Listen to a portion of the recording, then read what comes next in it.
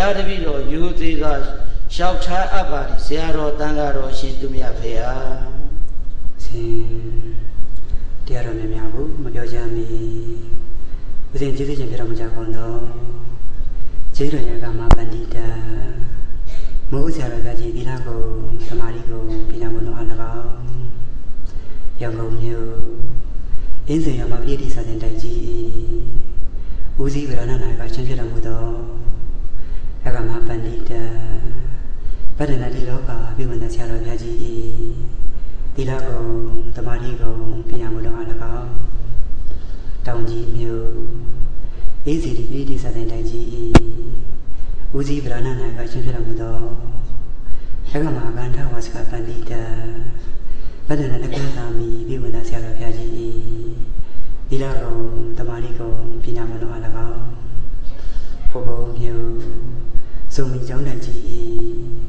ဦးစီးဗရဏနာကချင်းဖြစ်တော်မူသောပဒနာဘောဓနာဆရာတော်ဘုရားကြီးသီလကုံတမာတိကုံပညာကုံတော်အား၎င်းဂျပန်မူဆရာတော်ဘုရားကြီးသီလကုံတမာတိကုံပညာကုံတော်အား၎င်းဟေဟုမြူဟဲ့ဒီမများတောင်ဆရာတော်ဘုရားကြီးသီလကုံတမာတိကုံပညာကုံတော်အား၎င်း မောကုံမြူဥပ္ပိုလ်ကျောင်းတိုက်ဆရာတော်ဘုရားကြီးသီလကုံတမာတိကုံပညာကုံတော်အား၎င်းလိတဲ့တဲ့နေဝင်အထောက်ရမှာပဋိစ္စသမုပ္ပါဒဝေဒနာတရားတော်များများကိုပြတ်တာဆုံးမသွားတော်မူသော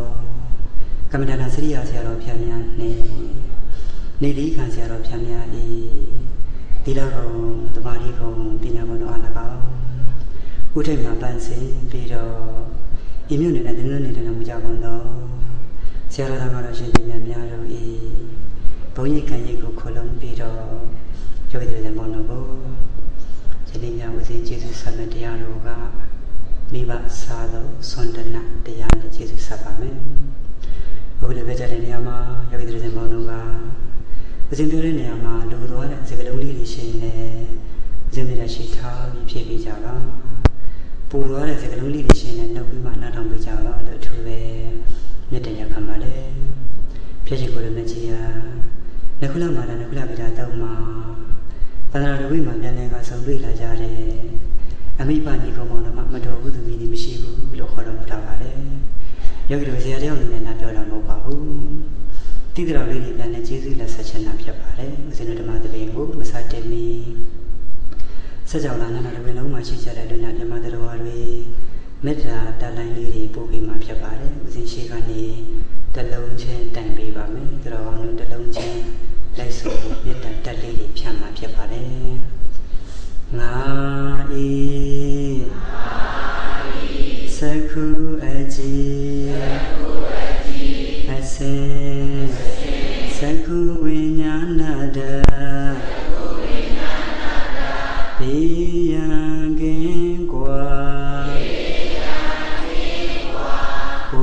စိတ်နှပြချမ်းမာချမ်းသာခြင်းကိုလိုရှိသလို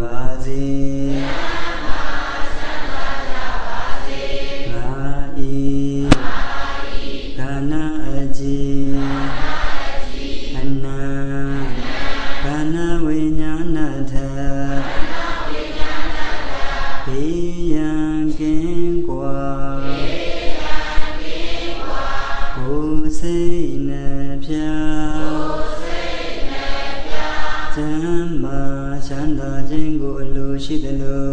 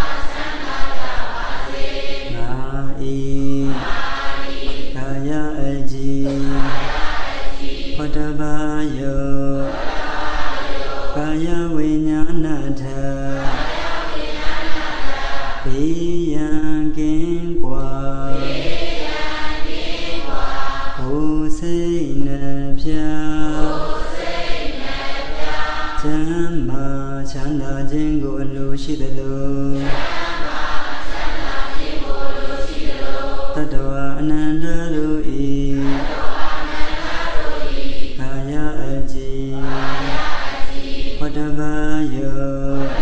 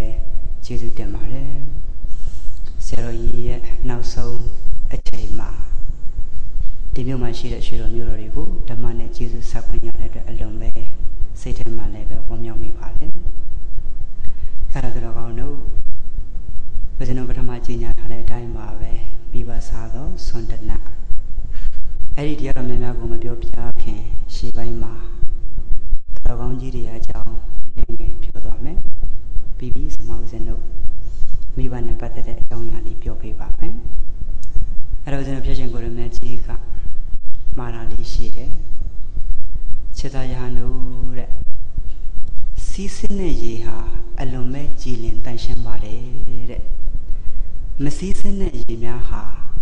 အလွန်မဲ့ညစ်ထေးတယ်တဲ့သူတော်ကောင်းနေ။စီးစင်းတဲ့ရေများကအသစ်အသစ်ထပ်တလဲလဲဖြစ်နေတဲ့အတွက်အဲ့ဒီရေကိုယောဂီတွေချိုးရင်လည်းအလွန်ကောင်းတယ်အဲ့ဒီရေကိုစစ်ပြီးတောက်မယ်ဆိုလည်းပဲအလွန်ပဲချမ်းမကြီးကောင်းမွန်တယ်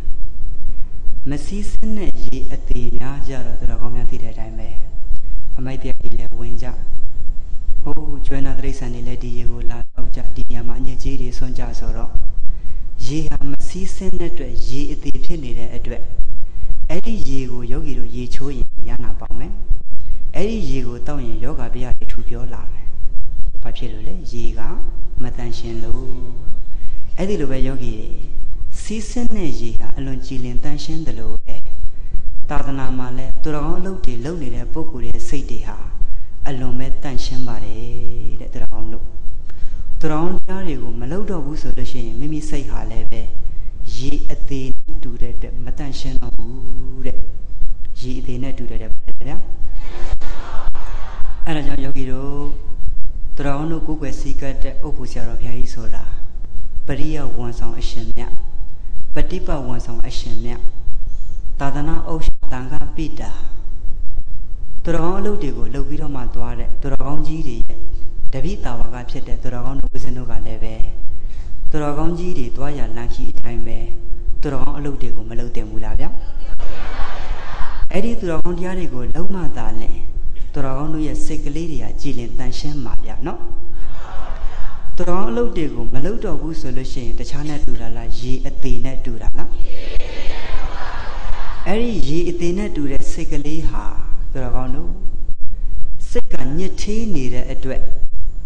ယောဂီတွေမြန်မာစကားပုံပြောပါတယ်စိတ်ထောင်းတော့ပါကြည်တာလေအဲကြောင့်ယောဂီတို့လောကမှာရှိတဲ့ကဘာသူကဘာသားတွေဟာကျမ်းမာရေးကောင်းပုံဖို့မနဲ့စောဤထပြေးကြတယ်လမ်းလျှောက်ကြတယ်ကောက်တီးရိုက်ကြတယ်ကြက်တောင်ရိုက်ကြတယ်ဟိုစိတ်ကျမ်းမာရေးကောင်းဖို့လူတွေမေ့နေကြတယ်စိတ်ကျမ်းမာအောင်လုပ်ဖို့ကြတော့လူတွေအများစုပါဖြစ်နေတာလေ အဲ့တော့ယောဂီတို့စိတ်ကျမ်းမာဖို့အရင်မကြည့်ဘူးလားဗျာအဲ့တော့ယောဂီတို့သူတော်ကောင်းအလုပ်တွေများများလုပ်မှသာလေဒီစိတ်ရဲ့ကိုယ်ရည်ကိုယ်သွေးတွေမြတ်မားလာမယ်စိတ်ရဲ့ quality တွေအားကောင်းလာမယ်အဲကြောင့်ယောဂီတို့ဒီစိတ်ကလေးကြည်လင်တောက်ပဖို့တဲ့ယောဂီတို့ဦးဇင်းတို့သီလနဲ့ထုံမွမ်းရမယ်တမာရီနဲ့ထုံမွမ်းရမယ်ပညာနဲ့ထုံမွမ်းရမယ်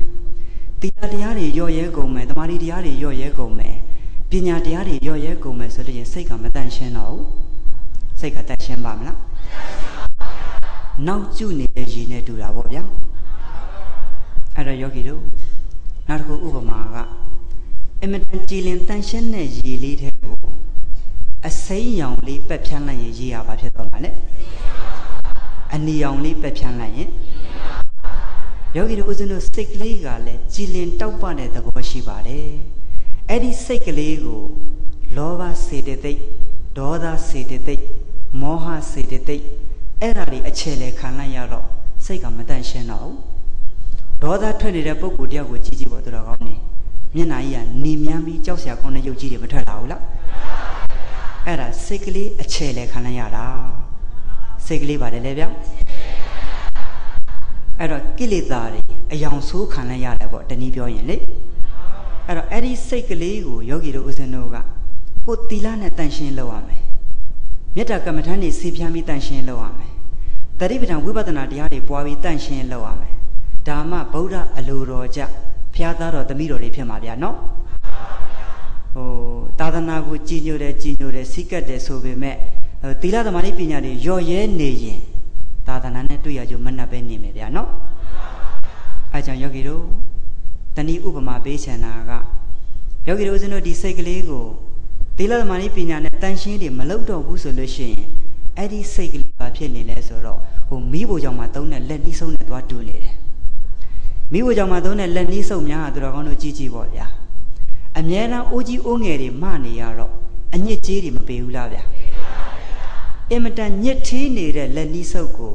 ထပ်တလဲအမိုက်ပြိုက်တွေအမဲတွေကြတော့လဲပဲ သူ့ကိုယ်သူပေမနော်မသေးတော့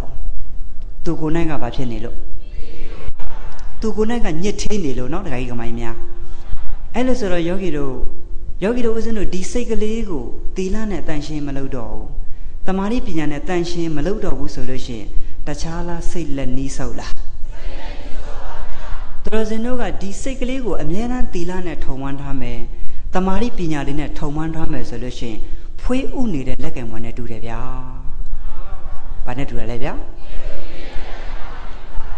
ဖွေးဥနေတဲ့လက်ကံပေါ်မှာအမဲဆက်ကလေးတစ်ဆက်ကြကြာမှန်းသိတယ်ဗျ။အော်လက်ကံပေါ်လေးပြေသွားပြီ။လျှော်ဖို့အောင်မှာပဲလျှော်ဖို့အောင်မှာပဲ။ဘာနဲ့လျှော်ဖို့မလဲသီလနဲ့လျှော်ဖို့မယ်။မေတ္တာဒီဖြန်းပြီးတော့လျှော်ဖို့မယ်။တတိပဒံဝိပဿနာတရားတွေပွားပြီးတော့မှလျှော်ဖွတ်မယ်အဲ့လိုဆိုစိတ်ကလေးကမတန့်ရှင်းသွားဘူးလားဗျာဘုရားတို့ဥပ္ပိုလ်ဆရာတော်ကြီးကဆရာတော်စိတ်ကလေးကိုတီလာနဲ့ရှင်းသွားတယ် တမာရီတွေနဲ့တန့်ရှင်းလုပ်သွားတယ်ပညာတရားတွေနဲ့တန့်ရှင်းတွေလုပ်သွားတော့ဆရာတော်ကြီးရဲ့လေတန်နေဆရာတော်ကြီးရဲ့မျက်နှာတော်တွေအများအားမအေးချောင်းလားဗျာအဲ့လိုငြိမ်းချမ်းနေဗျာတခါကြီးဒီမှာကြီးများနော်အဲ့တော့ဆရာတော်ကြီးတက်တော်ထင်ရှားရှိတော့ကဘုရားတို့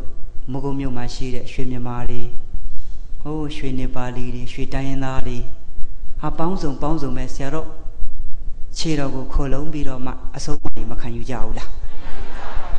အဲ့လိုဆိုတော့ဆရာတော်ကြီးမျက်ွယ်ပြူသွားတော်လည်းပဲဆရာတော်အဆုံးမတွေကိုဆက်လက်ပြီးတသိမသိလိုက်နာပြီးတော့မှသူတော်အကျင့်တွေဆက်ပြီးကျင့်ခွင့်ရသွားကြရင်မကောင်းလားဗျအဲကြောင့်လောကမှာဒီလိုသူတော်ကောင်းကြီးတွေမျက်ွယ်ပြူသွားလို့ရှိရင်သူတော်ကောင်းကြီးတွေကပြောပါတယ်လောကမျက်လုံးကွယ်သွားပြီတဲ့တခိုင်ဒီမိုင်းများနော်အဲကြောင့်ယောဂီတို့ဒီလိုတကက်ပရိယပฏิပတ်ဆွေစုံပြည့်စုံတဲ့သူတော်ကောင်းကြီးတွေ လောကမှာရှိနေတဲ့ကာလပတ်လုံးကတော့သာသနာကြီးဟာစီပင်နေပါလေဒီလိုသူတော်ကောင်းတွေတဖြည်းဖြည်းရော့ရဲရော့ရဲရော့ရဲသွားမယ်ဆိုလို့ရှိရင်တော့ယောဂီတို့သာသနာကြီးကတနေ့တော့ဘာဖြစ်သွားမှာလဲဒီနေ့တခြားမကြည့်နဲ့ပေါ့ထေရဝါဒ9နိုင်ငံဦးဇင်းတို့ဟိုခေါ်လို့လွယ်ကူအောင်နာမည်တူလေးပေးထားပါတယ်တိရိမာလာရိုးရာပြောကြည့်ပါတိရိမာလာရိုးရာတိရိဆိုတာစရီလင်္ကာတီဟိုပေါ့ မာဆိုတာမြန်မာလာဆိုတာလာအိုရိုးဆိုတာယူရီးယားယာဆိုတာကမ္ဘောဒီးယားဒီနေ့ထေရဝါဒ9နိုင်ငံမှာအဓိကအစီနစ်တွေကသူတော်ကောင်းတို့မြန်မာပြည်ပဲရှိတော့တယ်နဲ့တူပါတယ်နော်ဟိုတခြားနိုင်ငံတွေတဖြည်းဖြည်းရော့ကုန်ပြီတခါကြီးမှရင်များတခြားနိုင်ငံတွေဘာဖြစ်ကုန်ပြီလဲဟိုဒုတိယခန္ဓာနေနဲ့တော့တီဟိုနိုင်ငံရှိတာပေါ့ဗျာဒါပေမဲ့အဓိကအစီနစ်ကတော့သူတော်ကောင်းတို့မြန်မာပြည်မှာပဲကြံတော့တယ်ဘယ်မှာပဲကြံတာလဲ ဟိုထိုင်းတို့လာအိုတို့ကမ္ဘောဒီးယားတို့တဖြည်းဖြည်းရောကုန်ပြီဗျာနော်ဟိုထေရဝါဒတဲ့မဟာယာနတွေရောကုန်ပြီမဟုတ်ဘူးလားတခါဒီမှာကြီးတွေအဲ့တော့ယောဂီတို့ဦးဇင်းတို့မြန်မာပြည်မှာတော့ဟိုအရင်မရောသေးတဲ့အတွက်အစီနစ်တွေကြံသေးတယ်လေဟိုအစီနစ်တွေဝန်ဆောင်နေတဲ့အရှင်မြတ်ကြီးတွေလည်းမကြံသေးဘူးလားအဲ့လိုဆိုတော့ယောဂီတို့ဦးဇင်းတို့ကံကောင်းတာပေါ့ဗျာဟိုတောင်မြုပ်မာကနွန်ဆရာတော်ကြီးမိတ်တော်မူတဲ့အတိုင်းပြောရင်တော့ဟိုမြန်မာပြည်မှာလာပြီးလူလာဖြတ်တာ အတိတ်ကကုသိုလ်ကံကိုကျေးဇူးတင်လိုက်တာတဲ့အတိတ်ကကုသိုလ်ကံကိုပါတယ်လေသာသနာနဲ့တွေ့လို့နော်ဟိုရုပ်ပိုင်းဆိုင်ရာတော့ဦးဇင်းတို့နိုင်ငံကြီးကနောက်ကောက်ကျနေတာတော့မှန်တာပေါ့နော်တခါကြီးတို့မကြီးတွေဒါပေမဲ့သာသနာနဲ့ပတ်သက်ပြီးမှတော့ရှေ့ဆုံးကိုရောက်နေတယ်ဗျသာသနာနဲ့ပတ်သက်ပြီးတော့ဟိုမြန်မာပြည်မှာတကက်စာတတ်ပေးတဲ့ဆရာကြီးတွေပฏิပတ်ဝန်ဆောင်ဆရာကြီးတွေတပါးပြီးတပါးပေါ်ထုံးပြီးမလာဘူးလားဗျ အဲ့ဒီသူတော်ကောင်းကြီးတွေအဆုံးအမတွေကိုအသီးသီးယောဂီတွေဥစဉ်တို့မရကြဘူးလားဗျအဲ့ဒီအဆုံးအမတန်းကိုလက်တွေ့လိုက်နာကျင့်သုံးမယ်ဆိုဘဝကြီးကမငြိမ်းချောင်းလားဗျအဲ့ဒါမှဘဝရဲ့ငြိမ်းချမ်းရေးပိုင်ရှင်ကြီးတွေဖြစ်မှာပေါ့ဗျအဲ့ဒီသူတော်ကောင်းအလုပ်ကြီးတွေကိုယောဂီတွေဥစဉ်တို့မလုပ်ဘူးဆိုလို့ရှိရင်ငြိမ်းချမ်းရေးပိုင်ရှင်ကြီးတွေဖြစ်နိုင်ပါမလားအဲ့ဒါကြောင့်ယောဂီတွေဘဝရဲ့ငြိမ်းချမ်းရေးပိုင်ရှင်ကြီးတွေဖြစ်ချင်တယ်ဆိုလို့ရှိရင်သူတော်ကောင်းအဆုံးအမတွေကိုလိုက်နာမှရတာနော်သူ တော်ကောင်းအဆုံးအမတွေပါတယ်လေအဲ့တော့ယောဂီတို့၅ပါးသီလထိန်းပေါ့ဗျာမကောင်းလားထိန်းတာနဲ့မထိန်းတာဘယ်ဟာကများတာလဲသိမကြားလိုက်ဘူးဗျာနော်မထိန်းတာများတာလားထိန်းတာများမှရမှာနော်ယောဂီတို့၅ပါးထဲရှိတာပါဗျာအဲ့ဒါလေးကိုအသက်တည်းမှာတန်ဖိုးထားကြည့်စမ်းပါပြစ္ဆုတ်ပန်နဲ့ချမ်းသာလို့တန်ត្រာလည်းချမ်းသာလိုက်တာတခါကြီးဒီမှာအေး အဲ့တော့ယောဂီတို့လောကမှာသာသနာ့ရှိနေတဲ့ယောဂီတို့ဥစဉ်တို့ကကုသိုလ်အကုသိုလ်ခွဲခြားပြီးသိတယ်လေဒီသာသနာနေလုံးကြီးပျောက်ကွယ်သွားရင်ကုသိုလ်အကုသိုလ်ခွဲခြားပြီးသိနိုင်ပါမလားမသိနိုင်တော့ဘူးအဲကြောင့်ယောဂီတွေဥစဉ်တို့မြန်မာပြည်မှာတကယ်သူတော်ကောင်းကြီးတွေတော်တော်ထင်ရှားခဲ့ပါတယ်ဟိုတတိယလာလေးပြောချင်တာကဟိုတာလုံမင်းတရားကြီးလက်ထက်ကရွှေဥမင်ဆရာတော်တပားကတောင်ဖီလာဆရာတော်ကြားဘူးမယ်နဲ့တူပါတယ်နော် အဲ့တော့ယောဂီတွေရှုံးမင်ဆရာတော်ကြီးဆိုတာကတော့တကယ်စာတတ်ပေတာသူတော်ကောင်းကြီးပါပဲအဲ့ဒါလည်းဦးဇင်းတို့ဘယ်နာလေးတွားရဆောက်တည်တယ်လဲဆိုတော့ယနေ့ပခုတ်ကူကနေရေစကြိုလာတဲ့လမ်းမကြီးဖက်ဆိုရင်ပခန်းဆိုတာယောဂီတွေတချို့ကြားဘူးရောက်ဘူးမှာပေါ့နော်အဲ့ဒီပခန်းကနေအလွန်ကလေးမှာရှုံးမင်ဆရာတော်ကြီးတောဝင်တဲ့နေရာတောရဆောက်တည်တဲ့နေရာယနေ့ထိရှိပါသေးတယ်ဇီဒီအိုပြက်ကလေးတွေအုတ်တိုင်းပြက်ကလေးတွေလေအဲ့ဒီနေရာမှာရှုံးမင်ဆရာတော်ကြီးကတောရဆောက်တည်တရားကျင့်တော့ နာမည်ကျော်ကြားတော်မူတဲ့တောင်ဖီလာဆရာတော်ကြီးကမင်းဆရာဆိုတော့မန်းလေးနေပြည်တော်မှာနေတာရင်းသုံးတော်မူတာအဲ့တော့မန်းလေးနေပြည်တော်ကနေဆရာတော်ကြီးကဘယ်ကြွလဲဆိုတော့ဆက်တော်ရာရှာဖို့တော်တဲ့ထွက်လာတယ်ဆက်တော်ရာဆိုတာတော်ကောင်းတို့ဘာကိုပြောတာလဲမြတ်စွာဘုရားရဲ့ခြေတော်ရာအဲ့လိုဆိုတော့အဲ့ဒီဆက်တော်ရာရှာရင်ရှာရင်နဲ့တော်လန်ခီးအပြန်မှာရှုံးဝင်ဆရာတော်ကြီးတော်ရဆောက်တည်တဲ့နေရာလေးကိုရောက်တော့ ကဲယောဂီတွေသူတော်ကောင်းအချင်းချင်းတွေ့ကြတော့မယ်အဲ့ဒီအချိန်မှာဝမ်းသာအားရလွန်းလို့တော်ရဆောက်တည်နေတဲ့ဆရာတော်ကြီးကိုကြီးညိုလွန်းလို့တော်မီလာဆရာတော်ကြီးကလေအဲ့ဒီမှာပါလာတဲ့ကောင်းဘေးဆိုတဲ့သင်္ကန်းနေလူဝယ်ပစ္စည်းတွေလူဒန်းနေဗျလူဒန်းပြီးတော့ဆရာတော်ကြီးကလျှောက်တယ်ဆရာတော်တဲ့ဒီတော်ထဲမှာတလောက်တော်ကြီးခေါင်ခေါင်ထဲမှာတဘာဒီတဘာတဲ့တော်ရဆောက်တည်တာဆရာတော်ကြောက်တော်မမဘူးလားတဲ့ဆရာတော်ပါတယ်လေ တပည့်တော်ကြောက်လွန်းလို့တော်တဲ့ကိုနေပါတယ်တဲ့ကြောက်လွန်းလို့ပါတယ်လေဟိုပညာရှိတွေရဲ့စကားလုံးဗျာတိတ်တန်ဖို့ရှိတယ်ဗျာနော်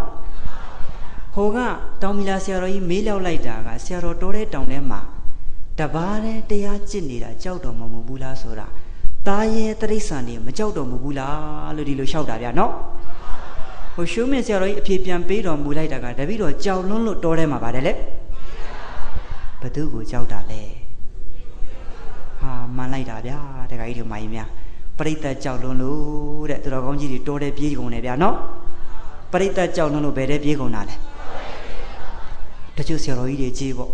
အင်မတန်ဘုံကံကြီးမားလာတော့ကိုလှုပ်ချင်တဲ့ပရိယတ်တွေကိုလှုပ်ချင်တဲ့ပฏิပတ်တွေမလှုပ်နိုင်တော့ဘူးသူတို့ကိုပဲအချိန်ပေးနေရတာလေလေဟိုတွေ့လဲတွေ့ကြမှာကြားလဲကြောက်မှုမှာပေါ့နော်တခါကြီးတခါမကြီးတွေအဲ့တော့ရှုံးမင်းဆရာတော်ကြီးကလူပရိသတ်ကြောက်လွန်းလို့တော်တဲ့ကိုတပါးတည်းပါလုပ်နေတာတဲ့ နော်ပြေးသွားတယ်တရားကျင့်နေဟုတ်လားတခါကြီးတခါမကြီးတွေအဲ့ဒီလိုနဲ့ဦးဇင်းတို့တောင်ပီလာဆရာတော်ကြီးက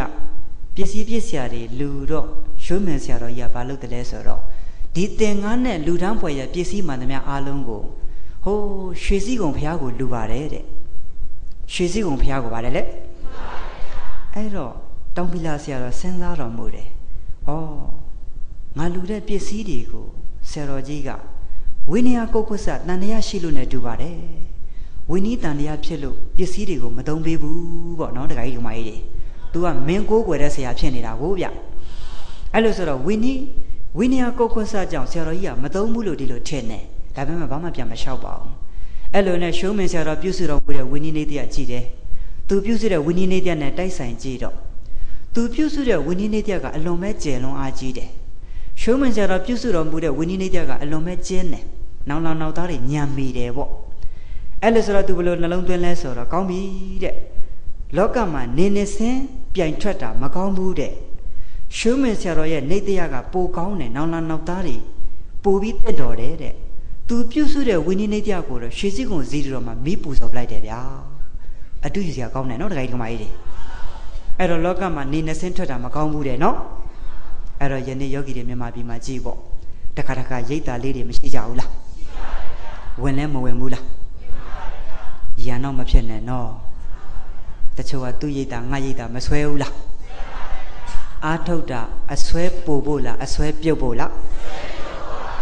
ဟိုယောဂီတို့ဦးဇင်းတို့အများစုကဟိုဆေးညွန်းလေးတွေတော့ဖတ်တယ်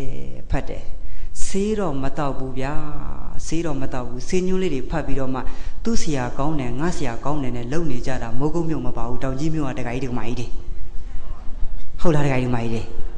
ဘယ်မြို့ကလဲဗျဦးဇင်းတောင်ကြီးကလာတာဆိုတောင်ကြီးကပြောတာနော်ဟိုမိုးကုတ်ကရှေတော်မြို့တော်တွေမပါပါဘူးဗျာဟိုအုပ်ဖို့ဆရာတော်ကြီးကတခါကြီးတွေဆိုတော့အပြစ်မပြောရဲပါဘူးဗျာမပြောရဲဘူးမပြောရဲဘူးနော်တခါကြီးတခါမကြီးတွေတချို့ကယောဂီတွေအဲ့လိုယံဖြစ်နေတာမရှိဘူးလားဟိုသူနီးကောင်းတယ်ငါနီးကောင်းတယ်ဟိုဆေးတောက်သလားဆိုတော့ဆေးညွှန်းလေးတွေဖတ်ပြီးမှယံဖြစ်နေတာယံဖြစ်လို့ရှိရင်တော့အကုသိုလ်ရမှာနော်ယံဖြစ်ရင်တော့ဘာရမှာလဲอืม မာစီဆရာတော်နီးလဲကောင်းတာပဲလေဒီဆရာတော်နီးလဲကောင်းတာပဲဟိုဝေဘူးဆရာတော်ဆုံးလုံးဆရာတော်ကတိဝိုင်းဆရာတော်မိုးကုတ်ဆရာတော်မကောင်းလားတခါကြီးဒီမကြီးတွေဟာဥကိုရင်ကနီးလဲမကောင်းဘူးလားဟိုနီးတွေသာပြောတာပါဗျာပြောရင်တော့ဖះဆုံးမတွေပါဗျာတခါကြီးဒီမိုင်းများတခြားလားဖះဆုံးမတွေလားအဲ့ဒီအဆုံးမကတခြားလားဝမ်းထဲရောက်အောင်မလားအခုတော့ဝမ်းထဲမရောက်တော့ရံဖြစ်တယ်ဗျာတခါကြီးဒီမိုင်းတွေ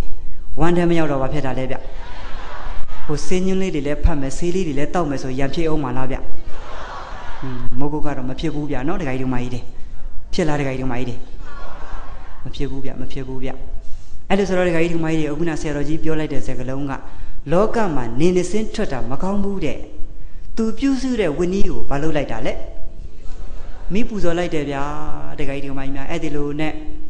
ဘုဇင်းတို့မကြပါဘူးတောင်ပီလာဆရာတော်ကြီးပြန်ကြွသွား ဟိုရွှေမင်းဆရာတော်ကြီးရဲ့ဘေးမှာရှိတဲ့ကပ်ပြရဲ့ရှောက်တယ်ဆရာတော်တဲ့ဟိုဆရာတော်တို့ယဟန်တန်ဃာတော်တွေမှာသူများလူလိုက်တဲ့ပစ္စည်းတွေဟာချက်ချင်းပဲစွန့်နေဆိုရင်ကောင်းပါသလားဗျာတဲ့အေးမကောင်းဘူးလေကပ်ပြကြီးဘာဖြစ်လို့လဲဆရာတော်ချက်ချင်းစွန့်လိုက်ရင်ဒုက္ခအဘတက်တယ်လို့တပည့်တော်မှသိပါတယ်တဲ့ဟုတ်တယ်ကပ္ပိယကြီးဘာဖြစ်လို့လဲအခုဆရာတော်ကတောင်ပီလာဆရာတော်တလောက်ကောင်းတာတွေလူလိုက်တာဘာဖြစ်လို့ချက်ချင်းပဲရွှေစည်းဝင်ဘုရားကိုလူပါတယ်လို့အဲ့ဒီလိုမိတ်တာလဲဖေ။အေးငါမင်းဆရာကိုဆုံးမလွတ်လိုက်တာတဲ့ မင်းဆရာကိုဗါတယ်လေဟုတ်ပါတယ်ဗျာတောင်ပီလာဆရာတော်ကြီးကရှိုးမင်းဆရာတော်ကြီးရှိကနေထွက်ခွာလာပြီးတော့မှမန်းလေးနေပြီးတော့မပြန်တော့ဘူးဗျတောက်လျှောက်ဘဲကိုကြောက်တယ်လဲဆိုတော့သခိုင်းကြောင်ဝင်သွားတယ်ဗျာယနေ့ရှိရှိတယ်တောင်ပီလာကြောင်ကြီးဆိုတာယောဂီတွေကြားဘူးမှာပေါ့အဲ့ဒါတောင်ပီလာဆရာတော်ကြီးတောရဆောက်တည်တဲ့နေရာလေအဲ့ဒါလိုနဲ့ဆရာတော်ကြီးကတောထဲသွားပြီးတော့မှကြားကုတ်ကြားခဲအားထုတ်လိုက်တာမကြခင်မှာဆရာတော်သီလသမารိပညာယန္နာဟာနေပြည်တော်ထိပေါက်သွားတယ်ဗျာနော် အဲ့ဒါလိုနေပြည်တော်ထိပေါက်တော့ကဲယောဂီတွေဘယင်မင်းကြီးကနိုရတဲ့သူကြည်ညိုတဲ့ဆရာတော်ကြီးဗျာအဲ့တော့ယောဂီတွေသီလသမารိပညာယန္နာနေမွေးတော့သွားတာပေါ့ဆရာတော်ကြီးထာမတော်ကြီးအဆုံးမတွေခံယူဆရာတော်ကြီးကိုကိုးကွယ်စိတ်ကတ်တာပေါ့အဲ့ဒါလိုနဲ့တရက်ကျတော့တတိုင်းပြည်လုံးမိုးခေါင်ရေရှားတယ်တခါကြီးဒီမကြီးများအဲ့ဒါလိုမိုးခေါင်ရေရှားတော့အဲ့ဒီနေရာမှာဘေးမှာရှိတဲ့ပရိပုံနာတွေကဘယ်လိုလျှောက်လဲဆိုတော့အခုလိုတတိုင်းပြည်လုံးမိုးခေါင်ရေရှားတာဟာ တောင်ဖီလာဆရာတော်ကြီးအကျင့်နေလွန်လို့ပါလို့ဒီလိုတော်ဦးတင်တယ်ဗျာနော်ဘာမှမဆိုင်ဘူးသူတော်ကောင်းတွေကိုရှောက်ပြီးအပြစ်တင်တယ်ဗျာနော်အဲ့ဒီကပုံနာပြောပါတယ်ဗျာတခါကြီးဒီကမကြီးများအဲ့ဒီလိုအပြစ်တွေမတင်ဘူးလားဗျဟိုဆရာတော်တိလသမารိပညာနဲ့ဆိုင်ရက်လားဆိုင်ပါဘူးဗျာသူ့အကြောင်းကျိုးပဲဗျာနော်အဲ့တော့အဲ့ဒီလိုပြောတော့ဘယင်မင်းကြီးကလက်မခံပါဘူးဗျာသူကိုးကွယ်တဲ့ဆရာတော်ကြီးပဲသို့တော်လည်းပဲအကိုးကားတွေနဲ့ထောက်ပြတယ်ဟိုမြတ်စွာဘုရားအလောင်းတော်ပါရမီဖြည့်စဉ်ခါတုန်းက ဟိုယတိဘွားကသူ့ရဲ့ယတိလေးလဲသာသနာပေါင်းရောက်ယတိပေါ့ဣတိတိန်ကယတိဆိုတာကြားဘူးမှာပေါ့အဲ့ဒီယတိလေးအကျင့်လုံးလုံးနောက်ဆုံးတရားမင်းကြီးကဘယင်မင်းကြီးကိုအကြံဉာဏ်ပေးလို့မိဖုရားနဲ့ဖျားယောင်းနဲ့ဟိုသမီးလေးနဲ့ဖျားယောင်းတဲ့ကိစ္စတွေကိုအဆူတင်သွင်းတယ်အဲ့တော့ဦးဇင်းတို့ဘယင်မင်းကြီးကလည်းပဲယုံကြည်သွားတယ်ဗျာ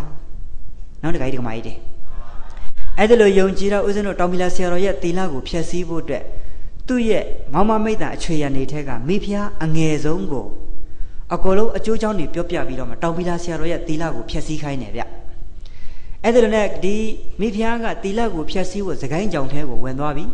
ညနေနေဝင်ရွေးအချိန်မှာအဲ့ဒီလိုနဲ့မိဖုရားကអော်သွားတာကကေတော်မူပါဗျာကေတော်မူပါဗျာပေါ့အဲ့ချိန်မှာဆရာတော်နဲ့ပဲပင်းဆုံတော့ဘာဖြစ်တာလဲတဲ့ကမကြီးဆိုတော့တပည့်တော်အနောက်မှာခိုးသားဓမြတွေလိုက်လာလို့ပါဗျာတဲ့ တပည့်တော်မကိုဒီမှာတညလောက်တဲခွင့်ပြုပါဟဲ့တဲ့ကမကြီးဒီမှာနေစရာမရှိဘူးတို့ဘုန်းကြီးတစ်ပါးတည်းတရားကျင့်နေတာဒီမှာတင့်တွက်နေရာပေးစရာမရှိဘူးဆရာတော်တပည့်တော်ပြန်လဲမပြန်ရွဲ့မပြန်ရဲတော့တာဖြစ်သည့်အတွက်ဒီဇေဒီဘေးလေးမှာပဲတပည့်တော်ကိုတညတာနေခွင့်ပြုပါအဲ့တော့ဆရာတော်ကြီးကလည်းတနာတော့နေခွင့်ပြုလိုက်တယ်ဗျာနော်ဒါတော့အကြံနဲ့လာတာဗျာနော်ဘာနဲ့လာတာလဲဗျအဲ့ဒီလိုနဲ့တခါကြီးဒီကမကြီးများအဲ့ဒီ မိဖုရားကအဲ့ဒီဇေဒီနာမှာနေလို့ဆရာတော်ကသူ့ကြောင်းသင်္ကန်းလေးထဲမှာတရားကျင့်လို့ညတကောင်လောက်ကျတော့တကားလာခောက်တယ်ဗျဆရာတော်တပည့်တော်အပြင်မှာအေးလွန်းလို့တာယတရိษံတွေကိုလည်းကြောက်လွန်းလို့တပည့်တော်မကိုအထဲဝင်ခွင့်ပြုပါတဲ့အဲ့တော့ဆရာတော်ကြီးကပြန်မိတ်တယ်ဟဲ့တကမအထဲမှာမသိတော်ဘူးအပြင်မှာပဲနေပါမဟုတ်ပါဗျာတပည့်တော်ကြောက်လွန်းလို့ပါဗျအေးလဲအေးလွန်းလို့ပါတဲ့နောက်ဆုံးတကားလေးဖွင့်ပေးလိုက်တယ်အဲ့ဒါဆရာတော်ကြီးကတော့သူတရားလေးသူနှလုံးသွင်းလို့ပေါ့ဗျ နောက်တော့အချိန်ကြီးပူပူဆိုးလာတယ်ဗျာနော်အဲ့ဒီလိုဆိုးလာတော့နောက်ဆုံးဆရာတော်ကြီးကဘာလုပ်တယ်လဲဆိုတော့ဘေးမှာတပူတက်တဲ့ဓမ္မလေးကိုယူပြီးတော့မှဆရာတော်သူ့ခြေစလုံးကိုအဲ့ဒီဓာတ်နဲ့အာရပါရလိထလိုက်တော့သွေးတွေတခါတည်းထွက်လာတယ်အဲ့ဒီတော့မှမိဖုရားငယ်ကတပည့်တော်မားပါပြီဖုရားတဲ့တပည့်တော်ခွန်းလွတ်တော်မူပါဆိုပြီးမှတောင်းမှဝန်ချကြော့ပြီးတော့မှနေပြီးတော့ပြန်သွားတယ်နေပြီးတော့ရောက်တော့ဘလို့သတင်းပြန်လဲဆိုတော့တောင်မီလာဆရာတော်ကြီးရဲ့တီလာဖြက်စီးလိုက်ပြီလို့သတင်းလွှင့်တယ်ဗျနော် တီလာပြက်ရဲ့လားဗျမပြတ်ပါဘူးသူ့အနေနဲ့တော့ဘလို့သတင်းဖြန့်လိုက်တီလာပြက်စီးသွားပြီအဲ့တော့ဘယင်မင်းကြီးနဲ့အဆရှိတဲ့မုမဒေနာပတိတွေကရောက်လာကြတာပေါ့ဗျာတီလာများတကယ်ပြက်စီးသွားပြီလားပေါ့အဲ့ဒီချိန်မှာဆရာတော်ရှင်မကတက်တည်မရှိဘူးဗျ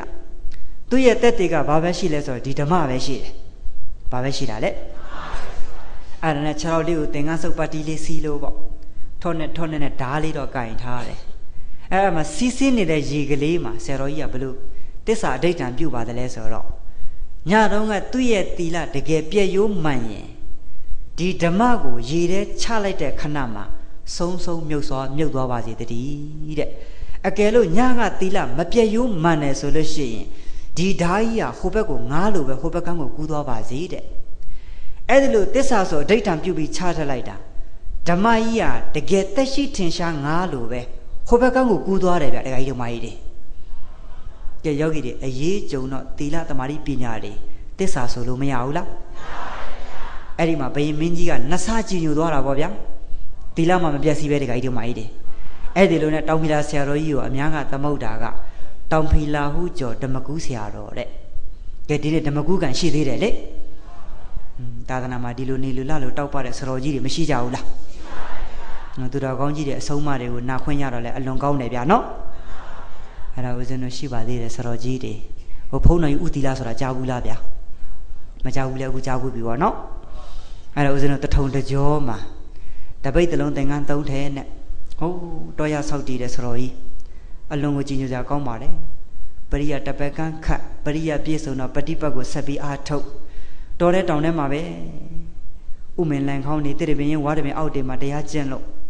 ဆရာတော်ကြီးကတရားတော်မဟုတ်ဘူးဗျတခါတခါအဲ့ဒီဗုဒ္ဓဘာသာမြန်မာတွေကဟိုလူမျိုးသားတွေကိုခေါ်သွားပြီးတော့မှဆရာတော်သူတို့ကလူမျိုးသားတွေဖြစ်တဲ့တရားလေးဟောပေးပါအောင်ဖေရတဲ့ဟိုဆရာတော်ကြီးပေးတဲ့တရားကတူတူတုတ်တုတ်ပဲသူ့အသက်မတတ်နဲ့တန်းဦးမတုံနဲ့ကဲပြန်ကြတဲ့မကောင်းလားတခါကြီးဒီမကြီးတွေယနေ့တရားပွဲလဲအဲ့ဒါလေးပြောပြီးသိမ့်မှထင်တယ်နော်သူ့အသက်မတတ်နဲ့တန်းဦးပါတယ်လေတခါကြီးဒီမကြီးမှာတန်းဦးတုတ်လားဗျ တောင်းတော်တော်မတုံနဲ့နော်တချို့ကအာရင်အဲခေါင်းတော်တော်ဆွဲတာမရှိဘူးလားတခါကြီးမကြီးတယ်အဲ့တော့ဘုန်းတော်ဥတီလာအဲ့လိုပြောတယ်ဗျသူတက်မသက်နဲ့တဲ့တောင်းမတုံနဲ့တဲ့ကဲပြန်ကြတဲ့ဟိုတခါတခါအဲ့တထုံတကြောကကရင်တွေကအလွန်ဆင်းရဲတော့ဆရာတော်ကြီးကဘယ်လိုမိတ်လဲဆိုတော့နင်တို့မှလူစရာမရှိလို့အာမငယ်နဲ့တဲ့တောထဲမှာရှိတဲ့တစ်ပန်းပင်လေးတွေကိုကပ်ပြီးခူးတဲ့ အဲ့ဒါလေးတွေရေလေးကြကြနနာဆေးတဲ့ပြီးရင်မြတ်စွာဘုရားကိုပန်းအလူခံတော်မူပါလို့ရှောက်တဲ့ကောက်ရုပ်ကိုကြကြနနာအလိတ်လေးတွေလိတ်တယ်ပြီးရင်မီးလေးညှိပြီးတော့မှစီမိအလူခံတော်မူပါဘုရားလို့ရှောက်တယ်နင်တို့ကုသိုလ်ရတယ်တဲ့သူတော်ကောင်းနေအဆုံးမကောင်းလိုက်တာဗျာနော်မကောင်းလားတခါကြီးကမကြီးတွေဦးဇင်းတို့မိုးကုံမျိုးကသာသနာအလွန်ကြီးညိုပါတယ်ဗျာနော်ဟိုဘုရားရှင်နေကြည်လိုက်တော့အိုးချမ်းသာလိုက်တာဗျာမြတ်စွာဘုရားရုပ်ပေါ်တော်တွေကလည်းအကြီးကြီးတွေဗျာ ပေါင်းဝင်ကြီးတွေကလည်းတခါတဲ့ဝေဝေစားလို့ဟုတ်လားတခါကြီးတို့မကြီးတယ်တကယ်တရားစိတ်နဲ့လူရမှာဗျာနော်ဟိုစွန်းတော်တင်တော့လဲအာရပါရတင်နေနဲ့တူပါတယ်နော်ဟိုခွက်သေးနဲ့လားခွက်ကြီးကြီးလားဟိုဝေဝူဆရာတော်ကြီးကပြောတယ်ဗျာနော်ဟိုသူတို့ချမ်းသာချင်လိုက်တယ်လဲသူတို့ပဲတဲ့စွန်းတော်တင်တဲ့ခါကျတော့ခွက်သေးသေးတဲ့စွန်းတဲ့ခါကျတော့ညနေဖျားမွေးထွန်းမှပဲသတိရတယ်တဲ့ဟုတ်လားတခါကြီးတို့မကြီးတယ် ဦးစင်းကမပြောပါဘူးဗျာဝေဝူဆရာတော်ကြီးပြောတာပြောပါတယ်ဝေဝူဆရာတော်ကြီးအဲ့လိုမိတ်တယ်ဗျာနော်အဲ့တော့တခါကြီးတို့မကြီးတယ်ဘုရားစွန်းတော်တင်တာခွက်သေးသေးလားကြီးကြီးလားဟိုစွန်းမဲ့တင်တာလားဟင်းလေးပါပါတာလားဟိုဟင်းမပိုင်တော့ယောဂီတွေလည်းစွန်းကြီးကြီးစားကြီးပေါ့ဗျာမကောင်းလားတခါကြီးတို့မကြီးတယ်ဟိုစွန်းတင်တော့ဟင်းလေးလည်းပါမှရတယ်ဗျာနော်อืมအဲ့ဒါမှကောင်းတာတခါကြီးတို့မကြီးတယ်အဲ့တော့ဦးဇင်ကဦးဇင်တို့ကျောင်းမှာအဲ့ဒီလိုပဲကျောင်းကပ္ပိယကြီးတွေကြကြနနာပြောထားတယ် ဟိုတပိတ်ထဲမှာထဲ့ပါအာရပါယနော်စွန်းသမင်းလေးတွေထဲ့လို့ဟင်းလေးတွေထဲ့လို့ဟိုကြကြနနာဖះကိုတက်တော်ထင်ရှားလို့အောက်မေပြီးကပ်ပါအလွန်အကျိုးများပါတယ်လို့တခါကြီးတို့မကြီးတယ်မကောင်းလားဗျာ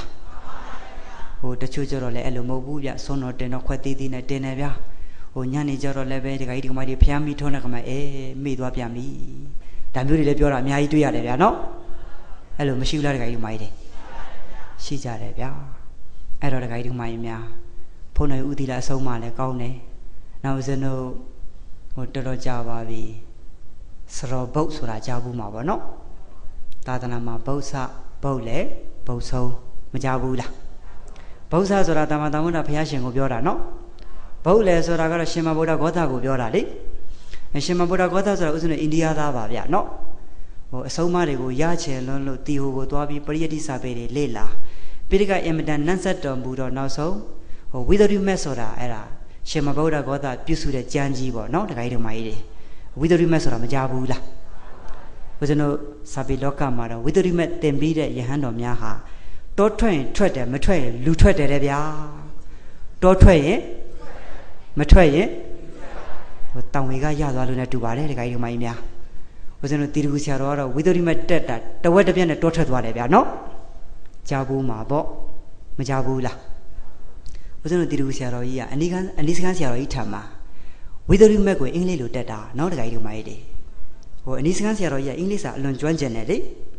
အဲ့တော့ဝိသရိမက်ကိုတက်တဝက်လောက်ရောက်တော့ဟိုတီတကူဆရာတော်ကြီးကတော်ရဆောက်တည်ချန်လာတယ်အဲ့ဒါနဲ့ဆရာတော်နဲ့ငယ်ဘက်စာတင်ဘက်ဆရာတော်ကဦးဇင်းတို့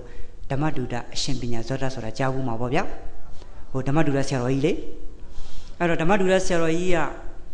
အဲ့ချိန်မှာဦးဇင်းတို့ဒီမௌတ္တမနာကတ်နေတဲ့ပေါင်ဆိုတာကြားဘူးမယ်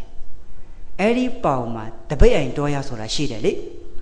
အဲ့ဒီတပိတ်အိမ်တော်ရမှာဆရာတော်ဥကိတ္တိဆိုတာတော်ရဆောက်တည်ဘူးတယ်တပိတ်အိမ်ဆရာတော်လို့နာမည်ကြော်ကြားတော်မူပါတယ်အဲ့ဒီတပိတ်အိမ်ဆရာတော်ကြီးရဲ့တော်ရလေးမှာဓမ္မဒုရအရှင်ပညာဇောရဆရာတော်ကြီးကတော်ရဆောက်တည်နေတယ်အဲ့ဒီမှာဦးဇင်းတို့မော်လမြိုင်ဖောက်တော်ဆရာတော်ကြီးလည်းအဲ့ဒီမှာတော်ရဆောက်တည်နေတယ်အဲ့ဒီတုန်းကပေါ့ဗျာအဲ့ဒါနဲ့တိရကုဆရာတော်ကြီးက စာတင်ဘက်ဓမ္မဒုရဆရာတော်ကြီးနဲ့တွားရဆောက်တည်ခြင်းတော့ဦးဇင်းတို့ရန်ကုန်ရှုံးမင်းဆရာတော်ကြီးထာမှာဆောင်းလို့ပေါ့နောက်ဓမ္မဒုရဆရာတော်ကြီးတရင်ကြားတော့လာပြီးပင့်ဆောင်သွားအဲ့ဒီလည်းအဲ့ဒီတော်ထဲမှာဆရာတော်ကြီးတွေ၃ပါးစုံတယ်ဗျာနော်ဖောက်ဆရာတော်ကြီးရယ်တိရကုဆရာတော်ကြီးရယ်ဓမ္မဒုရဆရာတော်ကြီးရယ်အဲ့ဒီလိုနဲ့တရင်ဝါလာကျွတ်တော့ဖောက်တော်ဆရာတော်ကြီးကအစင်တော်ရကိုပြောင်းရွှေ့သွားတယ်ဓမ္မဒုရရှင်ပညာဇောရဆရာတော်ကလည်းတစ်နှစ်လောက်နေတော့အစင်တော်ရဘက်ကိုရောက်သွားတယ် တိရကုဆရာတော်က၄မိနစ်၄မို့အဲ့ဒီမှာတော်ရဆောက်တည်တယ်နောက်အနီးစကားဆရာတော်ကျမ်းမာရေးမကောင်းဘူးဆိုမှဆရာတော်ပြန်လာပြုစုရင်းနဲ့နောက်ပိုင်းတရားတွေလက်ဟောဖြတ်သွားတာဗျာနော်တခါကြီးဒီမကြီးတွေ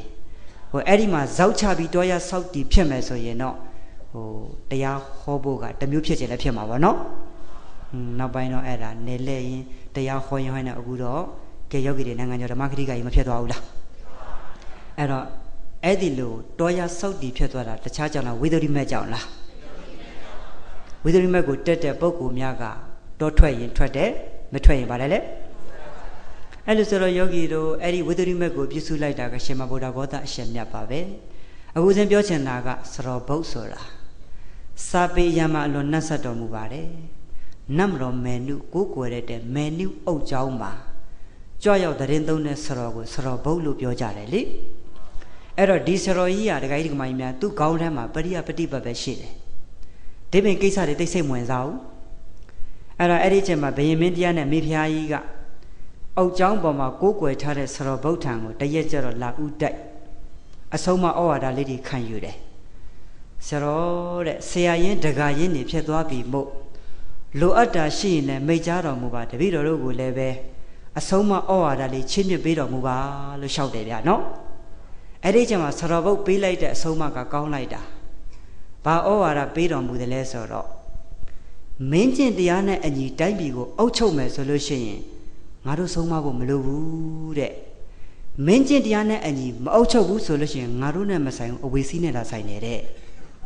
စကလုံးကကောင်းတယ်ဗျာနော်ဟိုသူတော်ကောင်းကြီးရဲ့အဆုံးမတူတူတုတ်တုတ်ပဲဗျာမကောင်းလားတခါကြီးဒီမကြီးတွေဟိုစရဘုတ်ပြောတာပြောတာပါနော်အဲ့တော့စရဘုတ်ကဟို မင်းတရားကြီးကိုပဲပြက်တာမဟုတ်ပါဘူးမိဘတွေပေါ်မှာလည်းအလွန်ပြက်ပါတယ်ဟိုတခါဆိုလို့ရှိရင်ဆရာတော်ကျောင်းကိုဖခင်ကြီးလာလဲတယ်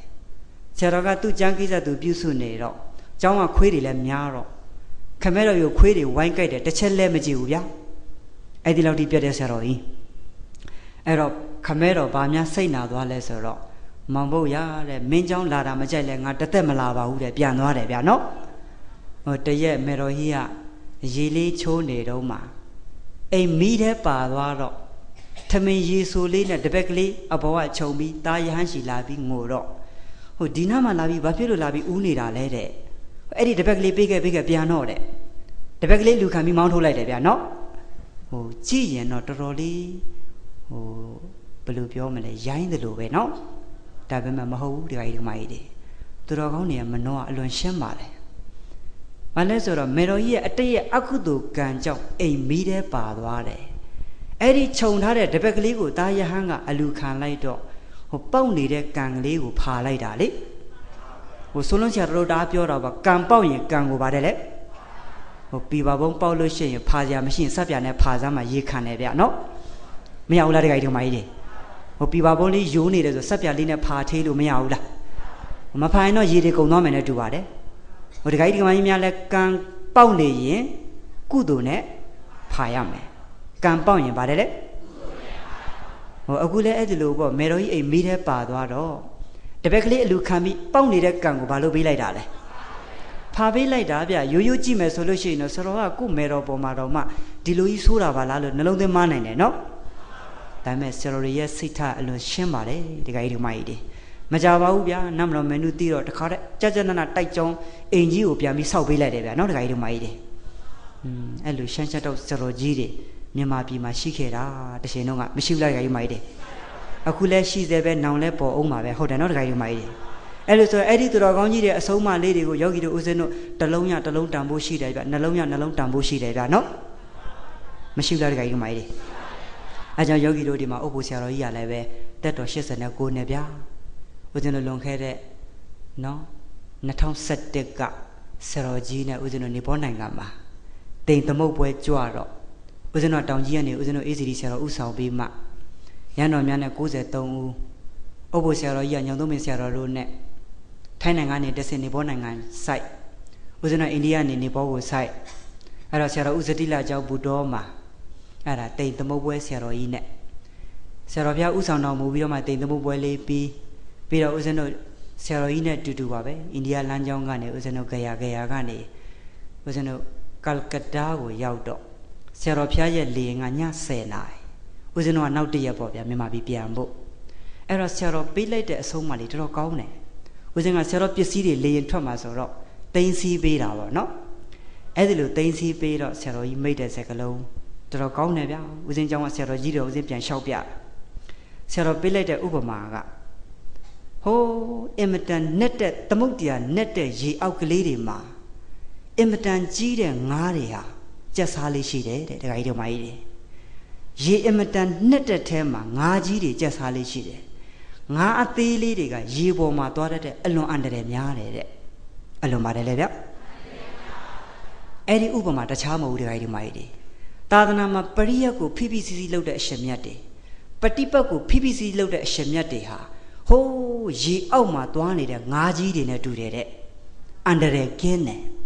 သူရဲ့စိတ်ကိုအများအားပရိယပฏิပတ်နဲ့ထုံမှန်းထားလို့လေဘာကင်းတာလဲ ဟိုတချို့ပဇင်းငယ်တွေခါကျတော့ပရိယတ်တွေလွတ်တယ်ဗျာပฏิပတ်တွေလည်းမလုပ်ဖြစ်တော့ဘူးတဲ့ပရိယတ်ပฏิပတ်တွေမလုပ်တော့ပဲနဲ့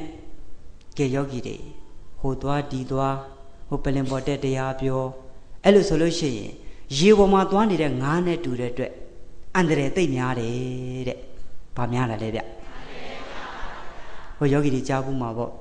နော်လလာဘကြောင့်ပျက်စီးသွားတာတွေမာတုကာမကြောင့်ပျက်စီးသွားတာတွေမကြောက်ဘူးလား။အဲကြောင့်ဦးဇင်းတို့ရန်တော်များမှာပြောတယ်ပစ္စည်းမာတုဤနခုဘိက္ခုတေမင်ဒါ20နဲ့ဟုတ်လားတခါဒီကမကြီးတွေအဲ့တော့ဆရာတော်ပေးလိုက်တဲ့အဆုံးမလေးနော်။ဟာဥပုဆရာတော်ကြီးကပြောတဲ့စကားလုံးလေးမကောင်းလားဗျာ။ဟိုပရိယဝန်ဆောင်ရှင်မြတ်ကြီးတွေပฏิပတ်ဝန်ဆောင်ရှင်မြတ်ကြီးတွေက ဟိုရေနဲ့တန်အောက်ထဲမှာသွားနေတဲ့ငါးကြီးတွေလည်းမတူဘူးလား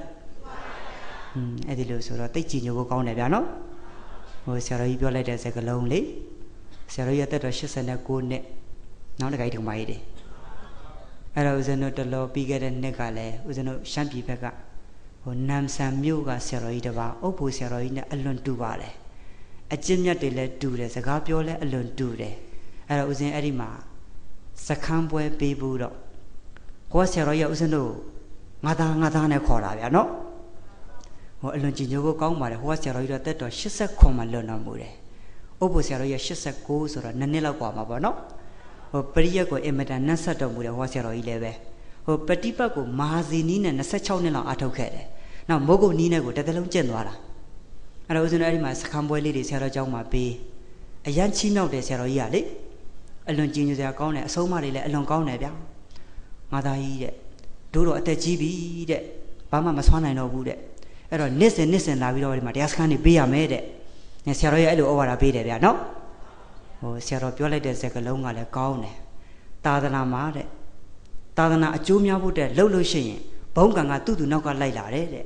ဟိုတချို့ကဘုံကြီးဖို့ဦးစားပေးတော့လှုပ်ဘုံနေရမကြခင်ကွဲတာပဲငါသားကြီးတဲ့လှုပ်ဘုံနေရမကြခင်ပါတယ်တဲ့อืมဆရာတော်ကြီးတွေအဆုံးမကောင်းတယ်ဗျာနော် ဒီနေ့တော့မိဘစားတဲ့ဆွန္ဒနာမဟောရအောင်နိုင်ပြည့်တော်တော့မှထက်ပါတယ်တာရုခေါ်တော်မလားတခါကြီးတွေဆက်ပြောရအောင်ပါနော်တနာကြီးထိုးတော်မယ်ဗျာနော်ကဲတခါကြီးကမကြီးများဆရာတော်ကြီးတွေအကြောင်းတွေပြောရင်တော့ခြေသွားမှာညတားမွန်းနဲ့သွားမယ်ဗျာနော်အဲ့တော့ဦးဇင်းတို့မိဘစားတဲ့ဆွန္ဒနာတွေသွားရင်မကောင်းလားဗျာဟိုတခုတော့ရှိတယ်ဒီနေ့တရားဝဲစတာစောပါသေးတယ်နော်ဦးဇင်းတို့ဒီထိုင်းနိုင်ငံတရားပွဲတွေကျင်းပတော့ ဖူးကက်တို့ဖတ်တရားကမ်းခြေတို့ကျင်းပရင်တရားဝဲည7နိုင်နိုင်မှဟောရတယ်ဘယ်နှနိုင်လဲဟိုမြန်မာပြည်မှာည10နိုင်တရားဟောရင်ဒီဘုန်းကြီးယူနေတယ်ပြောမှာဗျာနော်ဦးစင်းကမယုံလို့ည7နိုင်လောက်သွားဆောက်ကြည့်တယ်ပြိတ္တတယောက်မှမရှိဘူးသူတို့အလုပ်သိမ်းခြင်းကည10နိုင်7နိုင်လေအဲ့တော့7နိုင်အတိမစတဲ့ပွဲည9နိုင်လောက်မှပြီးတယ်ဗျာကဲအဲ့လိုဆိုတော့ဒီနေ့ပြိတ္တကအေးဆေးဆေးနာနိုင်ပါတယ်ဗျမကောင်းဘူးလား အဲ့လိုဆိုအေးဆေးဆေးဟောလိုက်မယ်နော်ဟိုမိဘစားတဲ့သောတနာဥစဉ်ဒီပင်နယ်မှာဟောရင်နှစ်နိုင်လောက်ပြောရတယ်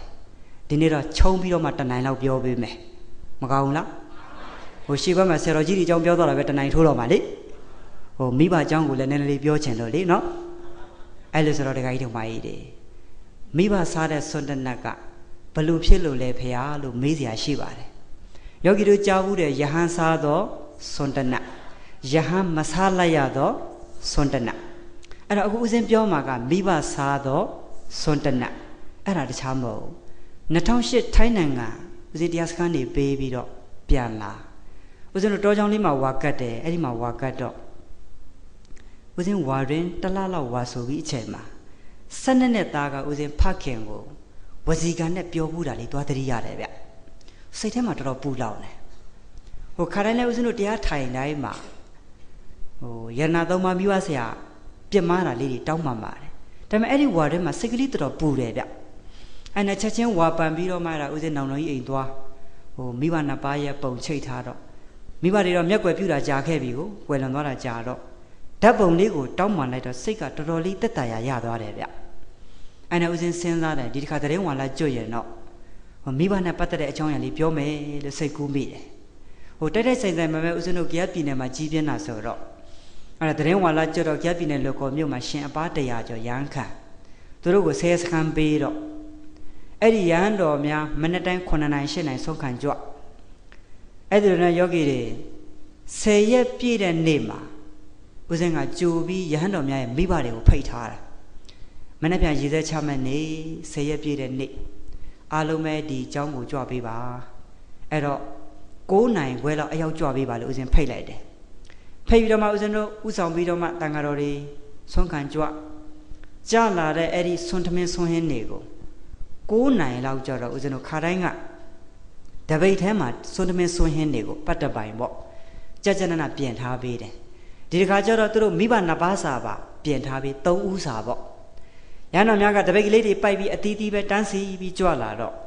မိဘတွေအတီးတီးကိုသားယဟန်ရှီကိုပကံလေးတွေကင်ပြီးရောက်လာတယ် အဲ့ဒီအချိန်မှာသားယဟန်က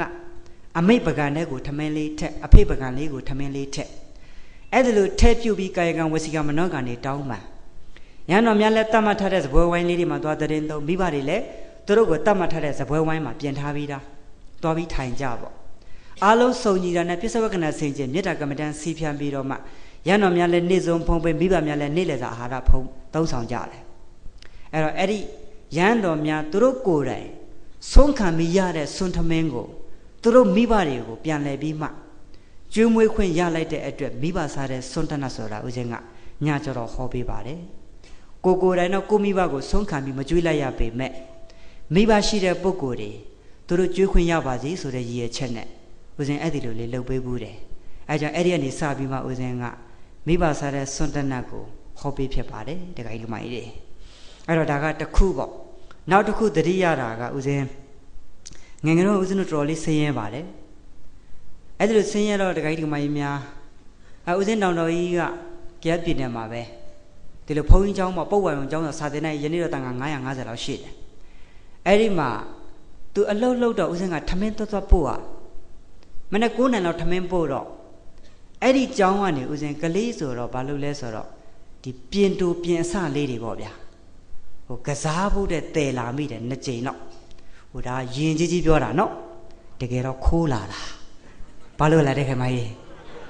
ဟိုမုတ်ကုမြို့ပလင်ပေါ်ရောက်မှတခိုးမိပြီဗျာနော်အဲ့ဒါတန်ကြီးကပစ္စည်းကိုခိုးလာတာဟာတခါကြီးတို့မကြီးတွေအဲ့ဒါလည်းဦးစင်းကအဲ့ဒါတတိယတော့ယဟန်တဝါတုံးကလွန်ခဲ့တဲ့15နှစ်ပေါ့အဲ့ဒီချိန်မှာဦးစင်းအဲ့ဒီကြောင်းရောက်တော့အမဦးစင်းနဝကမတွေအဲ့ဒါလေးကိုအာယုံပြုတ်ပြီးတော့မှလူဘူးတယ် အဲအဲ့တိုက်တိုက်ဆိုင်ဆိုင်2008တရင်ကျွတ်တဲ့ချိန်မှာအဲ့ဒီမြို့တရားဟောရင်းနဲ့တန်ခါ950တတိုက်လုံးပဲဦးစင်းအဲ့မှာအာယုံဆုံးပြန်ယူလိုက်တယ်ဆရာတော်လည်းလျှောက်တယ်တပည့်တော်ငငယ်တုန်းကမသိတော့ဖျားတန်ကြီးကပစ္စည်းဆရာတော်ကျောင်းကနေတစ်တူတစ္ဆာလေးနှစ်ခါတော့တပည့်တော်ကစားရင်းနဲ့တည်ဘူးတယ်ဖျားအဲ့ဒီအကျွေးတွေကြေပါစေတော့ဆိုတဲ့ရည်ရွယ်ချက်နဲ့ဆရာတော်ကျောင်းရှိတန်ခါကိုတပည့်တော်ဆွမ်းကပ်ပါတယ်တဲ့အဲ့ဒီလိုကပ်ဖူးတယ်ဗျာနော်တခါကြီးဒီကမကြီးတွေဟွန်း အဲ့ဒီလိုဆိုတော့ကိုလှုပ်တဲ့အပြစ်ကလေးတွေပြန်ပြန်သတိရမိလို့နော်အဲ့တော့တခါကြီးဒီကမကြီးများမိဘနဲ့ပတ်သက်ပြီးပြောတော့ကဲကိုယ့်ရဲ့မိဘတွေဟာအလွန်ကျေးဇူးများပါတယ်ကျေးဇူးများလို့လို့မြတ်စွာဘုရားကအနန္တောအနန္တ၅ပါးယနာသုံးပါးနဲ့တကိုင်းနဲ့ထားတဲ့မိဘဆရာတွေအဲ့ဒီထဲမှာမဦးဇင်းတို့စာပေတွေမှာသုံးနှုံးတာကမိဘများဟာဗြဟ္မာနဲ့တူပါတယ်တဲ့။ဘာဖြစ်လို့ဗြဟ္မာနဲ့တူတာလဲဆိုတော့သူတော်ကောင်းတို့ဦးဇင်းတို့ အမေဝမ်းကြာတိုက်မှာသာနေဆွဲတုန်းကမိဘများခမညာလေးရင်သွေးလေးရဖြူသလားမဲသလားမသိခဲ့ဘူး။ဒါအခုမှယောဂီတွေရုပ်ပိုင်းဆိုင်ရာတိုးတက်လာလို့သားလေးလားသမီးလေးလားသိနိုင်တာဗျာနော်။ဟိုတစ်ချိန်တုန်းကရုပ်ပိုင်းဆိုင်ရာတွေနောက်ကောက်ကြတော့သိနိုင်ပါမလား။မသိနိုင်တော့ဝမ်းထဲမှာရှိတဲ့လွယ်ထားရတဲ့ကလေးလေးဟာဖြူသလားမဲသလားမသိသားလားသမီးလားမသိအဲ့ချိန်မှာမိဘများရဲ့စိတ်ကလေးဟာမေတ္တာတွေတဖွာဖွာဖြစ်နေတယ်။ဩရင်သွေးလေး ဘယ်တော့မှခြေလက်အင်္ဂါဆုံလင်းစွာနဲ့လူပြည်လူလောကရောက်လာပါလိမ့်မလဲလို့စိတ်ထဲမှာတဖွာဖွာဖြစ်တယ်တဲ့။အဲ့ဒါနံပါတ်1မိဘများရဲ့မေတ္တာပေါ့ဗျာ။အဲ့ဒါလိုနဲ့ရင်သေးလေးမွေးဖွားလာတော့ကဲယောဂီတွေပကက်ကလေးမှာတိတ်ထားတယ်။နှုတ်စာလို့ငိုမယ်ခြင်ကြိုက်လို့ငိုမယ်။ရင်သေးလေးငိုတန်ကြရင်မိဘများနေမတိထိုင်မတာပဲ။အယံကရုဏာဖြစ်တယ်တဲ့အယံကိုဘာဖြစ်တာလဲဗျ။အဲ့ဒါလိုနဲ့ရင်သွေးလေးကယောဂီတွေပြေးလွှားကစားတဲ့အရွယ်လေးရောက်ရော အဲ့ဒါလေးတွေကြီးကြည့်ပြီးတော့မှအယံကိုမုဒိတာတွေပွားတယ်တဲ့မေတ္တာကရုဏာမုဒိတာအဲ့ဒါလိုနဲ့ပြင်ရက်တွေတင်ပေးလို့အချိန်တန်အရွယ်ရောက်အိမ်အောင်ရသားတွေကြကဲယောဂီတွေမိဘနဲ့သားသမီးဝေးကွာသွားပြီသားသမီးတွေလည်းတနေ့တကြီးရောက်သူမိသားစုနဲ့သူပေါ့မိဘတွေလည်းကိုယ့်ရဲ့မြို့ရွာမှာနေရခဲ့ပေါ့အဲ့ဒီချိန်မှာမိဘများကသားသမီးများကိုအနိကမကြည့်နိုင်တော့ဩငါသားတွေသမီးတွေအဝေးမှာသူမိသားစုနဲ့အစင်မပြေရလား အနိကကြည့်ရှုခွင့်မရတော့ဥပ္ပခါသဘောတွေဖြစ်နေတယ်ဘာသဘောတွေဖြစ်နေတာလဲမေတ္တာကရုဏာမုဒိတာဥပ္ပခါအဲ့ဒါကိုယောဂီတို့ပြင်မစိုးတရား၄ပါးလို့မပြောဘူးလားဗျအဲ့ဒီပြင်မစိုးတရား၄ပါးနဲ့ပြည့်စုံတဲ့မိဘများဟာပါတယ်လေပြင်မာမိဘများပါတယ်လေဗျာမြမာနဲ့တူတဲ့မိဘများကိုယောဂီတို့ဦးဇင်းတို့နှလုံးသွင်းမှားလိုက်မဆိုရင်ကောင်းပါမလားကောင်းပါဗျာအဲကြောင့်ယောဂီတို့ ကိုယ့်ရဲ့ကျေးဇူးရှင်များကိုအချိန်မီပါသေးတယ်ဆောင်းလျှောက်ကြပါလောကီနဲ့ကျေးဇူးဆက်ကြပါလောကုတ္တရနဲ့ကျေးဇူးတချို့ကျတော့ကိုယ့်ရဲ့မိဘများကိုကျေးဇူးဆက်ရကောင်းမှမသိတဲ့ပုဂ္ဂိုလ်တွေလောကမှာမရှိဘူးလားရှိတယ်ဒီကိဒီမကြီးများအဲ့တော့ကိုယ့်ရဲ့ကျေးဇူးရှင်တွေကိုအချိန်မီလေးနှလုံးသွင်းမှားတာများရှိရင်အချိန်မီတောင်းပန်လိုက်ဗျအချိန်မီပါတယ်နဲ့လောကမှာမပြမသင့်တဲ့ပုဂ္ဂိုလ်10ဦးရှိတယ်ဘယ်နှဦးတယ်လဲဗျ ခင်ပွန်းကြီး10ပါနံပါတ်1တမ္မာတမုဒ္ဒဖရာရှင်နံပါတ်2ဧကတာဝက sorry ပိစေကဗုဒ္ဓနံပါတ်2ကပိစေကဗုဒ္ဓသုံးနံပါတ်ကဧကတာဝကမဟာတာဝကနံပါတ်1တမ္မာတမုဒ္ဒဖရာရှင်နံပါတ်2ရှင်ပိစေကဗုဒ္ဓသုံးနံပါတ်ဧကတာဝကမဟာတာဝကအရှင်သာရိပုတ္တရာမထေရတို့အရှင်မမောက္ကလမထေရမြတ်တို့လေနံပါတ်၄ယဟန္တာ နံပါတ်5အမိနံပါတ်6အဖာခုနှစ်နံပါတ်9ဆရာသမားလောကီဆရာလောကုတ္တရာဆရာတွေမရှိဘူးလားနံပါတ်၈ကတလုတ်စာဖူးသူကျေစုနံပါတ်9ကပုထုဇဉ်တီလဝန္တပုဂ္ဂိုလ်တွေလောကမှာတီလဝန္တပုဂ္ဂိုလ်တွေမရှိဘူးလားရန်တော်များမှာလည်းတီလဝန္တပုဂ္ဂိုလ်တွေရှိတယ်လို့လူပုဂ္ဂိုလ်မှာလည်းရရေးရရေးအများအကျိုးကို၅ပါးသီလလုံပြီးတော့မှအများရဲ့အလေးဂရုအပြုခံရတဲ့ပုံကိုကြီးတွေမရှိဘူးလားဟာ အဲ့ဒီပုံကိုကြီးကလည်းတိလဝန္တပုံကိုပဲတခါကြီးကမကြီးများနံပါတ်30ကတရားဓမ္မများဟောကြားတဲ့ပုံကိုပေါင်းလိုက်တော့ဘယ်နှဦးလဲဗျအဲ့ဒီခင်မွန်းကြီး10ပါးပေါ်မှာယောဂီတို့ဦးဇင်းတို့နှလုံးသွင်းမားလာများရှိရင်အချိန်မီပါလို့တဲ့နာလေမတောင်းမှန်လို့ရှိရင်လောကီမှာလည်းလူတလုံးသူတလုံးမဖြစ်နိုင်ဘူးတရားထူးတရားမြတ်လည်းမရနိုင်တော့ဘူးအဲကြောင့်ယောဂီတွေခင်မွန်းကြီး10ပါးအမြဲတမ်းမတောင်းမှန်သင်ဘူးလားအမြဲတမ်းတောင်းပန်သင့်ပါတယ်အဲ့ဒီလိုဆိုတော့ဒကာကြီးဒကာမကြီးတွေ ကိုယ့်ရဲ့မိဘများရဲ့ကျေးဇူးဟာအလွန်ပဲကြီးမားပါတယ်သွေးသားအဖြစ်ကနေနှုတ်အဖြစ်ပြောင်းလဲသွားတာတခြားလားမိဘရဲ့မြတ်တာလားမိခင်ရဲ့မြတ်တာဒကာကြီးဒကာမကြီးများလူသားမိဘမပြောပါနဲ့ဟိုတရိษံလေးတွေတောင်ကြည့်ပေါ့ဟိုတခါတခါဦးဇင်းတို့ကျောင်းမှာကြည့်တဲ့စာကလေးတွေမိခင်စာကလေးကသူ့ရင်သွေးလေးစာကလေးကိုအပြင်ကိုထွက်ပြီးအစာမရှာနိုင်သေးတဲ့ကလေးလေးကိုဘာလို့တလဲဆိုတော့အပြင်မှာအစာလေးတွေကြိုက်ကြိုက်ချီလာပြီးမှ နှုတ်သီးလေးနဲ့ခွန့်ခွန့်ပြီးကျွေးတယ်ဗျာတခါကြီးဒီမကြီးတွေလူလားတရိษံလားဟိုတချို့တခါကြီးဒီမကြီးတွေတွေ့မှာပေါ့မိခင်ကြက်မကြီးတွေသူ့ရဲ့ကလေးတွေကိုကတော်ကတော်ကတော်အစာတွေရှာကျွေးခြေထောက်ကလေးတွေနဲ့ရက်ရက်ပြီးအစာတွေရှာကျွေးတယ်အဲ့ဒီအချိန်မှာအစာလေးတွေတွေ့နှုတ်သီးနဲ့ကြိုက်ကြိုက်ပြီးလွတ်လွတ်ချတယ်အမေတော့မစားဘူးနော်သူရင်သွေးတွေအများကြီးဝအောင်ကျွေးတယ်အဲ့ဒီချိန်မှာသိန်းစုံငှက်တွေကအပေါ်ဝဲနေပြီဆိုလို့ရှိရင် မိခင်ကြက်မကြီးကကတော်ကတော်နဲ့သူ့ရင်သွေးလေးတွေရင်ပတ်အောက်ထဲကိုသွင်းပြီးတော့မှသူ့ရဲ့အတောင်မနဲ့အုပ်ပြီးအန္တရာယ်ကိုကာကွယ်တယ်ဗျာအန္တရာယ်ကိုကာကွယ်ပေးတာလေအန္တရာယ်ကိုဘာလုပ်ပေးအဲ့တော့ယောဂီတွေတခါတခါကျတော့တောမီးတွေလောင်တော့မိခင်ကြက်မကြီးကသူ့ရင်သွေးလေးတွေမီးထဲပါမှာဆိုလို့တဲ့သူ့အတောင်မနဲ့အာရပါရမီးတွေကိုခတ်ခတ်ပြီးငိမ့်နေဗျာနော်နောက်ဆုံးအတောင်ပံလေးမှာပေါက်နေတဲ့အမွေးတွေကိုမီးဆွဲပြီးမှ မိခင်ကြက်မကြီးတေဝဲဝင်သွားတာတွေလည်းယောဂီတွေတွေ့ကောင်းတွေ့ဘူးမှာပေါ့လောကမှာမရှိဘူးလားကဲယောဂီတွေမိဘများသားသမီးနဲ့ပတ်သက်လို့ရှိရင်သူတို့တက်တိတွေဘယ်ရောက်လာမှမသိဘူးဗျာနော်တခိုင်းဒီမကြီးတွေဟိုတရိစ္ဆာမိဘတွေမှာတော့မှအဲ့ဒီလိုတိတက်တယ်ဆိုရင်လူသားမိဘကပုံပြီးအသိဉာဏ်နေရှိတာပေါ့တခိုင်းဒီမကြီးတွေကိုယ့်ရဲ့ရင်သွေးနဲ့ပတ်သက်လို့ရှိရင်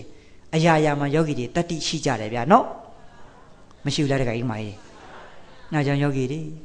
အင်မတန်မှကျေးဇူးများတဲ့မိဘများကို အချိန်မီလေးလှုပ်ကြွေးနိုင်တော့လှုပ်ကြွေးပါမိဘတွေမျက်ွယ်ပြူသွားမှနောင်နာမရကြနိုင်ဗျာနော်လောကမှာဒါမျိုးတွေမရှိဘူးလားတချို့မိခင်တွေဖခင်တွေပြန်ပြန်ပြောတာတွေမရှိဘူးလားတချို့ပြောတယ်ဗျာတချို့ပြန်ပြန်ဆဲတယ်ဗျာရတဲ့ရတဲ့မှာကြားဘူးတာတွေလေကိုမိဘကိုပြန်ဆဲတာတွေမရှိဘူးလား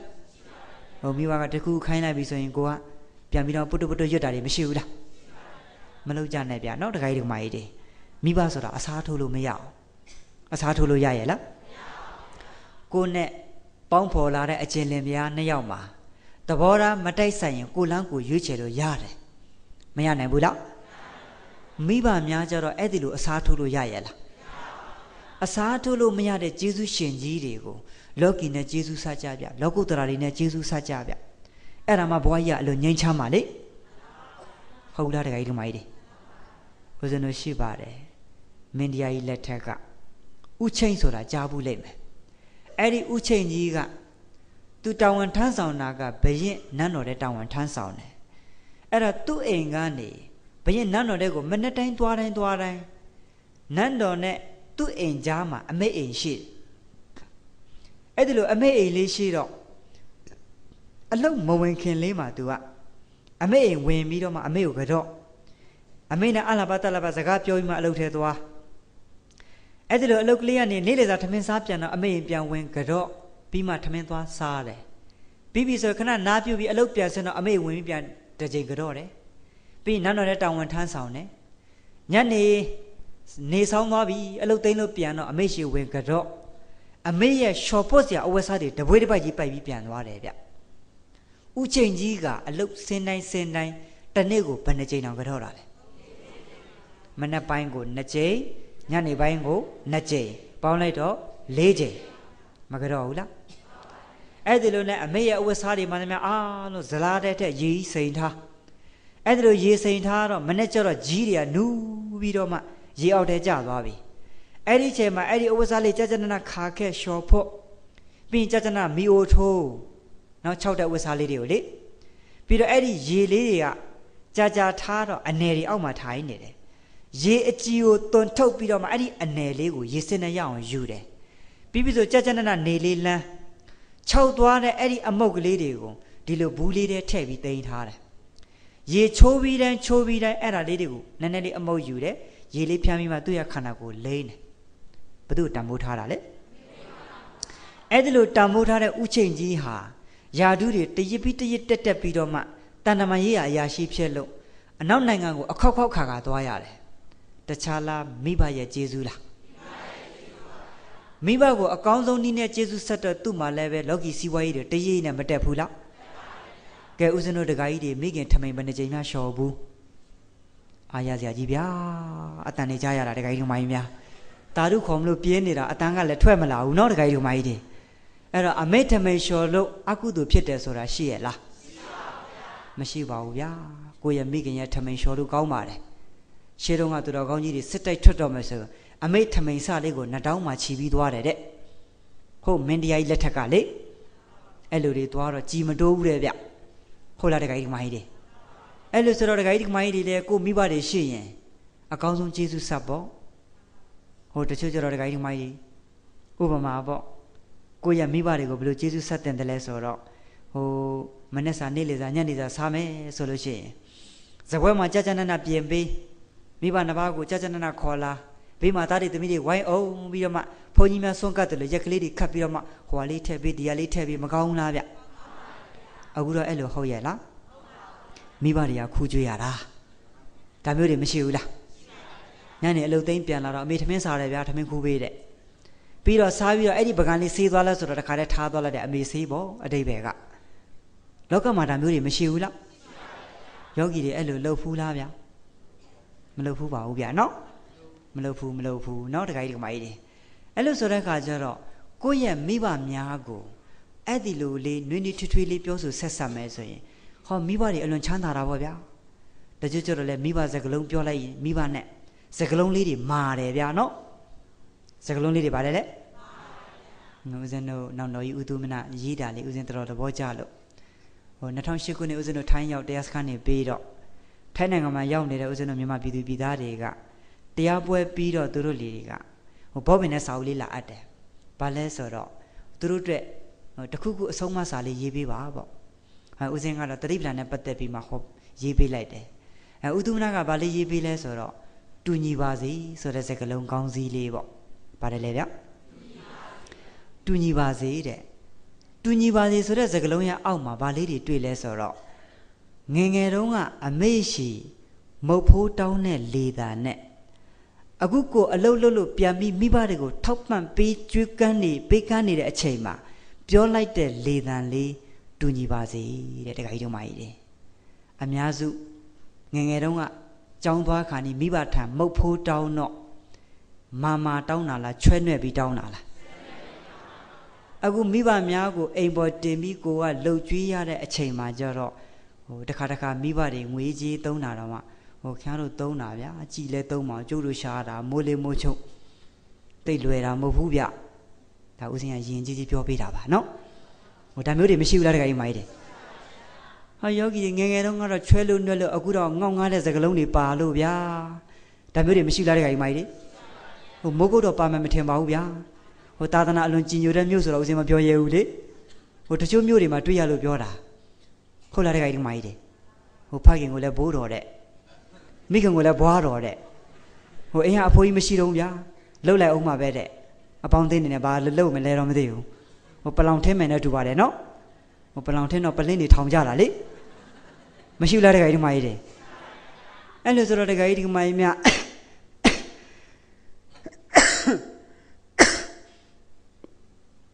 မိဘများနဲ့ပြောဆိုဆက်ဆံရေးတွေက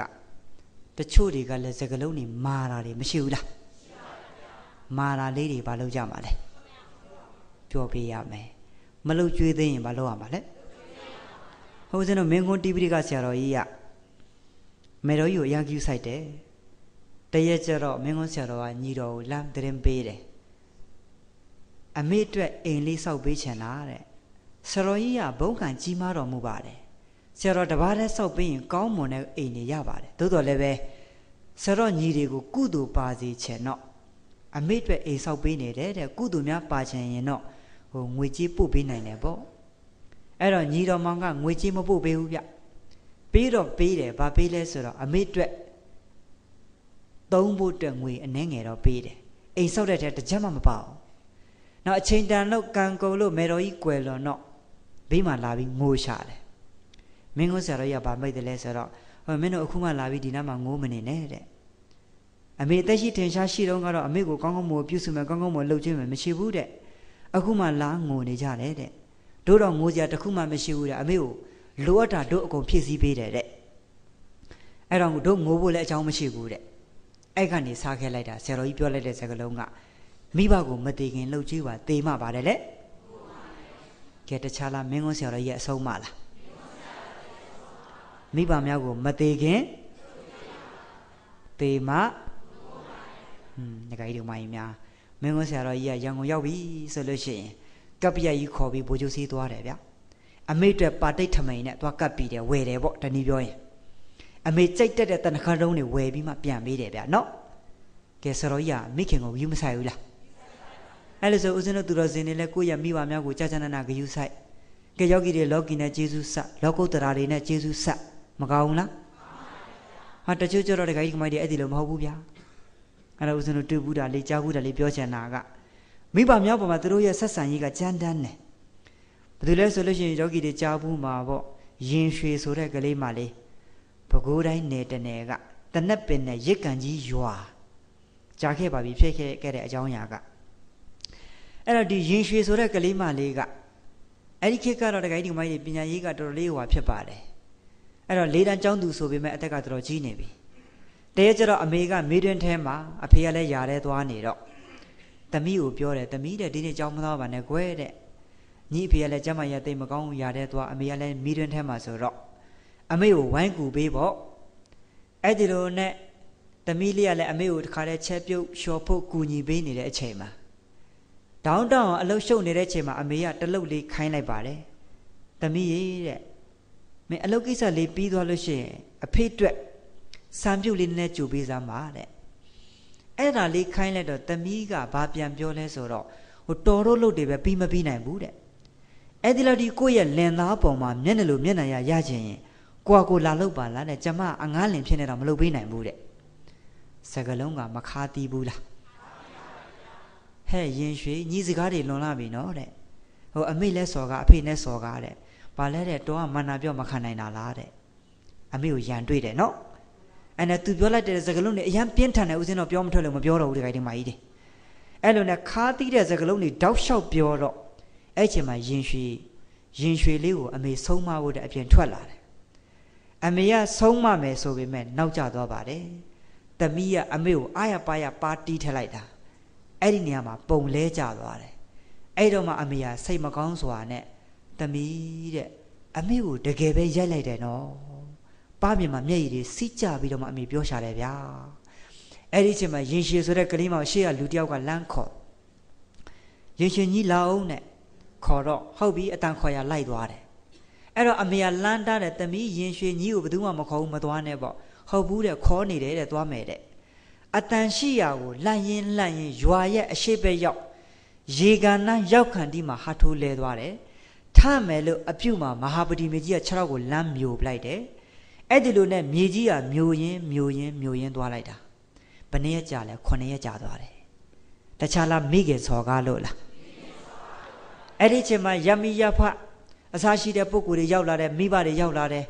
သမီးရင်ရွှေအဲ့ဒါမိဘကိုစော်ကားလို့အဲ့ဒီလိုဖြစ်တာသမီးတောင်းမှန်လိုက်တောင်းမှန်လိုက်အချိန်မမီတော့ဘူးကျမရေရှာတယ်ရေစားတယ်ရေလေးတိုက်ပါတယ် ဝါနဲ့ပုံးကိုကြကြနနချီရေထက်ပြီးလမ်းတိုက်အဲ့ဒီနားလဲရောရေတွေကတခါတည်းခန်းချောက်ကုန်တယ်ဝါတွေကမီးဆွဲပြီးကျိုးကျိုးကျသွားတယ်ရေတိုက်လို့ရရဲ့လောက်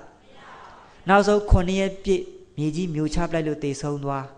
အဲ့ချိန်မှာအမိရှိကထွက်လာတဲ့စကလုံးလေးကသမီးရဲ့တဲ့ငါသမီးဒီလိုအဖြစ်ဆိုးနဲ့များကြုံမယ်မအမေသိလို့ရှိရင်အမေငါသမီးကိုငါသမီးလေးကိုအမေဒီလိုတွေမခိုင်းပါဘူးကွယ်တဲ့ အခုတော့ငါသမီးလေးဒီလိုအဖြစ်ဆိုးနဲ့ကြုံရတာအမေကြောင့်အမေကြောင့်ဆိုပြီးတော့မှအကြီးကျယ်ငိုတယ်ဗျာမိဘများကိုသားသမီးပေါ်မှာဘယ်တော့မှအဖြစ်မမြင်တတ်ဘူးဗျာနော်တခါကြီးကမကြီးတွေဖြစ်တဲ့အကြောင်းမှန်သမျှသူတို့ကြောင့်လို့ပဲသူတို့ကဒီလိုသွင်းနေဗျာနော်အဲ့တော့နောက်တစ်ယောက်ရှိသေးတယ်ဦးဇင်းတို့ကြိုက်လက်နဲ့ကြိုက်ပိရွာကဒကမကြီးဒေါ်တာလိကရင်ဗုဒ္ဓဘာသာသားလောက်တဲ့ပုဂ္ဂိုလ်ကချစ်ပေတဲ့ခိုးဆိုးမကောင်းမှုအကုသို့အကုန်လုံးနောက်တခါကြီးဒကမကြီးတွေ ဖဲရိုက်တယ်ကြက်တိုက်တယ်အရက်တောက်တယ်ဟိုးတန်ငါအလုပ်လုပ်တယ်ဗျာအမေလုပ်တဲ့ပုဂ္ဂိုလ်တော့တကယ်ကိုဘာသာကြီးလှုပ်ရှားလို့အဲ့ဒီခက်ကပတိတွေစိတ်ဂုံတော်တွေပွားတမိုးတွေဂါထာတွေပွားပေါ့မေတ္တာကမ္မထာနေစီးဖြန်းပေါ့အဲ့ချိန်မှာတားလုတ်တဲ့ပုဂ္ဂိုလ်ကငားမရတော့အမေကိုယံတွေ့တယ်ခမကြီးဒီဘာသာကြီးလုတ်တွေလုံမနေနဲ့ဗျာတဲ့ခမကြီးဘာသာကြီးလုတ်လေကျုံနဲ့ငားနဲ့ဝေးရလေပဲတဲ့အဲ့ဒီလိုယံတွေ့တော့အမေခမဖះလေးဝတ်ပြူတာတောင်မှ တားလေးမသိအောင်မနဲ့အစောကြီးထားပြီးဖះဝတ်တဲ့ရတယ်ဖះဝတ်ပြူရတယ်အဲ့တော့တရက်ကျတော့အမေဖះစင်အောက်မှာတခါတဲ့ဂုံတော်လေးပွားနေတာအဲ့ချိန်မူတူနဲ့ထလာတဲ့ချစ်ပေကအမေကိုလည်းဖះစင်အောက်မှာမြင်ရောခမကြီးကကျုပ်စကားတော်တော်နားထောင်တာပဲတဲ့တလောအဲ့ဒီအလုပ်တွေမလုပ်နဲ့ပြောတာခမကြီးမလုပ်နဲ့အောင်ဆိုမှအနောက်ကနေသွားပြီးတော့မှအမေရဲ့နောက်ကျောကိုဖနှောက်နဲ့စောင့်ကန်ထက်လိုက်တာကြားမြင်မှအင်ငယ်နဲ့လဲသွားတယ်ဗျာ ဒါလောက်တော့ပြောမြတဲ့အဖွားကြီးကျုပ်ဓားလက်ချက်နဲ့ခမကြီးဒုက္ခရောက်မယ်တဲ့ထရမှာချိတ်ထားတဲ့ငက်ကြီးတောင်ဓာကြီးကိုဆွဲပြီးတော့အမေကိုလိုက်အမေရရှေ့ရပြေးသားကနောက်ကလိုက်လူလေးမေကန်ကြီးထိုက်လိုက်မယ်မလုံနဲ့ပေါ့မရဘူးလိုက်တယ်မိုးတွေလည်းအကြီးကျယ်ရောက်မိုးကြိုးတွေလည်းပြစ်အမေရရှေ့ရပြေးသားကနောက်ကလိုက်ကဲကြပါဦးကျုပ်သားချစ်ပင်ဓားနဲ့လိုက်နေတယ်ပေါ့ရွာထဲမှာရှိတဲ့ရမီရဖအဆရှိတဲ့လူကြီးတွေက လာတော့လာတယ်အနာမကရဲဦးဗျအဲ့ဒါနဲ့အမေနောက်ဆုံးမိုးတွေလည်းရွှဲပြေးလဲမပြေးနိုင်တော့ဟာထိုးလဲသွားတယ်အဲ့ချိန်မှာသားလေးမေကန်ကြီးထိုက်လိုက်မယ်မလုံနဲ့တဲ့ခမကြီးပြေးနိုင်သေးလားပြေးလေတဲ့ကျုပ်ဓားလက်ချက်နဲ့ခမကြီးဒုက္ခရောက်တော့မယ်တဲ့ဓာတ်ကိုဝိရင်ဝိနဲ့လာနေတာအဲ့ချိန်မှာအမေမတတ်တာတော့နောက်ဆုံးလက်ဦးလေးချီပြီးသူပြုတ်နေကြမြတ်စွာဘုရားအာယုံပြုတ်ပြီးတော့မှတန်ဖို့ဒီဂါရလေးကျွလို့မေတ္တာကမ္မဋ္ဌာန်းစီးဖြန်းလို့ပေါ့ တားရဲ့ဓာကတော်တော်နဲ့ကြမလာလို့မျက်လုံးဖွင့်ကြည့်လိုက်တော့နောက်တခါကြီးဒီကမကြီးဒီကနေပန်းအိုးလောက်မှာတားရဲ့ခြေထောက်ကိုမြေကြီးကလမ်းဆွဲထားပြီမိဘရဲ့ကျေးဇူးတရားကိုမတိတတ်တဲ့မဲလိုငမိုက်သားငါဘာတူမဟာပတိမြေကြီးကလည်းလက်တက်မခံနိုင်ဘူးလို့မပြောတော့လဲပြောတဲ့ကဲ့သို့မြေကြီးကလမ်းဆွဲထားလိုက်တယ်အဲ့ဒါလို့ဆွဲထားလိုက်တော့အမေကတွေ့ပြီလူလေးတဲ့မင်းအမေကိုစော်ကားလို့ဒီလိုဖြစ်တာ အမြန်တောင်းမှန်လိုက်တောင်းမှန်လိုက်ဆိုတော့အမေတဲ့ကျွန်တော်လက်တွေလှုပ်လို့မရတော့ဘူးအမေကိုစော်ကားမော်ကားခဲ့တာမှန်သမျှသားတောင်းမှန်ပါတယ်တဲ့သားကိုခွန်းတော့ပါလို့အဲ့ဒီလိုလေးပြောရင်ပြောရင်နဲ့နောက်ဆုံးမြေကြီးမျိုးထားလိုက်တာ၉ရက်ကြာသွားတယ်ဗျာတခြားလားမိခင်ကိုစော်ကားလို့လားဦးဇင်းတို့ရှမ်းပြည်နယ်ရင်းမပင်နဲ့မြို့ကလေးပေါ့အဲ့တော့သားလှုပ်တဲ့ပုဂ္ဂိုလ်ကအရက်တွေတော့လောင်းကစားတွေလှုပ် လောင်းကစားရှုံးတော့အမေကိုလာပြီးပူဇာတယ်ငွေတောင်းတယ်အမေမပေးနဲ့တော့အမေကိုပါတီးပြီးထွက်သွားလိုက်တာမကြပါဘူးဗျာညီကိုနဲ့အောင်လုံးစိုက်ကယ်ထွက်စိုက်ကယ်အရှိန်နဲ့မောင်းတော့7ကားအောက်ထက်ဝင်တာပွဲချင်းပြီးပဲတခါကြီးကမကြီးတယ်တခြားလားမိဘကိုစော်ကားလို့လားဦးဇင်းတို့ပခုတ်ကူမြိုင်နေမှာသားလုတ်တဲ့ပုဂ္ဂိုလ်အရက်တောက်လာတော့အဖေလုတ်တဲ့ပုဂ္ဂိုလ်ဆုံးမဩဝါဒပေးတော့အဲ့ချိန်မှာအဖေကနည်းနည်းလေး ဆုံးမလိုက်တာကိုသားကမကျင်နဲ့တော့ထရမှာချိတ်ထားတဲ့ငကြီးတောင်ဒိုင်းနဲ့ပက်ထလိုက်တာလေမင်းဟက်တခါလေးပြတ်ထသွားတယ်အဲ့ဒါနဲ့မကြခင်မှာမြင်းကြံထောင်ရောက်အဲ့ဒီမြင်းကြံထောင်မှာထောင်သားတွေစားဖို့ဆန်ကိုခေါင်းပေါ်ရွက်ပြီးတော့မှမိုးပြဲဒဲထဲမှာပွက်ပွက်ဆူနေတဲ့ရင်းလေးတွေကိုသွားအထက်ဆန်ကဒဲထဲကိုမရောက်ဘဲနဲ့လူကအဲ့ဒီထက်ကိုပြုတ်ပြီးသားပဲတခါကြီးဒီမှာရောက်သွားတာတခြားလားမိဘစော်ကားလို့လားဟွန်း ယောဂီတွေယေရှုရှင်တွေကိုပြစ်မှားမယ်စော်ကားမယ်ဆိုရင်ဒီဘဝမှာချက်ချင်းအကျိုးပေးခံရမှာဗျာနော်အဲကြောင့်ယောဂီတို့ကိုယ့်ရဲ့ယေရှုရှင်တွေပြစ်မှားမိအချိန်မီဘာလို့တက်တာလဲတောင်းပန်တက်ပါတယ်တခါကြီးဒီမှာကြီးတောင်းပန်ဖို့ရှက်သလားဗျာရှက်စရာမရှိပါဘူးမိဘနဲ့သားသမီးကြားထဲမှာလေအဲ့တော့အချိန်မီတောင်းပန်မယ်ပေါ့အဲ့ဒါနဲ့ယောဂီတွေဦးဇင်းတို့ဒီဟင်္ဒရာနယ်ရွာလေးတွေ့အောင်ပါအမေကြီးဒေါ်ခင်နဲ့သမီးမညွတ်မေတဲ့ အမေလှုပ်တဲ့ပုဂ္ဂိုလ်ကဘူးတိကျော်ရောင်းစားသမီးလှုပ်တဲ့ပုဂ္ဂိုလ်ကလည်းကြောင်းတက်နေတယ်ခုနှစ်တန်းကြောင်းသူလေးတရက်ကျတော့မညွတ်မေကအမေကိုဘယ်လိုပူဇာလဲဆိုတော့အမေတဲ့သမီးအင်္ဂလိပ်ကျောင်းတက်ချင်လိုက်တာတဲ့အဲတော့ဦးဇင်းတို့မြန်မာနိုင်ငံမှာအင်္ဂလိပ်ကျောင်းတွေတအားခက်စားလေအဲ့လိုဆိုတော့အင်္ဂလိပ်ကျောင်းတက်ချင်တယ်ဆိုတော့အမေခမမထားပေးနိုင်ပါဘူးနော်ယောဂီတွေအင်္ဂလိပ်ကျောင်းကဟိုကုန်ကြစိတ်ပုံများတာကိုအဲ့နဲ့အမေလှုပ်တဲ့ပုဂ္ဂိုလ်ကရတဲ့သမီးတဲ့ထားပေးမယ်တဲ့ သမီးလေးကိုအင်္ဂလိပ်ကျောင်း၄တန်းကနေစထားအမေကနေတကာဘူးတိကျော်လဲ့ပြီးရောင်းစားတယ်အဲ့တော့အချိန်ရရင်ပြေးပြီးတော့မှသူများအိမ်မှာအဝတ်ဖွတ်တဲ့အိမ်ဖော်လုပ်ကိုလုပ်သေးတယ်အဲ့တော့သမီးလေးကိုတော့ဘယ်လိုနှစ်သိမ့်စကားပြောလဲဆိုတော့သမီးတဲ့ငါသမီးလေးအင်္ဂလိပ်ကျောင်းတက်နိုင်ဖို့အမေလေးတဲ့သူများအိမ်မှာသွားပြီးဆေးလိပ်ဖင်စီကညတ်တယ်တဲ့ဆေးလိပ်ဖင်စီကညတ်တာဟုတ်ရဲ့လားအဝေးလျှော်တယ်ရမ်းတိုက်တယ်အိမ်ဖော်လုပ်တယ်မလုပ်ဘူးလားဗျာ ဒါပေမဲ့သမီးလေးစိတ်ဆင်းရဲမှာဆိုလို့အဲ့ဓာလေးလုပ်တယ်လို့ပြောရဲ့လားဆေးလိပ်ဖင်စီကပါတယ်လေညတ်တယ်တဲ့အဲ့ဒီလိုနဲ့မညွတ်မေဟာ၄တန်းကနေနေလိုက်တာ10တန်းကျောင်းသူလေးဘွားရောက်လာတယ်10တန်းဆိုတော့အင်္ဂလိပ်ကအရန်ကောင်းသွားပြီအဲ့ဒီတုန်းကလေအဲ့ဒါနဲ့ဦးဇင်းတို့ဟင်္ဒရာမြို့မှာဆေးမလေးဖြစ်ကဲအမေကလည်းမြို့ထဲတက်လာပေါ့မြို့ထဲမှာအကျော်ကျော်ရောင်းစားတယ်တမီးကတော့ဆေးဆိုတော့ဟိုနည်းနည်းလေးတော့ချောင်ချောင်လဲလဲလေးဖြစ်လာတာပေါ့ဗျာ တရက်ကျတော့ဟင်္ဒရာမြို့မှာတာဝန်ကြတဲ့ကိုဘမောင်တဲ့ဒကာကြီးလူမကြီးတွေအဲ့ဒီမြို့ဥဘမောင်ရောက်လာတော့မညုတ်မိန်နဲ့လူငယ်သဘာဝတဦးနဲ့တူမေတ္တာမြအဲ့ဒီလိုမေတ္တာမြတော့တရက်ကျတော့မညုတ်မေကိုကိုဘမောင်ကဘာပြောလဲဆိုတော့မညုတ်မေတဲ့ကျွန်တော်အိမ်လိုက်လေပြစီအဲ့ချိန်မှာမညုတ်မေနှလုံးသွင်းလိုက်မားလိုက်တာကအေးတဲ့အမေကဘူးတိကျော်ရောင်းစားနေတာကောင်းမှလဲခေါင်းဆံပင်ကစီမလူးပါမလူးနဲ့ ဆံပင်ကဗုတ်တိုက်မျက်နာမှာလဲအိုမဲတွေနဲ့အဲ့ဒီအဖြစ်တစ်နှစ်ကိုမြင်သွားရင်တော့ငါမျိုးဥကြောဖြစ်ကနေဝေးတော့မှာမောင်ရဲတဲ့နောက်အချိန်တိုင်တော့ရောက်မှာပေါ့တဲ့မလိုက်ပါနဲ့အောင်တဲ့အဲ့ဒီလိုပြောတယ်တရက်ကျတော့ရုံးပရက်တရက်မှာကိုဘမောင်ကအိမ်လိပ်စာမေးပြီးရောက်လာတယ်မညွတ်မေမညွတ်မေလို့ခေါ်လိုက်တော့အပြင်မှာကြည့်လိုက်တော့ကိုဘမောင်ဖြစ်နေတယ်အော်အိမ်လိုက်လာတယ်ပေါ့လေအဲ့ဒါခီးဦးကြိုပြီးတော့မှခေါ်သွား မညွတ်မေခတ်တုတ်တုတ်လေးသွားပြီးတော့အမေကိုလက်ကလေးကုပ်ပြီးတော့မှမိဖို့ကြောင့်မှပဲနေပါတဲ့လုံးဝအပြင်ထွက်မလာနဲ့တဲ့တစ်ချက်လို့အမိတ်ပဲအမေလည်းဘူးမသိဘာမသိမိမိဖို့ကြောင့်မှကုတ်နေရတာပေါ့ဗျာအဲ့ဒါနဲ့မညွတ်မေအဲ့မှာကိုဘမောင်နဲ့အခန်းလေးထဲမှာစကားပြောနေတယ်တော်တော်လေးကြာတော့တော့အမေကအဲ့ဝတ်ကြည်ချင်တယ်နဲ့တမီးညွတ်မေတဲ့ဧည့်သည်ဖို့ကော်ပီလေးတစ်ခွက်ဖြော်လိုက်မယ်နော်တဲ့အဲ့ဒါနဲ့ကိုဘမောင်ကြားသွားပြီဟာမညွတ်မေအဲ့ဒါဘာလို့လဲအမေလားတဲ့ အမေဆိုရင်ခေါ်လိုက်ပါတဲ့သူစကားပြောချင်တယ်တဲ့ဟာအဲ့ဒါအမေမဟုတ်ဘူးအမေမဟုတ်ဘူးတဲ့အိမ်မှာတောက်တူမရတွေခိုင်းဖို့ခေါ်ထားတဲ့အိမ်ကအစေကံမကြီးပါတဲ့အိမ်ကပါတယ်လေပြောရက်လိုက်တဲ့စကားလုံးထွက်လိုက်တဲ့စကားအဲ့ဒီစကားလုံးကိုမိခင်ကြားရတော့မျက်ရည်တွေပေါက်ပေါက်ကြတာပေါ့ဘလောက်ဝမ်းနေမလဲအမေရင်းကိုအိမ်ကအစေကံမကြီးတဲ့အဲ့ဒါနဲ့တော်လေးကြာတော့ကဲမညွတ်မေးတဲ့ဘာမှလုံမနေပါတော့နဲ့တဲ့အပြင်မှာဒီနေ့ညစာစားရအောင်တဲ့ အဲ့နဲ့မညွမေဘာပြောလဲဆိုတော့ကောင်းပြီဆိုပြီးတော့မှအမေကြီးဒေါခင်ရေးတဲ့ကျမတက်တော့ပူးမနေနဲ့ကိုယ့်အကိုချက်စားတဲ့ကျမညစာအပြင်မှာစားခဲ့မယ်တဲ့သမီးလေးသာတိတက်မယ်ဆိုရင် အမေဖို့ခောက်ဆိုးကြော်လေးတထုပ်ပါဆယ်ဆွဲခဲ့မရဘူးလားဟာထမင်းကြော်လေးတထုပ်ဆွဲခဲ့မရနိုင်ဘူးလားအခုတော့ကိုယ့်အကိုချက်စားတယ် तू ကတော့အပြင်မှာစားမယ်တဲ့အဲ့လိုနဲ့မကြပါဘူးတဲ့အဲ့ဒီမကြီးများအဲ့မှာကိုဘမောင်နဲ့မညွမေကသူတို့ယုံရှိတဲ့ဝန်ထမ်းတွေ သူတို့ဘေးမှာရှိတဲ့သူတို့မိတ်ဆွေတွေနဲ့ယုံတက်လက်မှထိုးမင်္ဂလာပွဲလေးကျင်းပအမေမသိရှာဘူးသမီးလည်းတလုံးမှမပြောဘူးအဲ့လိုနဲ့သမီးမင်္ဂလာပွဲပတ်ဝန်းကျင်ပြောလို့အမေသိရတယ်မင်္ဂလာပွဲတက်ခွင့်လည်းမရှိဘူးကဲယောဂီတွေဝမ်းနေဖို့မကောင်းဘူးလားနောက်ဆုံးကိုဘမောင်အိမ်နောက်ကိုလိုက်သွားပြီးမညွမေတယောက်တရက်ကျတော့မညွမေအိမ်လာလဲတယ်အဲ့တော့အမေအကြော်ကြော်ရောင်းနေတော့အမေဒီလုတ်တွေမလုတ်တော့နဲ့တဲ့ သမီးကမြို့ဥကတော်တဲ့မြို့ဥကတော်ရဲ့အမေကအကြော်ကြော်ရောင်းဆောင်နဲ့နားချလို့မှမကောင်းဘူးတဲ့တတလုံးပညာသင်လာတာအကျော်နဲ့ကြော်ရောင်းစားပြီးသင်လာတာနော်အခုကြောင့်မှမြို့ဥကတော်ရဲ့အမေအကျော်ကြော်ရောင်းဆောင်နဲ့နားချလို့မကောင်းဘူးတဲ့အဲ့ချိန်မှာအမေကဘာပြန်ပြောလဲဆိုဟဲ့သမီးအမေမှလည်းဒီလိုပဲလုပ်တတ်တာသမီးရဲ့ဘေးကဝင်ငွေလည်းမရှိအမေဒါမှမလုပ်လို့ရှိရင်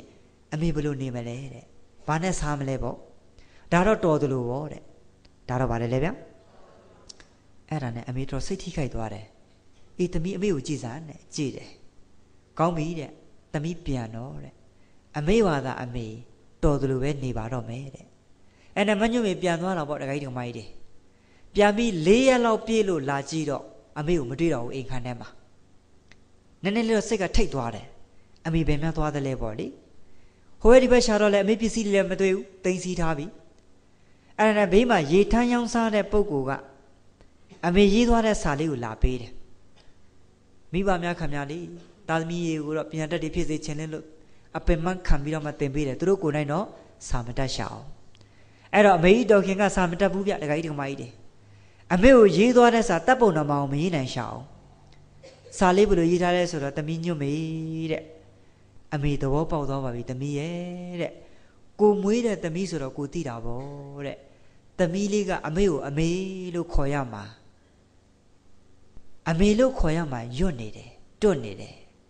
အဲ့တော့ငါသမီးလေးဂုံတိတ်ကမပျက်စီးဖို့ငါသမီးလေးဂုံတိတ်ကမကြဆင်းဖို့အမေရှောင်ပေးပါမယ်သမီးရဲ့တဲ့ငါသမီးလိမ့်လိမ့်ပါပါနေတော့တဲ့အမေလေးတဲ့အဝေးကနေပဲစုမုံကောင်းတောင်းပေးပါမယ်သမီးရဲ့ဒီစာလေးရေးထားတယ်ဗျာအဲ့ဒီစာလဲဖတ်ပြီးတော့သမီးမျက်ရည်ပေါက်ပေါက်ကြတယ် ငါမားသွားပြီမားသွားပြီအမေရင်းကငါစော်ကားမိသွားပြီပေါ့အဲ့နဲ့ချက်ချင်းမဲ့သူ့အမျိုးသားကိုဘတ်မောင်ပြောတယ်မိခင်ကြီးကိုစော်ကားမိသွားတဲ့အကြောင်းအဲ့လိုပြောတော့ကိုဘတ်မောင်ကနှစ်သိစကားပြောပါတယ်မညွတ်မေစိတ်မကောင်းမဖြစ်ပါနဲ့တဲ့မားတော်မာမသိရင်အဲ့ဒါမင်္ဂလာတစ်ပါးပဲတဲ့ချက်ချင်းမဲ့အရာကားထုတ်ပြီးမှအမေရှိရာရွာကိုလိုက်သွားတယ်အဲ့တော့မညွတ်မေတလန်းလုံးသူစဉ်းစားတာပေါ့အမေကိုဘလို့ဂယုဆိုင်မယ်ဘလို့ပြုစုစောင့်ရှောက်မယ် ဘလို့တောင်းပန်ပြီးမှကြော့မယ်ပေါ့အဲ့လိုနဲ့ရွာရောက်တကားလေးကိုအသားလေးဖွင့်လိုက်တော့အမေကကြမ်းမြတ်မှာခွေခွေလေးလဲနေတယ်အဲ့နဲ့အမေရှိရောက်တော့အမေသမီးပြန်လာပြီပေါ့အာရပါရပွေ့ဖက်ပြီးတော့မှအမေကိုနှုတ်ဆက်စကားပြောတယ်အဲ့ချိန်မှာအမေရတခါတည်းအစာရစာငတ်ပြက်လို့တခါတည်းအာရင်နဲ့ချိနေပြီးမျက်လုံးလေးဖွင့်ကြည့်အတန်ရဲရဲလေးပဲကြံတော့တယ်သမီးလိမ့်လိမ့်မာမာနေနော် အဲ့ဒီစကလုံးတစ်လုံးမှာပြီးဇက်ကလေးကျိုးသွားတယ်ဗျအမေဆုံးသွားပြီဗျာတခိုင်းတို့မကြီးတယ်အဲ့ဒီနေရာစပြီးမညွတ်မေတော့အယက်စိတ်ထိခိုက်ပြီးတော့မှနောင်လာနောက်သားလူငယ်တွေသူ့လိုမမဘူးဆိုပြီးတော့မှဟောပြောပွဲလေးတွေလုပ်ပြီးတော့မှမိဘရဲ့ကျေးဇူးတွေပြောပေးရှာတယ်ကဲတခိုင်းတို့မကြီးတယ်လောကမှာဒါမျိုးတွေမရှိဘူးလားအဲ့တော့ယောဂီတွေနောက်တစ်ယောက်ဦးဇင်းတို့ကွန်းချံကုန်းမှာနေပါတယ်မိသားစုကအဲ့တော့ယောဂီတွေမိဘများကကွန်းချံကုန်းသားလုတ်တဲ့ပုဂ္ဂိုလ်ဆရာဝန်ကြီးကတော့ ရန်ကုန်ရွှေမြို့တော်မှာတော်တော်နာမည်ကြီးတဲ့ဆရာဝန်ကြီးပဲပေါ့အဲ့လိုဆိုတော့တရက်ကျတော့ဆရာဝန်ကြီးကဘာလုပ်လဲတလို့ဆိုတော့သူ့ရဲ့ဖခင်ကြီးကိုအဖေတဲ့တာတလက်လောက်ပြုစုပြစီဆိုပြီးတော့မှရန်ကုန်မြို့ကိုဖိတ်ခေါ်တယ်အဲ့တော့တားလုတ်တဲ့ပုဂ္ဂိုလ်ဖိတ်ခေါ်တော့လဲအဖေကလာတာပေါ့ဗျာရန်ကုန်ရွှေမြို့တော်ရောက်တားဆရာဝန်ကြီးကတခါတဲ့လူနာတွေအယမ်းများတယ်တရက်ကျတော့အဖေကလည်းနည်းနည်းတောက်တက်တော့အရက်ကလေးတောက်လာတယ်စကားတွေလည်းဟိုပြောဒီပြောပေါ့ စေခန်းကိုရောက်လာတော့အဲ့ချိန်မှာတားဆရာဝန်လှုပ်တဲ့ဘက်ကိုတော်တော်ဒေါသထွက်သွားပုံရတယ်ဗျအဖေကိုခုံပေါ်မှာကြာကြာနက်နက်ထိုင်စေပြီးတော့မှခမည်းကြီးကိုကျုပ်ကအိမ်မှာအရက်ပလင်းနေထောင်ထားပေးတာပဲဘာကိစ္စအပြင်ကိုတောက်ပြီးလာရတာလဲကျုပ်ရဲ့ဂုံတိတ်ကာကိုခမည်းကြီးစော်ကားတာလားကျုပ်ရဲ့ဂုံတိတ်ကာကိုခမည်းကြီးကဖျက်ဆီးတာလားလက်ညှိုးငေါက်ငေါက်ထိုးပြီးအဖေကိုဆူထက်လိုက်တာငေါက်ထက်လိုက်တာတောက်ထားတဲ့အရက်တွေပဲပြောက်သွားမှမသိဘူးအဲ့ဒီအချိန်မှာအဖေပါပြောလဲဆိုတော့ တားရဲ့တဲ့အဖေလဲအပေါင်းအသင်းနဲ့ဆိုတော့စကလုံးတိမ်သွားတယ်ဗျပြန်မထွက်လာတော့ဝမ်းနေစိတ်မကောင်းလို့လေဒီဂိုင်းဒီမကြီးတွေတသက်လုံးသားသမီးအငေါက်ခမ်းအငေါက်ငမ်းမခံရတဲ့အဖေအခုသားလောက်တဲ့ပုဂ္ဂိုလ်ငေါက်ငမ်းလိုက်တော့တော်တော်စိတ်ထိခိုက်သွားတယ်ဗျအဲ့ဒါနဲ့အဲ့ဒီနေ့ညစာမစားတော့ဘူးစောစီအိယာဝင်လို့နောက်ရမနဲ့အဖို့ထုတ်ဖို့တွေပြင်ပြီးပြန်မယ်ပေါ့အဲ့ချိန်မှာချွေးမလောက်တဲ့ပုဂ္ဂိုလ်ကလမ်းတားတယ်အဖေရဲ့တဲ့ဒီလိုပြုံးစမ်းကြီးတော့မပြန်လိုက်ပါနဲ့တဲ့ အဲ့လိုပြန်လိုက်အဖေသားကြီးစိတ်မကောင်းပဲနေမယ်အေး तू တိတာ तू တိပါတယ်သားသမီးရဲ့တဲ့အဲ့ဒီစကလုံးတစ်လုံးပြောပြီးအဖေပြန်ချသွားလိုက်တာအဲ့ဒါနဲ့အဖေပြန်ပြီးတလတင်းတင်းပြည့်တဲ့နေ့မှာကျေးနှောင်းဝင်လာတယ်အဖေဆုံးသွားပြီတဲ့တခါကြီးဒီမကြီးတွေအဲ့ဒီစိတ်နဲ့ပဲဆုံးသွားတာဗျာနော်အဲ့ဒါနဲ့ဆရာဝန်ဇနီးမောင်နှချက်ချင်းရွာကိုလိုက်သွားလိုက်သွားတဲ့အခါကျတော့အဖေလောင်းကြီးဆန်ထားလူရှင်းတုံးမှာအမေကိုမေးတယ်အမေတဲ့ သားနဲ့ပတ်သက်ပြီးအဖေဘာတွေများပြောသွားပါတလဲတဲ့ဒါရဲ့တဲ့မင်းအဖေပြောသွားတာမှရောက်တဲ့နေရာစပြီးသေခါနေတိမင်းเจ้าနေပြောသွားလိုက်တာတဖွာဖွာတဖွာဖွာပဲဘာတွေများပြောသွားတာလဲအမေရဲ့တဲ့ငါသားကြီးကဘလို့လိမ္မာတာငါသားကြီးကဘလို့တော်တာငါသားကြီးကအဖေကိုဘလို့ဂယုဆိုင်ပြုစုတာရန်ကုန်ရွှေမြို့တော်မှာတကယ်နာမည်ကြီးတဲ့ဆရာဝန်ကြီးဖြစ်နေတာရောက်တဲ့နေရာစပြီးတတွတ်တွတ်တတွတ်တွတ်မင်းကောင်းเจ้าနေပဲပြောသွားလိုက်တာ တသက်လုံးတောက်လာတဲ့အရက်ကိုလည်းရောက်တဲ့နေရာဆိုင်မတောက်တော့အဲ့ဒီဓာန်နေကြောင့်လည်းဖြစ်မှာပေါ့တာကြီးရဲ့တဲ့အဲ့ဒီစကလုံးကြားခါမှာပိုပြီးစိတ်ထိခိုက်သွားတယ်ဒီကိဒီမကြီးမိဘများကိုယ့်ရဲ့သားသမီးပေါ်မှာဘယ်တော့ခါမှအပြစ်မမြင်ဘူးဗျာနော်အပြစ်မြင်ရလားမမြင်ဘူးဒီကိဒီမကြီးဘလောက်ပဲသူတို့အပြစ်တွေလှုပ်ထားလှုပ်ထားအကုန်ခွင့်လွတ်တယ်ဗျအကုန်ပါတယ်လေဗျအဲ့တော့ဒီကိဒီမကြီးလောကမှာဒီလိုကိုယ့်ရဲ့ကျေးဇူးရှင်တွေကို နှလုံးသွင်းမားတဲ့ပုံကိုယ်တွေအများကြီးမရှိနိုင်ဘူးလားရှိနေပါတယ်အဲ့တော့နောက်တစ်ယောက်ဦးစင်းပြောပြချင်သေးတယ်သူကတော့ဗာလဲဆိုတော့တကယ်ဒီမှာငငယ်တုန်းကသူ့ရဲ့မိသားစုကအမေလှုပ်တဲ့ပုံကိုကသားလှုပ်တဲ့ပုံကိုကိုမုတ်စားဆင်းချိန်မှာသွားတွေ့တော့အမေရဲ့မျက်လုံးတစ်ဖက်ကဟောက်ပက်ကြီးမျက်လုံးအစားမထိုးတော့ကြည့်မကောင်းဘူးပေါ့နော်မျက်လုံးတစ်ဖက်ပဲအလင်းရတယ်အဲ့တော့အဲ့ဒီချိန်မှာဒီ ကျောင်းသားလေးရဲ့တငယ်ချင်းတွေကအဲ့ဒီအမေအိုကြီးကိုတွေ့လိုက်ရတော့ကြောက်လန့်ပြီးပြေးကုန်တယ်ဟာမျက်လုံးဟောက်ပဲနဲ့ตาကြီးမျက်လုံးဟောက်ပဲနဲ့ตาကြီးပေါ့အဲ့လိုဆိုတော့ဒီရင်သွေးလေးကအရန်ရှက်သွားတယ်ကျောင်းသားလေးကအဲ့ဒီအချိန်မှာသူစိတ်လည်းမပြောတော့ဘူးကျောင်းသားလေးကညနေကျတော့မျက်နှာတုံတုံပုံပုံနဲ့ပြန်လာလွဲကိုဂရင်ပေါ်ပြစ်တင်ပြီးအမေကိုရန်တွေ့တယ်အမေသားကိုတကယ်ချင်းနောက်ဘယ်တော့မှကြောင်းမလာပါနဲ့တဲ့အဲ့ဒီလိုလေးပြောတော့အမေလည်းနောက်ဘယ်တော့မှမသွားတော့ပါဘူး ဒီလိုနဲ့ဒီကလေးလေးကပညာတွေသင်လိုက်တာကျောင်းနေပြီလို့နောက်ဆုံးအချိန်တန်အရွယ်ရောက်အိမ်တော်ရသားတွေကြအဲ့လိုနဲ့ယောဂီတွေပညာလေးလည်းတော်တော်အားကောင်းတော့မြို့ကြီးပြကြီးကိုပြောင်းနေတယ်ဒါပေမဲ့အမေကိုရွာထဲမှာပြစ်ထားတယ်ဗျာအဲ့လိုနဲ့မြို့ကြီးပြကြီးမှာသူတို့တိုက်တွေဓာတွေနဲ့ပြည့်ပြည့်စုံစုံပေါ့သားတွေသမီးတွေနဲ့အမေလှုပ်တဲ့ပုဂ္ဂိုလ်ဆံပြူသွားကြိုးကြီးနဲ့ဗျာတောင်မွေးတစ်ထောက်ထောက်နဲ့ရွာထဲမှာပဲစင်စင်ရဲပင်ပင်ပမနဲ့တရက်ကြတော့ အမေလှုပ်တဲ့ပုဂ္ဂိုလ်ကသားကိုတွေ့ချင်လို့လို့မြေးလေးတွေကိုတွေ့ချင်လို့လို့မြို့ကြီးကိုတက်သွားတယ်အဲ့ဒီသားရဲ့အိမ်ရှိကိုရက်နေတော့သူ့မြေးလေးတွေကအဖွားကိုတသက်မတ်တကူမြင်မှုတာမဟုတ်တော့အဖွားမလည်းမသိတော့မျက်လုံးကလည်းဟောက်ပဲကြီးဆံပင်ကလည်းဖွာလာကြီးဆံဖြူကြီးနဲ့ဆိုတော့ကြောက်လန့်ပြီးအထက်ကိုဝင်ပြေးကုန်တယ်အဲ့ဒီအချိန်မှာသူတို့အဖေကြီးကသားတွေဘာများဖြစ်တယ်လဲကြည့်လိုက်တော့အရှိမသူ့ရဲ့မိခင်ကြီးကိုမတွေ့ဘူးလားဗျ အဲ့ချိန်မှာအမေကိုဘယ်လိုရန်တွေ့လဲဆိုတော့ခမကြီးဒီကိုဘာကိစ္စပြန်လာဘာကိစ္စလာတာလဲတဲ့အခုချက်ချင်းထွက်သွားပါတဲ့ကဲအမေကို तू မပြောဘူးလားအေးလူလေးရဲ့တဲ့ဒီဖွားကြီးအသက်ကလည်းကြီးပြီမျက်လုံးကလည်းတစ်ဖက်တည်းအလှုပ်လှုပ်တော့အဲ့ဒီတစ်ဖက်ကလည်းမွဲနေတော့လေတဲ့ဒီအိမ်ရှိကိုလာရမိတာအိမ်လိပ်စာဖတ်မှပြီးရောက်လာလို့ ਨੇ တူပါတယ်တဲ့ခွန်းတော့ဘာလို့ပြောပြီးမှအဲ့ဒီမိခင်ကြီးပြန်သွားတယ်ဗျအဲ့ဒီလိုပြန်တော့ အမေပြန်ပြီးမကြပါဘူးသူတို့ရွာမှာရှိတဲ့သူ့ငယ်တငယ်ချင်းကျောင်းနေဘက်တငယ်ချင်းတွေကကျောင်းသားဟောင်းနေစုံကြီးပွဲဆိုပြီးတော့မှဖိတ်စာတွေရောက်လာတယ်အဲ့ဒါလိုရောက်လာတော့တခါကြီးကမိုင်းတွေဆရာဝန်ကြီးတွေအင်ဂျင်နီယာကြီးတွေဟာလဲကုံတယ်ကြီးတွေကုံတယ်ပွဲစားကြီးတွေပေါ့အားလုံးစုံကြပြုကြတတချို့လည်းပျက်စီးကုန်ပြီတချို့လည်းတော်တော်များများဆုံဆုံလင်လင်ပဲပေါ့အဲ့ဒါနဲ့ချက်ကြပြုတ်ကြစားကြတောက်ကြပြီးတော့ဇပွဲဝိုင်းမှာဝိုင်းဖွဲပြီးတော့မှသူတို့စကားတွေပြော အဲ့ဒီချိန်မှာဟိုးရှေးအောင်နောက်ဖြစ်တွေပြောကြလို့အဲ့ဒီမှာတယောက်တော့ပုဂ္ဂိုလ်ကတငယ်ချင်းရေးတဲ့တို့တွေခွဲခွာတာလဲကြာသွားတယ်တဲ့အဲ့တော့မင်းဖို့တို့စာလေးတစ်စောင်ပါလာတယ်တဲ့အခုနမြို့ထဲကအကောင်လေးကိုလေအဲ့ဒါအဲ့ဒီစာလေးတစ်စောင်ပေးဖတ်လိုက်တော့စာလေးဖောက်ဖတ်လိုက်တော့အမေရေးထားတဲ့စာလေးဖြစ်နေတယ်လူလေးရဲ့တဲ့လူလေးရဲ့မိသားစုကိုအမေတွေ့လိုက်ရတာဝမ်းသာလိုက်တာတဲ့အဲ့တော့လူလေးက မြို့ကြီးပြကြီးမှာတိုက်တေးဓာတ်လေးနဲ့ပြည့်ပြည့်စုံစုံနဲ့ဒါပေမဲ့အမေတခုတော့စိတ်မချမ်းသာဘူးတဲ့လူလေးရဲ့လူအင်ဆန္ဒကိုဖြည့်ဆည်းခွင့်မရလိုက်တဲ့အတွက်အမေစိတ်မချမ်းသာဘူးကွယ်တဲ့အဲ့ဒါလည်းတခြားမဟုတ်ဘူးလူလေးရဲ့တဲ့လူလေးကမျက်လုံးအင်ကပြည့်စုံတဲ့မိခင်ကြီးဖြစ်စေချင်တာအမေမာကလည်းမျက်လုံးဟောက်ပတ်နေဆိုတော့အဲ့ဒါငယ်ငယ်တုန်းကတခြားမဟုတ်ဘူးသားရဲ့တဲ့ငါသားလေးသူငယ်တန်းတုန်းကအမေကငါသားလေးကိုလက်ကလေး ဒီလိုလေးကင်ပြီးတော့မှကြောင်းအပုတ်စိုက်ကယ်တစ်စီးကငါသားလေးကိုဖြတ်တိုက်ထက်လိုက်တာမျက်လုံးထိသွားတယ်တဲ့အဲ့ဒီအချိန်မှာအမေကလည်းစိတ်ပူပြီးတော့မှဆေးရုံကိုသားလေးကိုပို့တော့ဆရာဝန်ကြီးကမျက်လုံးအစားထိုးရမယ်ဆိုလို့အမေမျက်လုံးကိုတခါတည်းထုတ်ပြီးတော့မှငါသားကိုအစားထိုးပေးလိုက်တာငါသားကတော့ပညာတတ်ကြီးဖြစ်လို့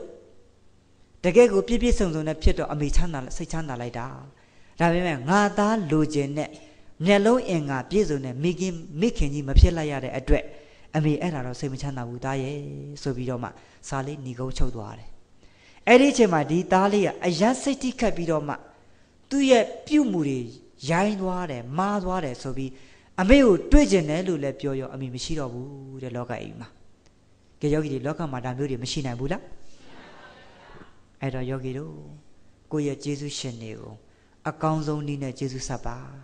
လောကီနဲ့ကျေးဇူးဆက်ပါလောကုတ္တရာနဲ့ကျေးဇူးဆက်ပါအဲ့ဒါမှသာလေယောဂီတို့ဦးဇင်းတို့လောကီတွေတရေနဲ့တိုးတက်သွားတယ်လို့လောကုတ္တရာရေးတွေမှလည်းတရားတူတရားမှတ်တွေရသွားကြပါလိမ့်အဲ့ဒီလိုမဟုတ်ဘဲနဲ့ကိုယ့်ရဲ့ကျေးဇူးရှင်တွေကိုကြည်အောင်မှလည်းမသိစော်ကားမော်ကားလှုပ်ဆိုလို့ရှိရင်လောကမှာလူတစ်လုံးသူတစ်လုံးမဖြစ်နိုင်တော့ဘူးသေလို့ရှိရင်လည်းအပယ်လေးပါးသွားရမယ်တချို့တွေကျတော့တခါကြီးမိုက်တွေမိဘတွေကအစင်မပြေတော့အိုဇာတာကံမကောင်းရှာတော့ တာသိမိအိမ်တက်နေတဲ့မိဘများလည်းမရှိဘူးလားကဲယောဂီတွေတာသိမိအိမ်တက်နေတော့အစင်မပြေတော့ဘူးတားအိမ်တက်နေတော့ချွေးမနဲ့အစင်မပြေဘူးသမီးအိမ်တက်နေတော့တမက်နဲ့အစင်မပြေဘူးတခါတခါသမီးအိမ်တက်နေတဲ့တမက်နဲ့အစင်ပြေတယ်သမီးနဲ့အစင်မပြေပြန်ဘူးဗျာအမေရင်းကိုတော့မှပြန်ပြန်ပြောတာတွေမရှိဘူးလားဟိုတချို့သမီးရင်းတွေဘာလုပ်တယ်လဲဆိုတော့ကြောင်ရင်ထဲမှာသူ့အမျိုးသားဖို့ထည့်ထားတဲ့ကြက်သားကြော်ငါးကြော်လေးတွေ သူ့သားတွေကဘယ်ချိန်ခိုးပြီးမှနိုင်စားသွားလဲမသိဘူးအဲ့တော့အမျိုးသားဖို့ထမင်းလေးခူးပြီးတော့မှဟင်းချမယ်မရှိတဲ့ခါကျတော့ဘသူ့ပြေးတရိရလဲအမေကိုသွားတရိရတယ်အမေကြောင်ရင်ထဲကငါးတွေစားတယ်မဟုတ်ဘူးလားတဲ့ဟာအမေကိုတခိုးရိုးတာတခါကြီးထမကြီးတွေဒါမျိုးတွေမရှိဘူးလားဟာအမေစားပိုဝမ်းသာရမှာပေါ့တခါကြီးထမကြီးတွေဟုတ်တယ်မဟုတ်ဘူးလားဗျအခုတော့ကြောင်ရင်ထဲကငါးကြော်အမေစားတယ်မဟုတ်ဘူးလားတဲ့အမေခင်ဗျာစိတ်မကောင်းဘူး သမီးရဲ့အမေတိတော့မတိပါဘူးကွယ်မတိဘူးပြောလဲမရမဟုတ်အမေစားတယ်ပဲလောကမှာဒါမျိုးတွေမရှိဘူးလားအဲ့တော့ယောဂီတို့မိဘများကိုစိတ်ချမ်းသာအောင်ထားကြည့်ရစမ်းပါဗျာမိဘစိတ်ချမ်းသာယောဂီတွေတစ်သလုံးချမ်းသာမယ်မိဘမျက်ရည်လေးတပေါက်ကြရင်တော့တစ်သလုံးမှာဖြစ်တော့မှာလေဆင်းရဲမှာဗျာတခါကြီးဒီမကြီးတွေအဲ့ဒီလိုနဲ့ထပ်တရိရပါသေးတယ်တခါတခါဦးဇင်းတို့ထိုင်းနိုင်ငံမှာစတိုရီလေးတွေသိကောင်းပါတယ် ဗုဒ္ဓရဲ့အဆုံးအမနဲ့ပတ်သက်ပြီးတော့မှသူတို့ကဗုဒ္ဓဆုံးမတွေသိတော့ဟိုမိဘနဲ့သားသမီးကြားဆရာသမားနဲ့တပည့်လေးတွေကြား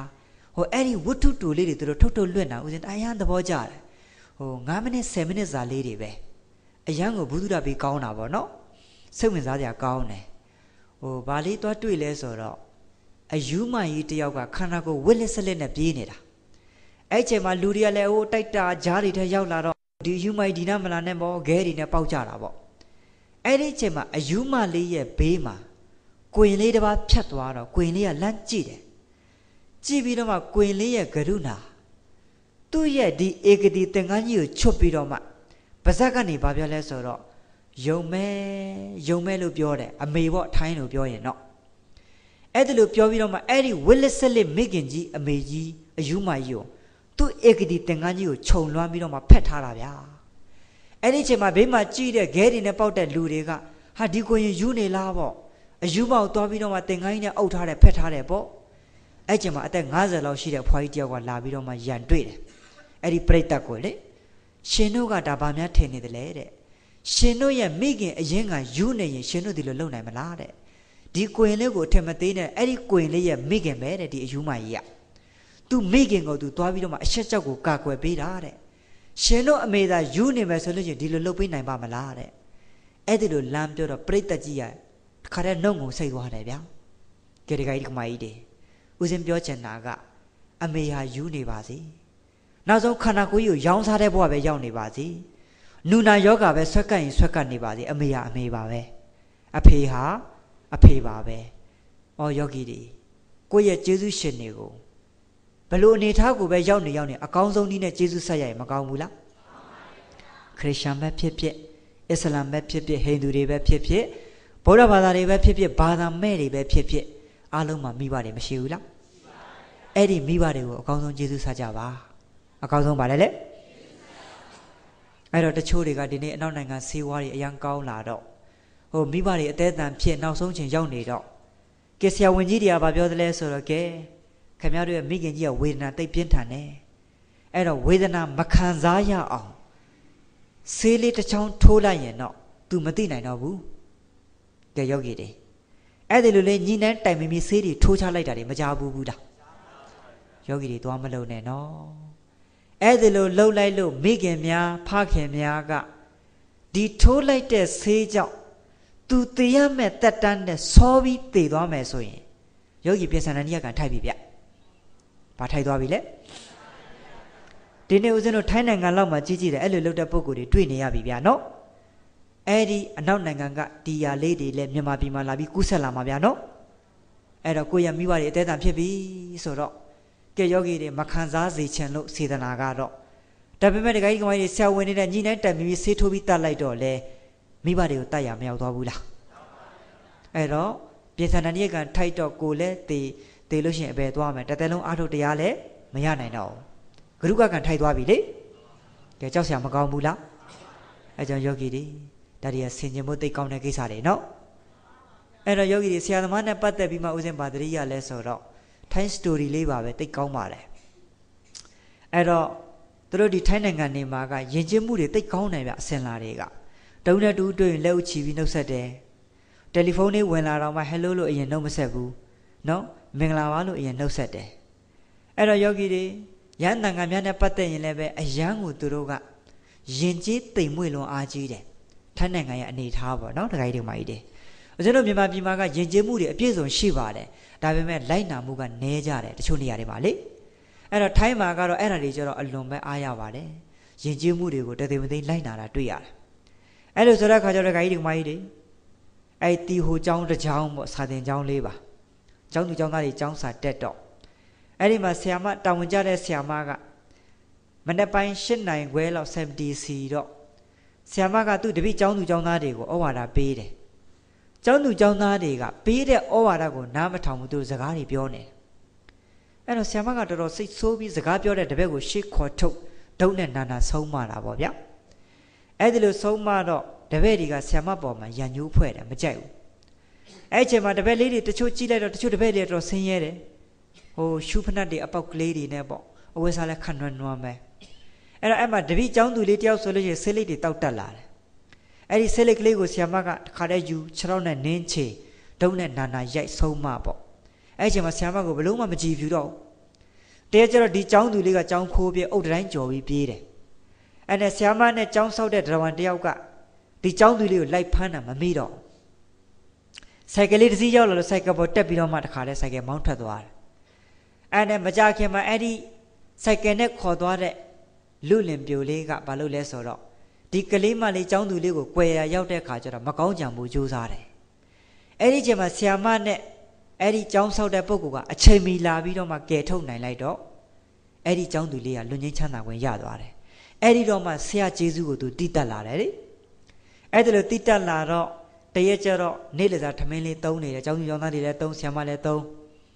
အဲ့ဒီချိန်မှာအင်မတန်ဆင်းရဲနွမ်းပါတဲ့ကျောင်းသားလေးကထမင်းတော့မထုတ်နိုင်ပါဘူးအဲ့တော့အားလုံးထမင်းသုံးနေတော့သူခင်ဗျာလေးမသုံးနိုင်ရှာအောင်ဆရာမကထမင်းလေးတစွန်းလေးသုံးပြီးတော့သတိထားမိသွားတယ်ဩသူတပည့်လေးထမင်းမပါလာဘူးအဲ့ဒါနဲ့အဲ့ဒီကျောင်းသားလေးကဆရာမထလိုက်တာနဲ့ကျောင်းသားလေးကလည်းထပြီးတော့မှ အပြန်သွားပြီးဘုံပံမှာရေလေးပလုတ်ကျင်းပြီးမှရေလေးတုံးနေတယ်။အဲ့ဒီချိန်မှာဆီယမအပြန်ထွက်လာတယ်။သူစားလက်စားထမင်းဘူးလေးကိုចောင်းသားလက်ကိုကမ်းပေးလိုက်တယ်။အဲ့တော့ចောင်းသားလေးကအဲ့ဒီထမင်းလေးနေ့လည်စားသုံးဆီယမတော့အငတ်ခံလိုက်တယ်ပေါ့နော်။ဟိုမိဘဆရာလေးဆိုတာအင်မတန်မှကိုယ့်ရဲ့သားသမီးတွေပေါ်မှာကိုယ့်ရဲ့တပည့်တွေပေါ်မှာအင်မတန်ပြေဝကြပါတယ်ဒကာကြီးတို့မကြီးအဲဒါကြောင့်မိဘရဲ့ကျေးဇူးတရားတွေဆရာသမားတွေရဲ့ကျေးဇူးတရားတွေကိုသိစေခြင်းလို့ဒါလေးပြောပေးနေတာပါနော်ဒကာကြီးတို့မကြီးအဲလိုဆိုတော့အဲ့ဒီနေရာမှာလေ ကြာတော့တပည့်လေးတွေဟာဆရာရဲ့ကျေးဇူးလေးတွေတည်တက်လာတယ်စီကံတကြနေတက်လာတယ်နောက်ဆုံးဆရာဝန်ကြီးတွေဖြစ်အင်ဂျင်နီယာကြီးတွေဖြစ်ပြီးတော့မှပညာတတ်ကြီးတွေဖြစ်လာတဲ့ခါကျတော့ဆရာမကိုသူတို့ပုံမှန်ပေါ့နှစ်တေကုကာလမှာကတော့တင်းညာကာလမှာကတော့အဲ့ချိန်မှာဆ iam မကြီးကခုံပေါ်မှာထိုင်စေလို့အရှိမပန်းချင်းလေးတွေချပြီးတော့မှကျောင်းသူကျောင်းသားတွေဝိုင်းပြီးကတော့နော်တခါကြီးတခါမကြီးတွေကြည့်လိုက်တော့ဆ iam မကြီးကတခါတည်းမျက်မှန်ကြီးနဲ့ စာနေလဲဖြူလို့အသက်တွေကြီးကုန်ပြီပေါ့ဗျာတခါကြီးတခါမကြီးတွေအဲ့လိုဆိုတော့ဦးဇင်းတို့သူတော်စင်နေလဲပဲကိုယ့်ရဲ့မိဘတွေကိုယ့်ရဲ့ဆရာသမားတွေအချိန်မီလေးလောကီနဲ့ကျေးဇူးဆလောကုတ္တရာတွေနဲ့ကျေးဇူးဆမကောင်းလားတခါကြီးတခါမကြီးတွေဦးဇင်းတို့မြန်မာပြည်မှာနာမည်ကျော်ကြားတော်မူတဲ့ဆရာတော်တမတော်ကြီးတွေဟာလည်းပဲသူတို့ရဲ့မိဘတွေကိုသူတို့ကြောင်းနေမှာထားပြီးကြာကြာနတ်နတ်ဂယုဆိုင်တယ်ဗျာဦးဇင်းတို့တိဝိကရောဆရာတော်ကြီးတို့အမေကိုကြောင်းမှာထားပြီးစောင့်ရှောက်တယ်ဗျဦးဇင်းတို့ဒီမြင်းချံမှာ စာတင်တဲ့တက်တိုက်မှာတန်ခါ90လောက်ရှိတယ်အဲ့တော့ကျောင်းနိုင်ဆရာတော်ကြီးကအကူကြီးဆုံးတိုက်အုပ်ဆရာတော်ကအလက်အငယ်ဆုံးကတိုက်ချက်ဆရာတော်ဖြစ်နေတယ်အဲ့တော့အမေအသက်60ကျော်ပါပြီအဲ့ဒီ60ကျော်တဲ့မိခင်ကြီးကိုကျောင်းမှာကြာကြာနာနာထားတယ်သူတို့မောင်နှမတွေချမ်းသာပါတယ်သို့တော်လည်းလုံးဝမပေးဘူးအမေအိုကြီးကိုကျောင်းမှာထားလိုအပ်တာအကုန်ဖြည့်ဆည်းပေးတယ်နော်တခါကြီးတခါမကြီးတွေတရားတွေပြောပေးတယ်ထမင်းတွေခွန့်ကျွေးတယ် အမေရဲ့အဝတ်စားတွေကိုကြာကြာနာနာအမွေးစားပြန်နဲ့လျှော်ဖွတ်တယ်ကဲတခါကြီးတခါမကြီးတွေအမေကိုတန်ဖိုးမထားဘူးလားဒါစရောကြီးတွေဗျနော်တခါကြီးတခါမကြီးတွေအဲ့လိုဆိုသူတော်စင်တို့ဦးစင်တို့လည်းပဲကိုယ့်ရဲ့မိဘတွေရှိနေရင်ကြာကြာနာနာပြုစုဆောင်ရှောက်လို့မိဘတွေမရှိတော့ဘူးဆိုလို့ရှိရင်လည်းပဲကိုပြုတ်လုတဲ့ကုသိုလ်တွေပြန်လည်ပြီးရည်စဲသွန်းချအမြတ်တမ်းပေးဝေလို့မကောင်းဘူးလားဗျာအလွန်ကောင်းပါတယ်အဲ့ဒီလိုအကောင်းဆုံးနည်းနဲ့ကျေးဇူးဆက်တော့ ပြစ္ဆုတ်ပါမှာလည်းယောဂီတို့ချမ်းသာတယ်ဗျတဏှာမှာလည်းအလွန်ပဲချမ်းသာတယ်ဝေဝေမကြီးနဲ့စစ်သူကြီးပြတဲ့တာကြီးဗုဒ္ဓမထေမြတ်ကြီးဟာနောက်ဆုံးပြိဋိဘံဆံခါနီးမှာတောင်းမှမိကေရူပတာဒီပုံရင်းမကြီးကိုတရားရည်မဲ့စေတိုက်ကြွေးသေးတယ်လေကဲတခါကြီးဒီမိုင်းကြီးကြီးပေါ့ဗျာပရိနိဗ္ဗာန်ဆံဃာနီးမှာမြတ်စွာဘုရားကိုဥတိုက်လျှောက်ထားပြီးတော့မှတကုဗျာတိရတွေအမျိုးမျိုးပြပြီးတော့မှတာရိပုတ္တရာမထေတပည့်900ခြံရံပြီးတော့မှ သူမွေးဖွားတဲ့တိုက်ခန်းရှိရာနာလကရွာကိုပြန်သွားတယ်အဲ့ဒီချိန်မှာတခါကြီးတခမကြီးတွေသူ့ရဲ့မွေးဖွားတဲ့တိုက်ခန်းကိုရောက်ပြီးအမေရူပသာရီပုံနှင်းမကြီးကမိစ္ဆာဒိဋ္ဌိပဲရှိသေးတယ်သားသမီး9ဦးလုံးကယဟန္တာကြီးတွေဗျာနော်သားသမီး9ဦးလုံးကဗါတယ်လေအမေလှုပ်တဲ့ပုံကိုတော့မိစ္ဆာဒိဋ္ဌိပဲရှိသေးတယ်အဲ့ဒါနဲ့တခါကြီးဒီမကြီးများအရှင်သာရိပုတ္တရာမထေရမြတ်ကသွေးဝင်းနေသွေးဝင်းနေသွားသွေးတွေအန်လို့ အတညလို့ယောဂဖိစီးနှိမ့်ဆက်ခံနေရညတကောင်လောက်မှကျတော့ယောဂီတွေတကြားတွေနတ်တွေလာကြတော့ဥတိုက်တစ်ချက်တိနှစ်ချက်လောက်မှမြမကြီးလာဥတိုက်အဲ့ဒီလိုဥတိုက်တော့မိခင်ရူပသာရီပုံနေမှတွေးတာကငါသားကြီးကတစ်ချိန်လုံးကတော့ရန်ကြီးဂေါရမနောက်ကိုလိုက်သွားတာငါအယူတွေကိုငါကိုးကွယ်တဲ့အယူတွေကိုစွန့်သွားတာအခုတော့ရန်ကြီးဂေါရမရဲ့အယူကိုစွန့်ပြီးမှငါရဲ့ကိုးကွယ်တဲ့အယူဝါဒတွေယူဖို့လာတာပဲလို့ဒီလိုနှလုံးသွင်းတာဗျာနော် အဲ့တော့ညတကောင်လောက်မှအခန်းလေးလင်းသွားတာတို့တစ်ချက်တီးနှစ်ချက်လောက်မှအခန်းလေးလင်းသွားတာတွေကိုကြည်အံ့အားသင့်ပြီးတော့မှထယံပေါက်ကော့နေလမ်းပြီးချောင်းမြောင်းကြည့်တော့အင်မတန်တကိုးကြီးတဲ့နတ်ပြမာတွေကိုတွေးလိုက်ရတယ်အဲ့ဒီလိုတွေးလိုက်ရတဲ့ခါကျတော့ဒကာကြီးဒကာမကြီးတွေအန်လဲအံ့ဩသွားတယ်အဲ့ဒီလိုအံ့ဩပြီးတော့မှနတ်ပြမာတွေပြန်သွားတဲ့အခိုက်ကလေးမှာအဲ့ဒီမှာမေးလျောက်တယ်ငါသားတဲ့ ညတကောင်လောက်လာဥတိုက်တာဘသူတွေတုံးတစ်ချက်တီးနှစ်ချက်လောက်မှလာဥတိုက်တာဘသူတွေတုံးလို့အဲ့ဒီလိုမေးတော့မေတော်ကြီးတဲ့အဲ့ဒါတခြားမဟုတ်ဘူးတဲ့ညတကောင်လောက်မှလာဥတိုက်တာကတကြားတွေနတ်တွေဖြစ်တယ်တစ်ချက်တီးနှစ်ချက်လောက်မှလာဥတိုက်တာအမေတို့ကိုးကွယ်တဲ့ဗြဟ္မာကြီးတွေဖြစ်တယ်လို့ပြောပြတော့မှအော်ငါကိုးကွယ်တဲ့တရားတွေပြမာတွေတောင်မှငါသားကိုဥတိုက်တဲ့အဆင့်ဆိုလို့ရှိရင်ငါသားရဲ့ဆရာရန်ကြီးဂေါရမဟာဘ ယ်လိုအနေထားကိုရှိမလဲစိတ်ကလေးလဲလာတယ်လဲလာတယ်တခါကြီးဒီမကြီးများအဲ့ဒါလိုလဲလာတဲ့အချိန်မှာတာရိပုတ္တမထေရမြတ်ကတရားတရားတွေညွတ်လာတဲ့အခိုက်မှာပဲတစ္ဆာလေးပါးခေါ်ချလိုက်တာမိခင်ရူပတာတွေပုံနေမှကြီးသောတာပန်တည်သွားတယ်ဗျာ။ဘာတည်သွားတာလဲဗျ။နှုတ်ဘိုးကြည်ပြီလို့ကြုံသွားတယ်ဗျာ။နောက်တစ်ခါကြီးဒီကမကြီးတွေနှုတ်ဘိုးပါတယ်လေ။အဲကြောင့်ယောဂီတွေမိဘများကိုဓမ္မနဲ့ကျေးဇူးဆိုင်ရင်ဘာဘိုးကြည်မှာလဲ။ ဟိုလောကတော့ပြောတယ်မြတ်စွာဘုရားတောင်မှနှုတ်ဘိုးတစ်လုံးပဲပါတယ်လေ။ကြည်တယ်။အဲ့ဒါအလကားပြောတာဗျာနောက်တစ်ခါကြီးဒီကမကြီးတွေစစ်သူကြီးပြတဲ့တာရိပုတ္တမထေရမြတ်တောင်မှကဲယောဂီတွေအမေသောတာပန်လက်တီရောသူဘာဘိုးကြည်ပြီလို့ကြုံသွားတာလေအဲ့လိုဆိုသူတော်ကောင်းတို့လည်းကိုယ့်ရဲ့မိခင်ရဲ့နှုတ်ကြည်ခြင်းနဲ့ဆိုလို့ရှိရင်မိဘများကိုဘာနဲ့ကျေးဇူးဆပ်မလဲတရားတရားမဖြစ်ပေါ်သေးတဲ့မိဘများကိုတရားတရားဖြစ်ပေါ်လာအောင်တီလာတွေမစောက်တည်ခြင်းနဲ့မိဘများကိုဥပုပ်တီလာတွေစောက်တည်ချင်လာအောင် တစ္ဆာတရားတွေမနာခြင်းနဲ့မိဘများကိုတစ္ဆာတရားတွေနာကြားချင်လာအောင်ဝိပဿနာကိုစိတ်ဝင်စားတဲ့မိဘများကိုဝိပဿနာတွေအားထုတ်ချင်လာအောင်သားသမီးများမှာတာဝန်မရှိဘူးလားအဲ့ဒီလိုအကောင်းဆုံးနည်းနဲ့ဖန်တီးဖန်တီးပြီးဆောင်ရွက်ပေးတော့မိဘများကိုအကောင်းဆုံးဓမ္မနဲ့ကျေးဇူးဆက်တာမဟုတ်ဘူးလားအဲ့လိုဆိုကိုယ့်ရဲ့မိဘရဲ့အပယ်တန်တရာတွေလည်းပိတ်ပေးတာလေသူတို့ကိုယ်နဲ့ကြင်ညာအထုတ်လိုက်မယ်ဆိုတနေ့အပယ်တန်တရာပိတ်မှလားမပိတ်ဘူးလားအဲ့တော့ယောဂီတို့ အဲ့ဒီလိုဆိုတဲ့ခါကျတော့တခါကြီးဒီမကြီးများအတာရိဗုဒ္ဓမထေရမြတ်တို့ကမိဘများကိုကျေးဇူးဆက်သလိုယောဂီတို့ဦးဇင်းတို့လည်းကိုယ့်ရဲ့ကျေးဇူးရှင်တွေကိုလောကီနဲ့လည်းကျေးဇူးဆက်မယ်လောကုတ္တရာနဲ့လည်းကျေးဇူးဆက်မယ်ဆိုလို့ရှိရင်ဘဝကြီးကအလွန်ငြိမ်းချမ်းတာပေါ့မငြိမ်းချမ်းဘူးလားဗျငြိမ်းချမ်းပါတယ်အဲ့ဒီလိုကျေးဇူးဆက်တယ်လို့ပဲဒကာကြီးဒကာမကြီးတွေကိုယ့်ရဲ့မိဘများကို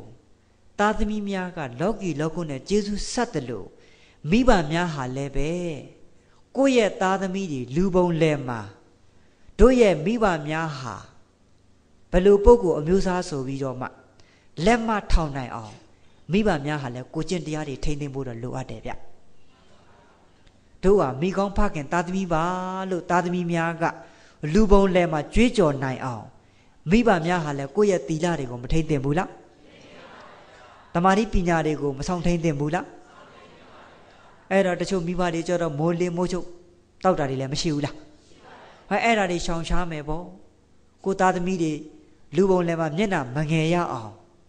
ကြိုးစားပြီးတော့မှကိုတီလာကိုတမာတိပညာတွေကိုထိမ့်သိမ့်ပေးမယ်ဆိုရင်ကိုသားသမီးတွေလည်းဂုံမငယ်ဘူးပေါ့ဟုတ်တယ်မလားတခါကြီးဒီမကြီးတွေကဲတချို့မိဘတွေကကိုသားသမီးတွေကိုအမွေတွေမပေးဘူးလားလောကမှာယောဂီတွေကုံတယ်ပွဲစားကသားသမီးတွေကိုကုံတယ်ပွဲစားအမွေတွေပေးမှာပဲ ကြောက်ရောင်းဝယ်လုပ်တဲ့ပုဂ္ဂိုလ်ကလည်းကိုသားသမီးတွေကိုကြောက်ရောင်းဝယ်အမွေတွေပေးမှာပဲဟောယောဂီတွေပညာရေးစောင်းပေးတဲ့မိဘများကျတော့ပညာအမွေတွေမပေးဘူးလားမိဘတိုင်းမိဘတိုင်းကသားသမီးတွေကိုအမွေတော့ပေးကြတယ်ဗျဒါပေမဲ့ဓမ္မအမွေပေးဖို့ကျတော့မေ့ကြတယ်ဘာအမွေပေးဖို့မေ့နေကြတယ်လောကီအမွေတွေတော့မိဘတိုင်းပေးရကောင်းမှမသိကြဘူးလားဓမ္မအမွေကြတော့အများစုမေ့ကြတယ်ဗျာနော်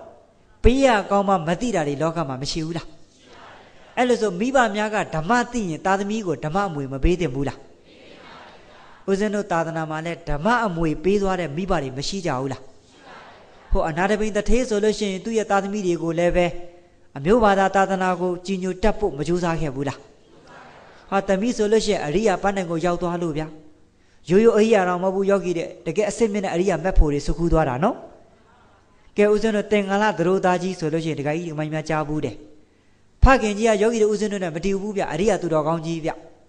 တောတာပန်တက္ကရကံတော်တည်ထားတာဖခင်ပုံသားကြီးရလေအဲ့တော့သားလုတ်တဲ့ပုဂ္ဂိုလ်ကိုဘာသာသာသနာကြီးညိုစေခြင်းလွန်းလို့မြတ်စွာဘုရားရှိတော်မူပါတယ်အကြောင်းကခေါ်သွားတယ်လုံးဝမလိုက်ဘူးဘာသာကြီးစိတ်မဝင်စားဘူးဘာသာကြီးပါတယ်လေအဲ့ဒီလိုနဲ့နောက်ဆုံးဖခင်ပုံသားကြီးကနောက်ဆုံးချိန်ရောက်နေပြီကျမကြီးမကောင်းတော့ဘူး အဲ့ချိန်မှာသားလုတ်တဲ့ပုဂ္ဂိုလ်ကိုဘာလေးမာလဲဆိုတော့တားရဲ့တဲ့အဖေကနောက်ဆုံးချိန်ရောက်နေပြီဖြစ်သည့်အတွက်ငါသားကိုမာခဲ့မယ်အဖေမရှိတဲ့နောက်ပိုင်းမှာငါသားအရက်6မျက်နှာကြောရလိမ့်မယ်အရက်ဘယ်နှမျက်နှာလဲအဲ့ဒါလေးမာပြူပြီးဖခင်ကြီးကွယ်လို့နှိမ့်ဆရောက်သွားတယ်ဗျအဲ့ဒါနဲ့သားလွတ်တဲ့ပုဂ္ဂိုလ်လည်းအဖေကိစ္စဝိစ္စအားလုံးရှင်းပြီးသွားတဲ့အချိန်မှာ မနဲ့မိုးလင်းအိယာထမျက်နာတစ်ပြီးတာနဲ့နေထွက်ရအရှိရက်ကိုကြော့တယ်တောင်ရက်ကိုကြော့မြောက်ရက်ကိုကြော့အနောက်ရက်ကိုကြော့အောက်ရက်ကိုကြော့အထက်ရက်ကိုကြော့တယ်အဲ့ဒီအကြောင်းအရာတွေကိုသိတော်မူတဲ့မြတ်စွာဘုရားကအဲ့ဒီလူငယ်လေးအိမ်ရှိကိုဆွမ်းရတော်မူတယ်အဲ့ဒါလည်းရပြီးတော့မှပဋိဌာန္တရဒီကလေးနဲ့နှုတ်ဆက်စကားပြောလို့လူလေးမင်းဘာတွေကိုကြော့နေတာလဲလို့မေးတော့မြတ်စွာဘုရားတပည့်တော်ဖခင်ကြီးကကွယ်လွန်ခါနီးမှာမာသွားတယ်ဖေရ မာတဲ့စကလုံးကတော်တော်အရေးကြီးတယ်လို့လည်းပြောပါတယ်အဲ့ဒါကြောင့်အဲ့ဒီမာတန်းလေးကိုတပည့်တော်တသိမသိလိုက်နာသောအဖြစ်အရှိနောက်တောင်မြောက်အောက်အထက်အရက်ချောမျက်နှာကိုကြော့နေပါတယ်ဖေရအေးကြော့တာတော့ကောင်းလိုက်တာကွယ်ကြော့တဲ့ရည်ရချက်မင်းသိရလားဆိုတော့တလုံးမှမသိပါဖေရတလုံးမှပါတယ်လေအေးတကယ်ကြော့ရမှာကနေထွက်ရအရှိရက်ကိုကြော့ရမှာမဟုတ်ဘူးတဲ့အဲ့ဒါတင်စားတာတဲ့တကယ်တော့မိဘစကားကိုနားထောင်ဖို့ပြောတာတဲ့ မိဘစကားကိုပါတယ်လေမိဘများကိုလှုပ်ကြွေးရမယ်မိဘစကားကိုနားထောင်ရမယ်မိဘတွေမျက်ွယ်ပြူသွားတဲ့တနေ့ကျရင်ကိုပြုတ်လိုက်တဲ့ကုသိုလ်ကိုပြန်လဲတစ်စက်ရေစက်သုံးချအမြတ်တမ်းပေးဝေရမယ်အဲ့ဒါအရှိရက်ကိုကြော့တာတဲ့အဲ့ဒါပါတယ်လေဗျာဟိုနေထွက်ရထိုင်ပြီးဝှချရမှာဟုတ်ရဲ့လားဟိုတချို့ကနေလုံးကြီးတွေတွေ့လဲလိုက်ဥချတယ်ဗျဟိုတစ်ပင်ကြီးတွေဥချတယ်ဗျကြောက်တုံးကြီးတွေတွေ့တော့လဲဥချတယ်ဗျဒါမျိုးတွေမရှိဘူးလား ဥချတဲ့ပုံကိုယ်တွေတွေ့ဘူးလားဗျဟာဥစဉ်ကိုယ်တိုင်ပဲဗျဟိုတစ်ချိန်တော့တစ်ချိန်တော့ပြောပါတယ်ဟိုဗုဒ္ဓအဆုံးအမတွေမသိတော့ကြောက်တုံးတွေ့လဲကြော့လိုက်တာပဲရေတွေတွေ့လဲကြော့လိုက်တာပဲဟိုနေလုံးနီနီတွေ့လဲကြော့လိုက်တာပဲမရှိဘူးလားတခါကြီးတို့မကြီးတွေဦးဇင်းတော်ငယ်တော့ဗုဒ္ဓဘာသာမဟုတ်တော့လေဟိုဟိန္ဒူအယူဆနဲ့ကြီးပြင်းလာတာဆိုတော့ဟိုမိဘများတင်တင်မိတဲ့အတိုင်းလောက်တာဟုတ်တခါကြီးတို့မကြီးတွေနေလုံးတွေ့လဲကြော့ရေကန်တွေ့လဲ ဟိုကြောက်တုံးကြီးတွေတွေ့တော့လဲတစ်ပင်ကြီးကြီးတွေ့လဲဟိုဗဇက်ကပြောလိုက်သေးတယ်အရန်တကူကြီးတယ်တဲ့ဟိုကောခါလို့ပြောရင်တော့ချက်ချက်တိချောပါနော်ဟုတ်လားတခါကြီးခမကြီးတယ်အဲ့ဒါတခြားလားမားနေတာလားနော်ကိုကိုရောက်ကောင်မှမသိတော့လဲရမ်းလုတ်တယ်ဗျာနော်အဲ့လိုဆိုတော့တခါကြီးခမကြီးများအဲ့ဒီအရှိရကတခြားလားမိပါလားမိပါစကားနားထောင်ရမယ်မိဘတွေကိုလှုပ်ကြွေးရမယ် လောကီနဲ့ကျေးဇူးဆက်ရမယ်လောကုတ္တရာနဲ့ကျေးဇူးဆက်ရမယ်တောင်ရက်ကိုကြော့ပါဆိုတာဆရာကောင်းသမားကောင်းကိုရှာခိုင်းတာတဲ့ဆရာကောင်းသမားကောင်းကိုမိဝဲရမယ်တဲ့လောကမှာဆရာတွေမရှိဘူးလားဆရာမနဲ့တွေ့ရင်တတန်ကြံလုံးဒုက္ခမရောက်နိုင်ဘူးလားဟာအဇဒတမင်းသားကြီးကဒေဝဒတ်နဲ့တွေ့တော့ကဲတခါကြီးကမကြီးများယနေ့ငရဲမရောက်နေဘူးလားဦးဇင်းတို့ဒေဝဒတ်ကြီးတော့အဝေစီငရဲရောက်နေတယ်အဇဒတမင်းသားကတော့လောကဂုံမီငရဲကိုမရောက်နေဘူးလား အဲ့ဒါတခြားလားဆရာမနဲ့တွေ့လို့လားဆရာကောင်းအရေးမကြီးဘူးလားဆရာကောင်းသမားကောင်းအရေးကြီးတယ်အဲ့ဒါတခြားလားတောင်ရလားမြောက်ရက်ကိုကြော့တယ်ဆိုတာကမိတ်ဆွေကောင်းကိုရှာပါတဲ့တခါကြီးဒီမကြီးတွေလောကမှာမိတ်ဆွေတွေမရှိဘူးလားဗျကိုပေါင်းတဲ့မိတ်ဆွေကခိုးဆိုးတိုက်စားနေမယ်ငါးပါးသီလဗလာနတ္ထိမိဘတွေမိဘမှမသိလူကြီးလူကြီးမှမသိဘာသာသာသနာကြီးညောကောင်းမှမသိ မိုးလေးမိုးချုပ်တောက်မယ်အလောင်းကစားလုပ်မယ်ဒီလိုပုံကိုယ်တွေမရှိဘူးလားအဲ့လိုပုံကိုယ်နဲ့ပေါင်းပိုင်ကိုလည်းလူမိုက်ကြီးမဖြစ်သွားဘူးလားအဲ့ဒါကြောင့်မင်္ဂလာတုတ်ကပြောတယ်အသေဝနသဘာလနာလူမိုက်ကိုမမီဝဲနဲ့မပေါင်းတဲ့တခါကြီးဒီကမိုင်းများဗန္ဓိတာနဲ့စသေဝနာပညာရှိသူတော်ကောင်းကိုဗါတယ်လေပေါင်းရမယ်ကိုပေါင်းတဲ့မိတ်ဆွေကငါးပါးသီလလုံတယ်ဗျာဘာသာတာသနာကြီးညိုတယ်ဗျာလူကြီးလူကြီးမှန်သိတယ်ဗျာဂါရဝနိဝါဒတရားရှိတယ်ဗျာအလောင်းကစားလဲကင်းတယ်ဗျာတေတီရဲ့လဲကင်းတယ်ဗျာ ဒီလိုသူတော်ကောင်းကြီးကိုပေါင်းပိုင်ကိုလည်းဗာဖြစ်သွားမှာလေသူတော်ကောင်းဖြစ်မှာဗောတခါကြီးဒီကမိုင်းများအဲ့ဒါတခြားလားမြောက်ရလားဘယ်နှမျက်နှာပြီးသွားအရှိရက်ကမိဘနှစ်ပါးတောင်ရက်ကဆရာသမားမြောက်ရက်ကမိတ်ဆွေကောင်းအနောက်ရက်ကကိုဇနီးသားမယားဒကာကြီးကကိုဒကမိုင်းနဲ့သားသမီးတွေပေါ်မှာယူဆရမယ်ဒကမိုင်းကကိုဒကာကြီးနဲ့ကိုသားသမီးပေါ်မှာမေတ္တာနဲ့ပြောဆိုဆက်ဆံရမယ် သူတို့နဲ့မေတ္တာနဲ့ပြောဆိုဆက်ဆံတာအလွန်ငြိမ်းချမ်းနေတဲ့မောက်မောက်မမမဆက်ဆံနေတဲ့မောက်မောက်မမဆက်ဆံမဲ့တကြက်ကြက်ဖြစ်နေမယ်ဆိုပူလောင်မှုတွေနဲ့ရင်ဆိုင်ရတယ်တဲ့အဲ့တော့ဒကာကြီးဒကမိုင်းတို့ကမေတ္တာနဲ့ပြောဆိုဆက်ဆံတာအလွန်ငြိမ်းချမ်းတာပေါ့အဲ့ဒါတခြားလားအနောက်ရလားဟိုအောက်ရကြတော့ကိုယ့်ရဲ့လက်အောင်ငယ်သားတဲ့ဒကာကြီးဒကမိုင်းတွေကဲလောကမှာကိုယ့်လက်အောင်ငယ်သားတွေမရှိဘူးလားဦးဇင်းတို့ဝန်ထမ်းနေဆိုလို့ရှိရင်ကိုကယာတုကြီးရင်ကိုလက်အောင်ငယ်သားတွေကိုပြေပြေလဲလဲဆက်ဆံပါ ကာယကမေတ္တာဝစီကမေတ္တာမနောကမြတ်တန်နဲ့ပြောဆိုဆက်ဆံရမယ်တဲ့အကယ်လို့ကိုကကုမ္ပဏီတစ်ထည်ဖြစ်နေမယ်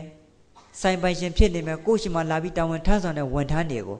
သူတို့လည်းလူသားတွေကလူပဲတဲ့မေတ္တာနဲ့ပြောဆိုဆက်ဆံပါတဲ့အဲ့ဒီလိုမေတ္တာနဲ့ပြောဆိုဆက်ဆံသူလည်းချမ်းသာတယ်ကိုလည်းချမ်းသာတယ်တဲ့အဲ့လိုမဟုတ်ဘဲနဲ့မောက်မောက်မာမာဆက်ဆံမယ်ဆိုကိုယ့်တဲ့အသက်တောင်အန္တရာယ်ရှိတယ်တဲ့ဟုတ်လားတခါဒီကမိုင်းဒီကြီးကြီးပေါ်လွန်ခတဲ့နှစ်နှစ်ကျော်လောက်ကဦးဇင်းတို့မန္တလေးမှာ ဒူရဲအုပ်ကကိုလက်အောင်ငယ်တော့ကိုမချင်မငံပြောဆိုဆက်ဆံတော့ဟိုကတန်းနဲ့ပြစ်ထက်လိုက်တဲ့ခါတဲ့တည်သွားတာလေတရင်ဆောင်မဖတ်ဘူးလားကြားဘူးမှာပေါ့နော်ဦးဇင်းတို့တောင်ကြီးမြို့မှာအဲ့လိုပဲတခါကြီးဒီကမိုင်းတွေတက်တော့အုပ်ပဲလက်အောင်ငယ်သားလေးဒရိုင်ဘာကိုလူကြားထဲမှာပြောလိုက်တဲ့စကားလုံးခါတီးတော့အဲ့ဒါစိတ်ဆိုးပြီးဓာတ်နဲ့ထိုးပွဲချင်းပြီးသေပဲဗျအဲ့တော့တခါကြီးဒီကမိုင်းတွေကိုယ့်ရဲ့အငယ်တွေကို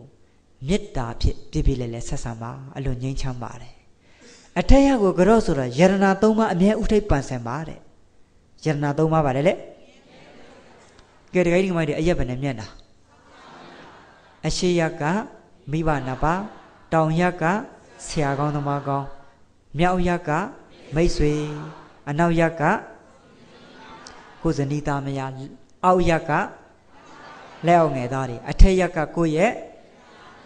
ကိုယ်ွယ်စိကတ်တဲ့ယရနာ၃ပါး ဆိုလိုရင်းအတိတ်ပဲကဒါတွေပါလို့ရှင်းပြတော့မှသင်္ကန်းလသရုသားရမြတ်စွာဘုရားမြတ်စွာဘုရားတရားတော်တွေဟာတပည့်တော်ညာနဲ့မှရှင်းကနေလင်းကနေဖြစ်သွားပါပြီတဲ့မောက်ထားတဲ့ခွက်ကြီးလံပြတ်လိုက်တယ်လို့ညာနဲ့မှရှင်းသွားတဲ့အတွက်ယနေ့ရဆလို့တပည့်တော်ကိုသာသနာကိုကြီးညိုစိကတ်တဲ့ဥပဒကဖြစ်မတ်ရတော်မူပါဆိုပြီးတရဏဂုံတည်သွားတယ်ဗျ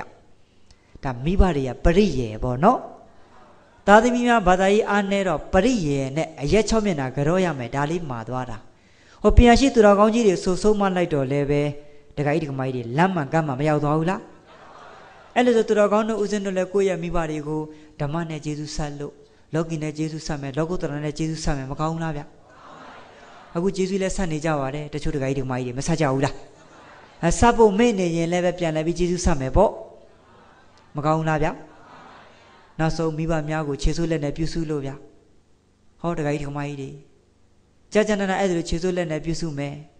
လိုအပ်တဲ့ကိစ္စတွေကိုကဆောင်ရွက်ပေးမယ်ကိုနဲ့ဝေးနေရတယ်ဆိုလို့ရှိရင်ကဲဒကာကြီးဒကာမကြီးတွေအမေချေရအဖေချေရလေးတင်ထားမယ်မရဘူးလားရပါတယ်ဗျာဒကာကြီးဒကာမကြီးတွေအဲ့လိုဆိုတော့ကိုယ့်ရဲ့ကျေးဇူးရှင်တွေကိုဒကာကြီးဒကာမကြီးတွေအကောင်းဆုံးလောကီနဲ့ကျေးဇူးဆက်လောကုတ္တရာရည်တွေနဲ့လည်းကျေးဇူးဆက်အဲ့လိုဆိုလို့ရှိရင်ယောဂီတို့အကောင်းဆုံးကျေးဇူးဆက်နေတာနော်ဟုတ်လားဒကာကြီးဒကာမကြီးတွေတရားမသိသေးတဲ့မိဘမျိုးတရားသိအောင်ပါတယ်လေ ကြိုးစားပေးရမယ်အဲ့လိုဆိုတော့သူ့ကိုလည်းကိုကအပေတကားပိတ်ပေးရရောက်တယ်လေအပေတကားပါတယ်လေဟုတ်စင်တို့ဖျားလက်ထက်ကကြည်ကြည့်ပလားတခါကြီးဒီကမကြီးတွေဟိုလူငယ်လေးတယောက်ပေါ့မိဘများကတော့ဂရီ80ချမ်းသာတယ်ဟိုသားလုတ်တဲ့ပုံကိုကသူတို့ကတော့မိစ္ဆာဒိဋ္ဌိတွေဆိုတော့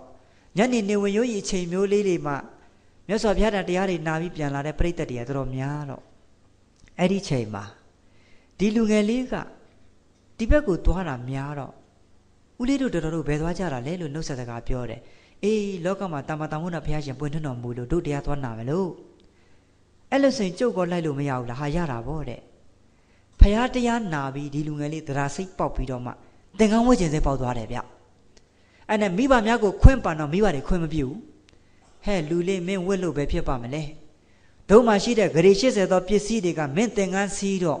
တို့မှလည်းရွှေမျိုးသားချင်းတွေမရှိတော့ဘသူကြီးကထိမ့်သိမ့်ပါလဲအဲ့တော့မင်းရှိမှရမှာတို့ခွင့်မပြုနိုင်ဘူးအဲ့ဒီလိုခွင့်မပြုတော့သင်္ကန်းစီးခွင့်မပေးလို့ဆန္ဒပြတာ9ရက်ကြာတယ်မြေပြင်မှာထိုးအိပ်လိုက်တာမစားမတော့တော့ဘူးစားတော့သေးလားဗျဘာစီးဖို့လဲတဲ့သူတော်ကောင်းကြီးတွေလေးစားဖို့မကောင်းဘူးလားဦးဇင်းတို့ဒကာကြီးဒကာမကြီးတွေလည်းတစ်ခါတစ်ခါရိတ်တာတွေမဝင်ကြဘူးလားရိတ်တာဝင်ဖို့ဆန္ဒတွေပြတာရှိဘူးလား မနှဲပို့ရတယ်နဲ့ထုတ်တယ်နော်ဆန္ဒပြတော့မတူမနှဲရိတ်တာပို့နေရတယ်ဗျာဟုတ်လားတခါကြီးဒီမကြီးတွေအဲ့ဒီလိုနဲ့ပြဟိုမှာကြည့်ပါအောင်အဲ့ဒီမှာဆန္ဒပြ9ရက်မစားမတော့တော့အဲ့နဲ့သူ့လူငယ်လေးရဲ့တငယ်ချင်းတွေကပြောတာဗောမိဘတွေကောင်ဦးလေးတို့တော်တော်တို့ဒီလိုမလုပ်ကြပါနဲ့ဦးလေးတို့တော်တော်တို့သားကဒီတိုင်းဆက်နေရင်မကြခင်သေဘုတ်ဝင်တော့မှာအဲ့တော့ तू ဝစ်ချင်တဲ့သင်္ကန်းစီးချင်တဲ့ကိစ္စခွင့်ပြုလိုက်ရင်ဦးလေးတို့တော်တော်တို့သင်္ကန်းဝတ်နေမှသူ့ကိုမြင်ရအောင်မှာဖြစ်တယ် ဒီတိုင်းမစားမတော့ဘဲနဲ့ဆိုလို့ရှိရင်မကြခင်အပြက်ပြီးသေတော့မှာအဲ့တော့မိဘတွေလည်းအဲ့စကားနားထောင်ပြီးခွင့်ပြုပေးလိုက်တယ်အဲ့တော့သင်္ကန်းလေးစီးမြတ်စွာဘုရားက9နှစ်တိုင်တာဝိနည်းအဘိဓမ္မာတွေတဲ့တယ်9နှစ်ပြည့်လို့နေသီးလဲငြိမ်ရောတခါကြီးဒီကမကြီးများအဲ့ဒီအရှင်မြတ်ကတောထဲဝင်သွားတယ်တောထဲမှာ9နှစ်ကြာတယ်မြတ်စွာဘုရားက9နှစ်တောထဲမှာ9နှစ်ပေါင်းလိုက်တာဘယ်လောက်လဲအဲ့ဒီလို12နှစ်ကြာတော့တရားတော်မတွေ့သေးဘူး အဲ့လိုနဲ့တရက်ကျတော့တခါကြီးဒီကမကြီးဒီအာဂန္တုယဟန်တပါတောရဆောက်တီကိုကြွလာတယ်ကြွလာတော့အဲ့ဒီမှာတခါတည်းအာဂန္တုကဝတ်ပေါ်လေတပိတ်လေးတွေကမ်းယူလို့ဒုက္ခလေးတွေယူလို့ခြေဆေးရည်ပေးလို့အရှင်ဘုရားဘယ်ကကြွလာပါသလဲဗျာကြမှာချမ်းသာစွာနဲ့ကြွလာတယ်တပည့်တော်တာဝိထိကနေကြွလာတာပါဗျာတဲ့တာဝိထိကကြွလာတော့အရှင်ဘုရားအဲ့ဒီမှာမြတ်စွာဘုရားနဲ့အတီတီချစ်ချစ်ဆရှိတဲ့သူတော်ကောင်းများအရှင်သာရိပုတ္တရာမထေရတို့ရှင်မမောကလမထေရမြတ်တို့ ညီတော်အာနန္ဒာတို့ကျမ်းကျမ်းမှာမှာချမ်းချမ်းသာသာရှိပါရဲ့လားဗျာမေးလျောက်တယ်အားလုံးကျမ်းမှာချမ်းသာတဲ့အကြောင်းတွေသူပြန်ပြီးလျှောက်ပြလို့စကားမဆအရှင်ဘုရားတပည့်တော်နည်းနည်းမေးချင်ပါတယ်တဲ့အဲ့ဒီမြို့မှာဂရီ80ချမ်းသာတဲ့အဖိုးကြီးဖွားကြီးဇနီးမောင်နှံရှိတယ်အရှင်ဘုရားသူတို့ကိုမသိဘူးလားတဲ့ဟာသိတာဗောအရှင်ဘုရားအဲသူတို့အခြေအနေအနေထားဘယ်လိုရှိလဲတပည့်တော်သိချင်တယ်အဲသူတို့အကြောင်းတော့တပည့်တော်စိတ်မကောင်းဘူးမပြောချင်ဘူးတဲ့ဟာရှင်ဘုရားပြောပြပါတပည့်တော်သိချင်လွန်းလို့ပါ အေးအရှင်ဘုရားထပ်တလဲလဲမေးတော့လဲတပည့်တော်ဖြေရမှာဗောဗျာသူတို့အကြောင်းတွေကတမျိုးလုံးနှံ့နေတာအရှင်ဘုရားသူတို့ကဂရီ80တော့ချမ်းသာတာမှန်ပါတယ်တဲ့သူတို့မှာတူရီတော်သားရှိတယ်သာသနာကြည်ညိုလို့သင်္ကန်းစီးသွားတော့သူတို့မှာရွှေမျိုးသားချင်းတွေလည်းမရှိတော့သူတို့အလုတ်သမားတွေကစရင်နေတင်တင်ပြီးလိန်လိန်ပြီးတင်တော့နောက်ဆုံးရှိတဲ့ဂရီ80အကုန်ကုန်ဆုံးပျောက်ကွယ်ပြီးတော့မှအခုတော့ခွက်လက်တောင်းစားတဲ့ဘဝကိုရောက်နေပါတယ်တရောင်းစားဘဝရောက်နေတယ်ဗော အဲ့ဒီစကလုံးကိုကြားတော့ဒေရှင်မြတ်တော်တော်စိတ်ထိခိုက်သွားတယ်ဗျမျက်ရည်တွေပေါက်ပေါက်ကြတယ်လန်ချက်ပေါင်းမြောက်များစွာထိုးစားသလိုခံစားရတယ်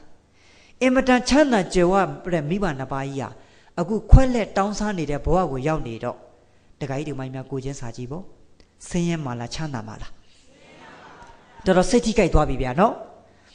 အဲ့ဒါနဲ့မျက်ရည်ပေါက်ပေါက်ကြတော့အာဂန္တုယဟန်ကပြန်ပြောတယ်အရှင်ဗျာ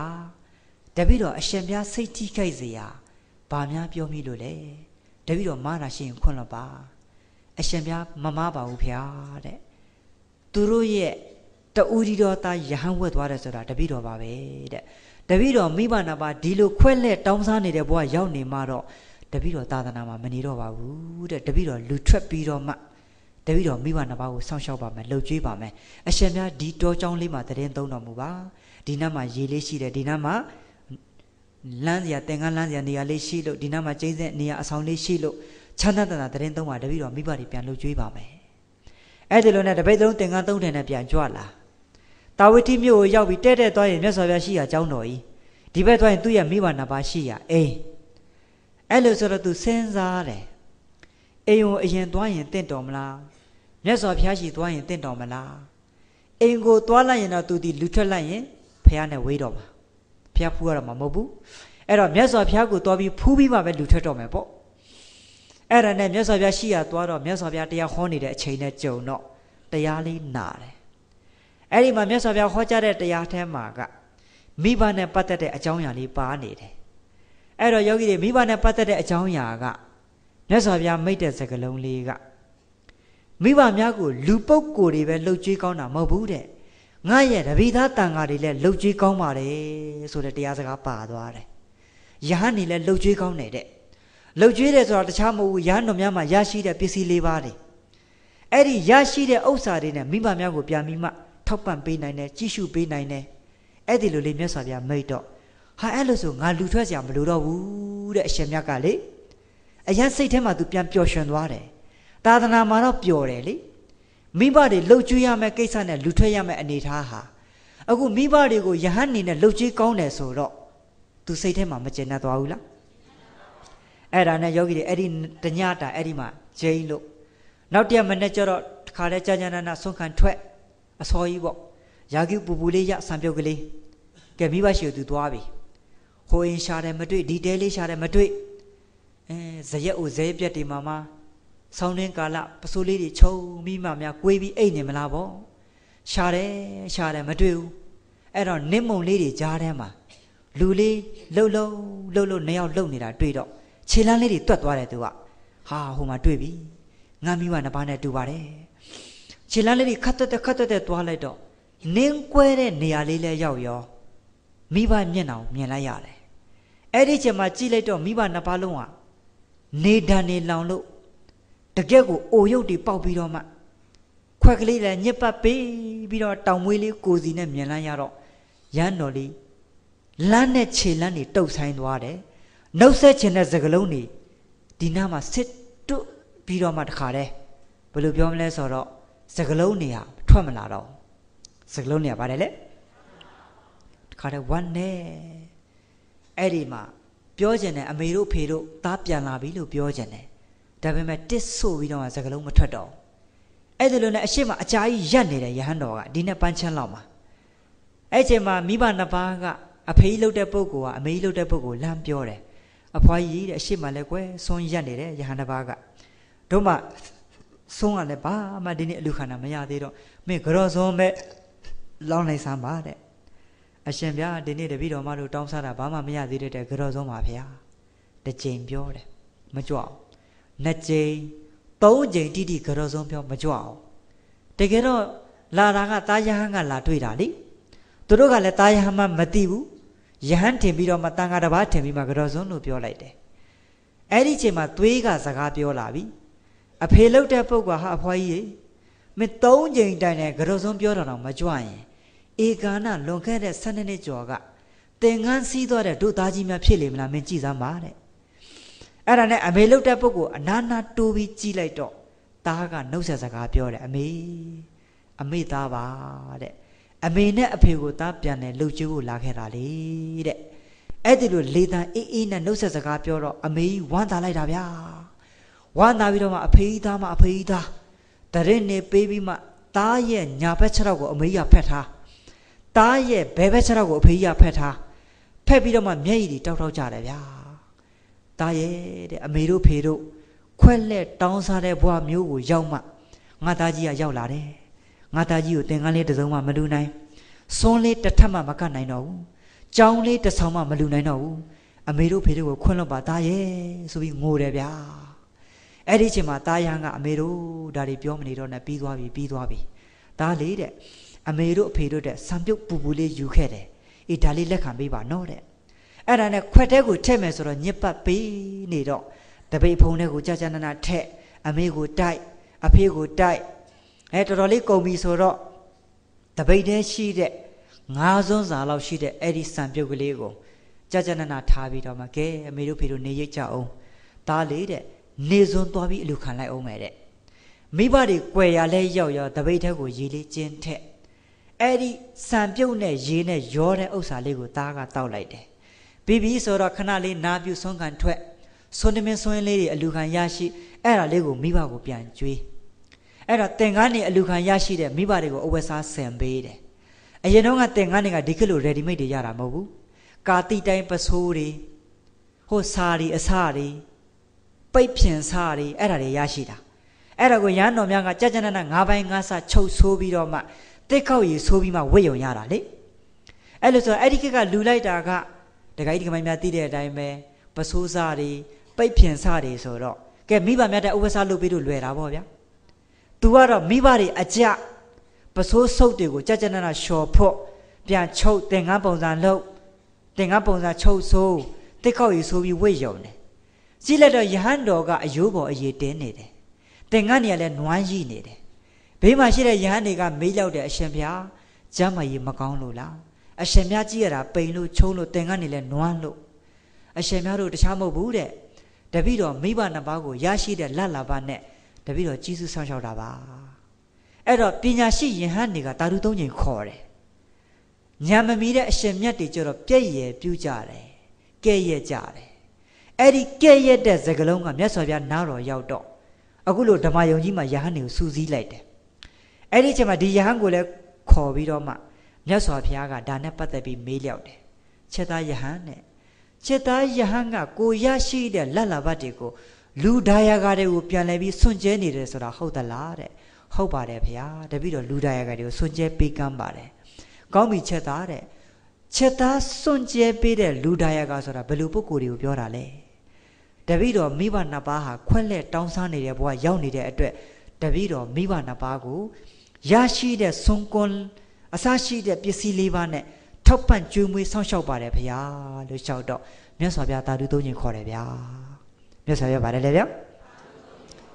ခြေသာရဟန်းတော်လိုက်တာတဲ့ငါဘုရားသည်ပင်လေအလောင်းတော်ဘွားတော်ကအမေကိုညာဘက်ပကုံးပေါ်တင်တယ်အဖေကိုဘဲဘက်ပကုံးတင်ပြီးတော့မှတက်တက်လုံးလှုပ်ကြွေးခဲ့တယ်တဲ့သူဝနာတမဇတ်ကိုဟောပေးတော်မူတယ်အဲ့ဒီသူဝနာတမဇတ်ကိုဟောလို့အဆုံးမှာ သစ္စာလေးပါးတရားလေးကောက်ထည့်လိုက်တော့ဒီယဟန်သောတပန်တည်သွားတယ်ပါတည်သွားတာလေဗျအဲ့လိုဆိုတော့ဦးဇင်းတို့ရွှေတော်မျိုးတော်တွေလည်းပဲဦးဇင်းတို့ဒီနေ့တိုက်တွန်းတာကတခါကြီးတခါမကြီးများကိုယ့်ရဲ့မိဘများကိုကျေးဇူးဆက်ပါလောကီနဲ့ကျေးဇူးဆက်ပါလောကုတ္တရာနဲ့ကျေးဇူးဆက်ပါအဲ့လိုဆိုလို့ရှိရင်ယောဂီတို့ဦးဇင်းတို့ရဲ့ဘဝကြီးကပြစ္ဆုတ်ပါမှလည်းငြိမ်းချမ်းမယ်တန်တရားမှလည်းငြိမ်းချမ်းမယ်အဲ့တော့ဥပ္ပိုလ်ဆရာတော်ကြီးရဲ့တပိတာဝကတွေဖြစ်သည့်အတွက်မိမိရဲ့စိတ်ကိုသီလနဲ့ထုံမွမ်းပါတမာတိနဲ့ထုံမွမ်းပါ ပညာတွေနဲ့ထုံမွမ်းပြီးတော့မှကိုယ့်ရဲ့ကျေးဇူးရှင်မိဘများကိုရအောင်ပြုစုလုပ်ကြည့်ကြပါလို့ပြောနေဦးဇင်းတရားကိုဒီတင်ပဲဏီကုံချုပ်ပါတယ်သူတော်ကောင်းပေါင်းတို့သာဓုသာဓုပါဗျာသာသနာတော်နှစ်2558ခုဂောဇာတက္ကရာ1386ခု တဘိုးရဲလာပြီကျော်7ရက်14ရက်2လ2015စနေနေ့ညချမ်းခါသမယ၌တောင်ကြီးမြို့အေးစေတီစာတင်တိုက်ကြီးဦးစီးဗရာဏနာယကဆရာတော်ဧကမဟာကဏ္ဍဝါစကဗဒ္ဒန္တလက္ခဏာတာမိဘိဝန္တာဤတပြီအရှင်သူရိယတန်ဃာတော်ချင်းသူမြတ်မှမိုးကုံမြို့မြို့မရအိုးဖို့ချောင်းတိုက်အတွင်း၌ဟောကြားအပ်သော ပထမညဓမ္မပူဇာလူဒန်းချင်းအစီအစဉ်ပါဖေဟာဓမ္မပူဇာအနေနဲ့မြို့မရမတသိန်းတရားနာပရိသတ်နဲ့ဇာပနကောမတီမှ9သိန်းစုစုပေါင်းဓမ္မပူဇာအလူတော်10သိန်းကိုဆရာဒေါက်တာဦးမျိုးအောင်မှပေးအပ်၍ဆရာတော်ဤကပ္ပိယကာရကဥခင်မောင်တင့်မှလက်ခံပေးပါရန်လေးစားစွာဖိတ်ခေါ်အပ်ပါသည်ခမညာ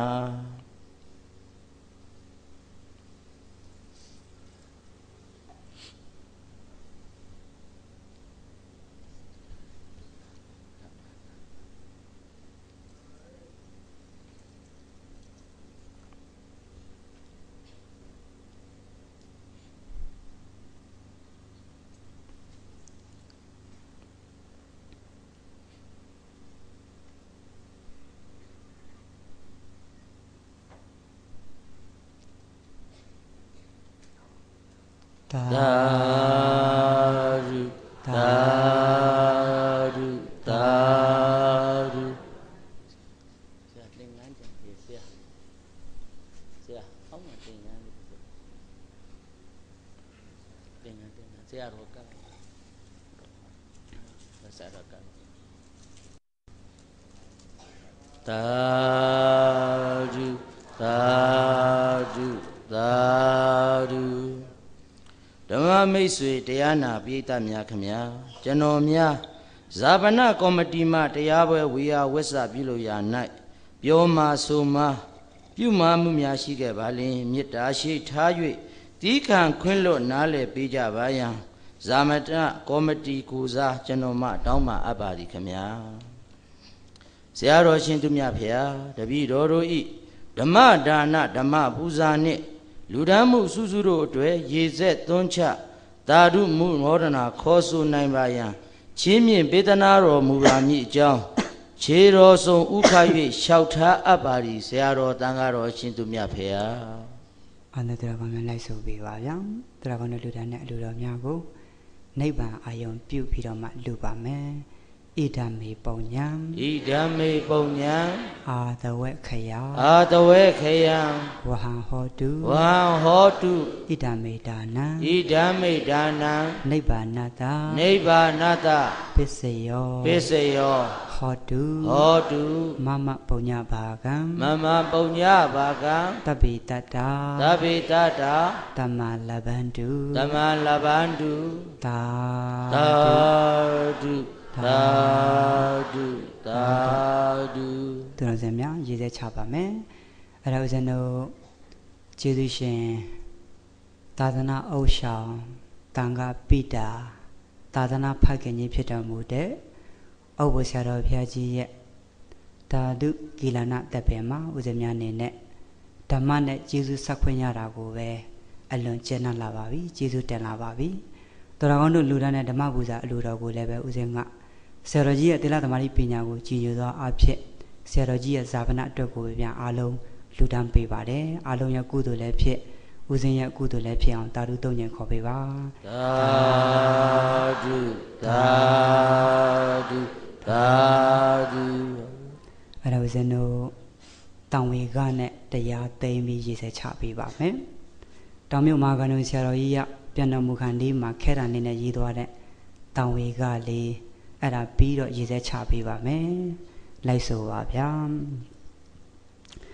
ငါတို့နေရာဤကဘာသာဓုနေယာဤကဘာတဏှာဥဆိုသည်တဏှာဥစ္ဆိုသည်တဏှာစေယမနေသာတရားစီယာမနေသာဝေရှာဆက်ရသည်ဝေရှာစေရသည်ရသည်ဥစ္စာချစ်သူပါယာတိဥစ္စာချစ်သူပါဆုံးခွာသွားရမည်စွန့်ခွာသွားရပြီတကယ်အရေးတကယ်ဘေတးကယ်အရေးတကယ်ဘေဘယ်သွေးဘယ်သားမကယ်ပြီဘယ်သွေးဘယ်သားမကယ်ပြီငါနဲ့ရွယ်သူငါအောင်လူငါနဲ့ရွယ်သူငါအောက်လူကြည်သူတေကြများလာပြီကြည်သူသေးကြများလာပြီခဏမဆဲအိုစမြဲခဏမဆဲအိုစမြဲကိုလည်းတေပဲနီးခဲ့ပြီကိုလည်းသေးပဲနီးခဲ့ပြီဇရာမိတောင်ကိုယ်ရဲလောင်သရာမီလောင်ကိုယ်ရဲလောင်တေအောင်မြိုက်တော်သည်သေအောင်မြိုက်တော်သည်မသေးရခင်သွားလန်းစဉ်မသေးရခင်သွားလန်းစဉ်ချိုးတင်ပြင်သင့်ပြီကျိုးသိင်ပြင်သိမ့်မီဒါနသီလဘာဝနာဒါနသီလဘာဝနာလမ်းသာထွင်လိမ့်မည်လမ်းသာတွင်လိမ့်မည်မဂင်ရင်ကြီးအမြန်စီမဲခင်ရင်ကြီးအမြန်စီခရီးထွက်တော်မီခဲရီတွေ့တော်မီနုနယ်ရုပ်စင်ပြုံးမြင့်ခြင်းကလူနယ်ရုပ်ချင်းပြုံးမြင့်ခြင်းကအိုမင်းနောက်ဆုံးပါတကားအိုမင်းနောက်ဆုံးပါတကားဥစ္စာစင်မြင့်ပေါ်များခြင်းကဥစ္စာစင်မြင့်ပေါ်များခြင်းကယူရွင်းနောက်ဆုံးပါတကားယို၍နောက်ဆုံးပါတကားစီဝင်တင်းလင်းသက်ရှင်ခြင်းကဇီဝိန်ထင်လင်းသက်ရှင်ခြင်းကသိခြင်းနောက်ဆုံးပါတကားသေခြင်းနောက်ဆုံးပါတကားချစ်ခင်ပေါင်းသင်ဆက်ဆံခြင်းကချစ်ခင်ပေါင်းသင်းဆက်ဆံခြင်းကကိုယ်ကွင်းနောက်ဆုံးပါတကားဝေခွင်းနောက်ဆုံးပါတကားချမ်းသာဒုက္ခပြေဆုံးရလေချမ်းသာဒုက္ခပြည့်စုံရလေဒုက္ခနောက်ဆုံးပါတကားဒုက္ခနောက်ဆုံးပါတကားပွဲလေပြန်ပါချီးမွန်ကြလေဝဲလေပြင်ပချီးမွန်ကြလေရှုတ်ချနောက်ဆုံးပါတကားရှုတ်ချနောက်ဆုံးပါတကားခုံမင်ခါရချစ်လွန်ကြလေယုံမင်ကံရရှင်လွန်ကြလေတောကနောက်ဆုံးပါတကားဒုက္ခနောက်ဆုံးပါတကားတကြွားကြွားကြွားမြင်လွန်ကြလေကျွန်းကျွန်းကျွန်းမြင်လွန်ကြလေရှောကြနောက်ဆုံးပါတကားဒုက္ခနောက်ဆုံးပါတကားဗုဒ္ဓမြတ်စွာလောက်လျာတုံခါဒုက္ခမြတ်စွာတောင်းမြတ်တုံးကနောက်ဆုံးအထိပါရမီနောက်ဆုံးအထိပါရမီလူနာများစွာချမ်းသာရေးဖို့လူနာများစွာချမ်းသာရေးကိုအသက်ပေးလို့ဖြစ်ခဲ့သည်အသက်ပေးလို့ဖြည့်ခဲ့သည်ဗုဒ္ဓမြတ်စွာသာသနာအတွက်တော်ဗုဒ္ဓမြတ်စွာသာသနာတွေ့တော်ငါပါအသက်ဆုံးစေမည်ငါပါတဲ့ဆုံးစေမည်နောက်မဆုပ်ပေါင်းခုလိုတွေ့လို့နောက်တစ်စုပ်ပေါင်းကုသိုလ်တွေ့လို့ကုသိုလ်ရေးဖို့ကြိုးစားမည်ကုသိုလ်ရေးမှုကြိုးစားမည်ကြိုးစားမည်တို့လည်းကြိုးစားမည်ကြိုးစားမည်တို့လည်းကြိုးစားမည်သာသာဓုသာဓု သာဓုလိုက်ဆိုပါ ဗန္ဒီဗန္တိအရှင်မြတ်တို့ဖရာအရှင်မြတ်တို့ဖေဟာတပည့်တော်တို့သည်တပည့်တော်တို့သည်ကျေးဇူးတော်ရှင်ကျေးဇူးတော်ရှင်ဥပ္ပိုလ်ဆရာတော်ဖျားကြီးဤဩဖို့ဆရာတော်ဘုရားကြီးဤတာတုကီလာနာသာဓုကီလနာဓမ္မတပင်ကိုဓမ္မတပင်ကို အကြောင်းပြုအကြောင်းပြု၍အရှင်မြတ်တို့ထံ၍အရှင်မြတ်တို့ထံ၌တရဏဂုံ၃ပါးနှင့်တကွာ၌တရဏဂုံ၃ပါးနှင့်တကွာငါးပါးသီလတော်မြတ်ကိုငါးပါးသီလတော်မြတ်ကိုခံယူဆောက်တည်ပြီးခံယူစောင့်တည်ပြီး၍အရှင်ဘုရားတို့၍ရှင်ဘုရားတို့ချီးမြှင့်အပ်သောချင်းမြင့်အပ်သောတရားတော်မြတ်များကိုတရားတော်မြတ်များကိုနာယူကြပါကုန်၏နာယူကြပါကုန်၏ဓမ္မပူဇာဓမ္မပူဇာအလူတော်တို့ကိုလည်းအလူတော်တို့ကိုလည်းနိဗ္ဗာန်ရည်မှန်နိဗ္ဗာန်ရည်ပံလူတန်းကြပါကုန်၏လူတန်းကြပါကုန်၏ယနေ့ယခုယနေ့ယခုလူတန်း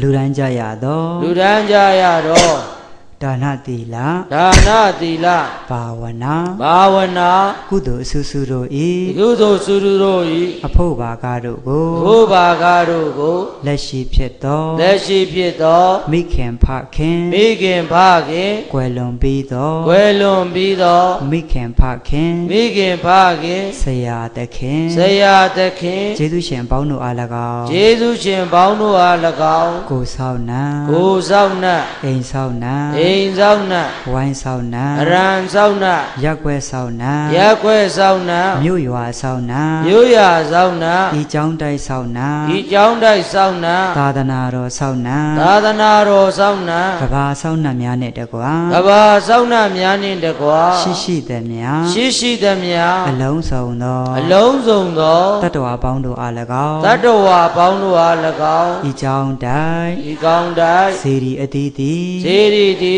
တီဓမ္မယုံအသီးသီးတဘာယုံတီတီကျောင်းဆောင်အသီးသီးကျောင်းဆောင်တီတီနေရာဌာနအသီးသီးတို့နေရဌာနတီတီတို့၌၌ရှိကြကုန်သောရှိကြကုန်သောမြင်အပ်မမြင်အပ်မြင်အမမြင်အဝိနည်းပုဂ္ဂိုလ်ပေါင်းတို့အား၎င်းဝိနည်းပုဂ္ဂိုလ်ပေါင်းတို့အား၎င်းဤကျောင်းတိုက်ဒီကျောင်းတိုင်းအရက်လေးမျက်နှာအရလေးမျက်နှာအရက်ရှစ်မျက်နှာအရရှင်းမျက်နှာအရက်ဆယ်မျက်နှာတို့အ၌ရဆယ်မျက်နှာတို့ရှိ၌ကြကုန်သောရှိကြကုန်သောမြင်အပ်မမြင်အပ်မြင်အမမြင်အဝိနည်းပုဂ္ဂိုလ်ပေါင်းတို့အား၎င်းဝိနည်းပုဂ္ဂိုလ်ပေါင်းတို့အား၎င်းပါစေမှာဘာစီမရေဆက်သွန်းချရေဆက်သွန်းချအမြပေးဝေပါကုန်၏အမြပေးဝေပါကုန်၏အမြရကြအ၍မြရကြကိုယ်စိတ်နှဖျား၍ကိုယ်စိတ်နှပြကျမ်းမာကျမ်းမာချမ်းသာကြသည်ချမ်းသာကြသည် ဖြစ်ကြပါစေကုန်သတည်းဖြစ်ကြပါစေကုန်သတည်း ကုသိုကုလ်သိုလ်အမြအမြအမြ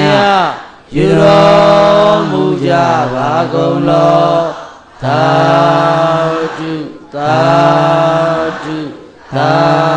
ဓုကုသိုလ်အမြအမြအမြယူတော်မူကြပါကုန်လောသာဓုသာဓု သာဓုကုသိုလ်အမြအမြအမြယူတော်မူကြပါကုန်လောသာဓုသာဓုသာ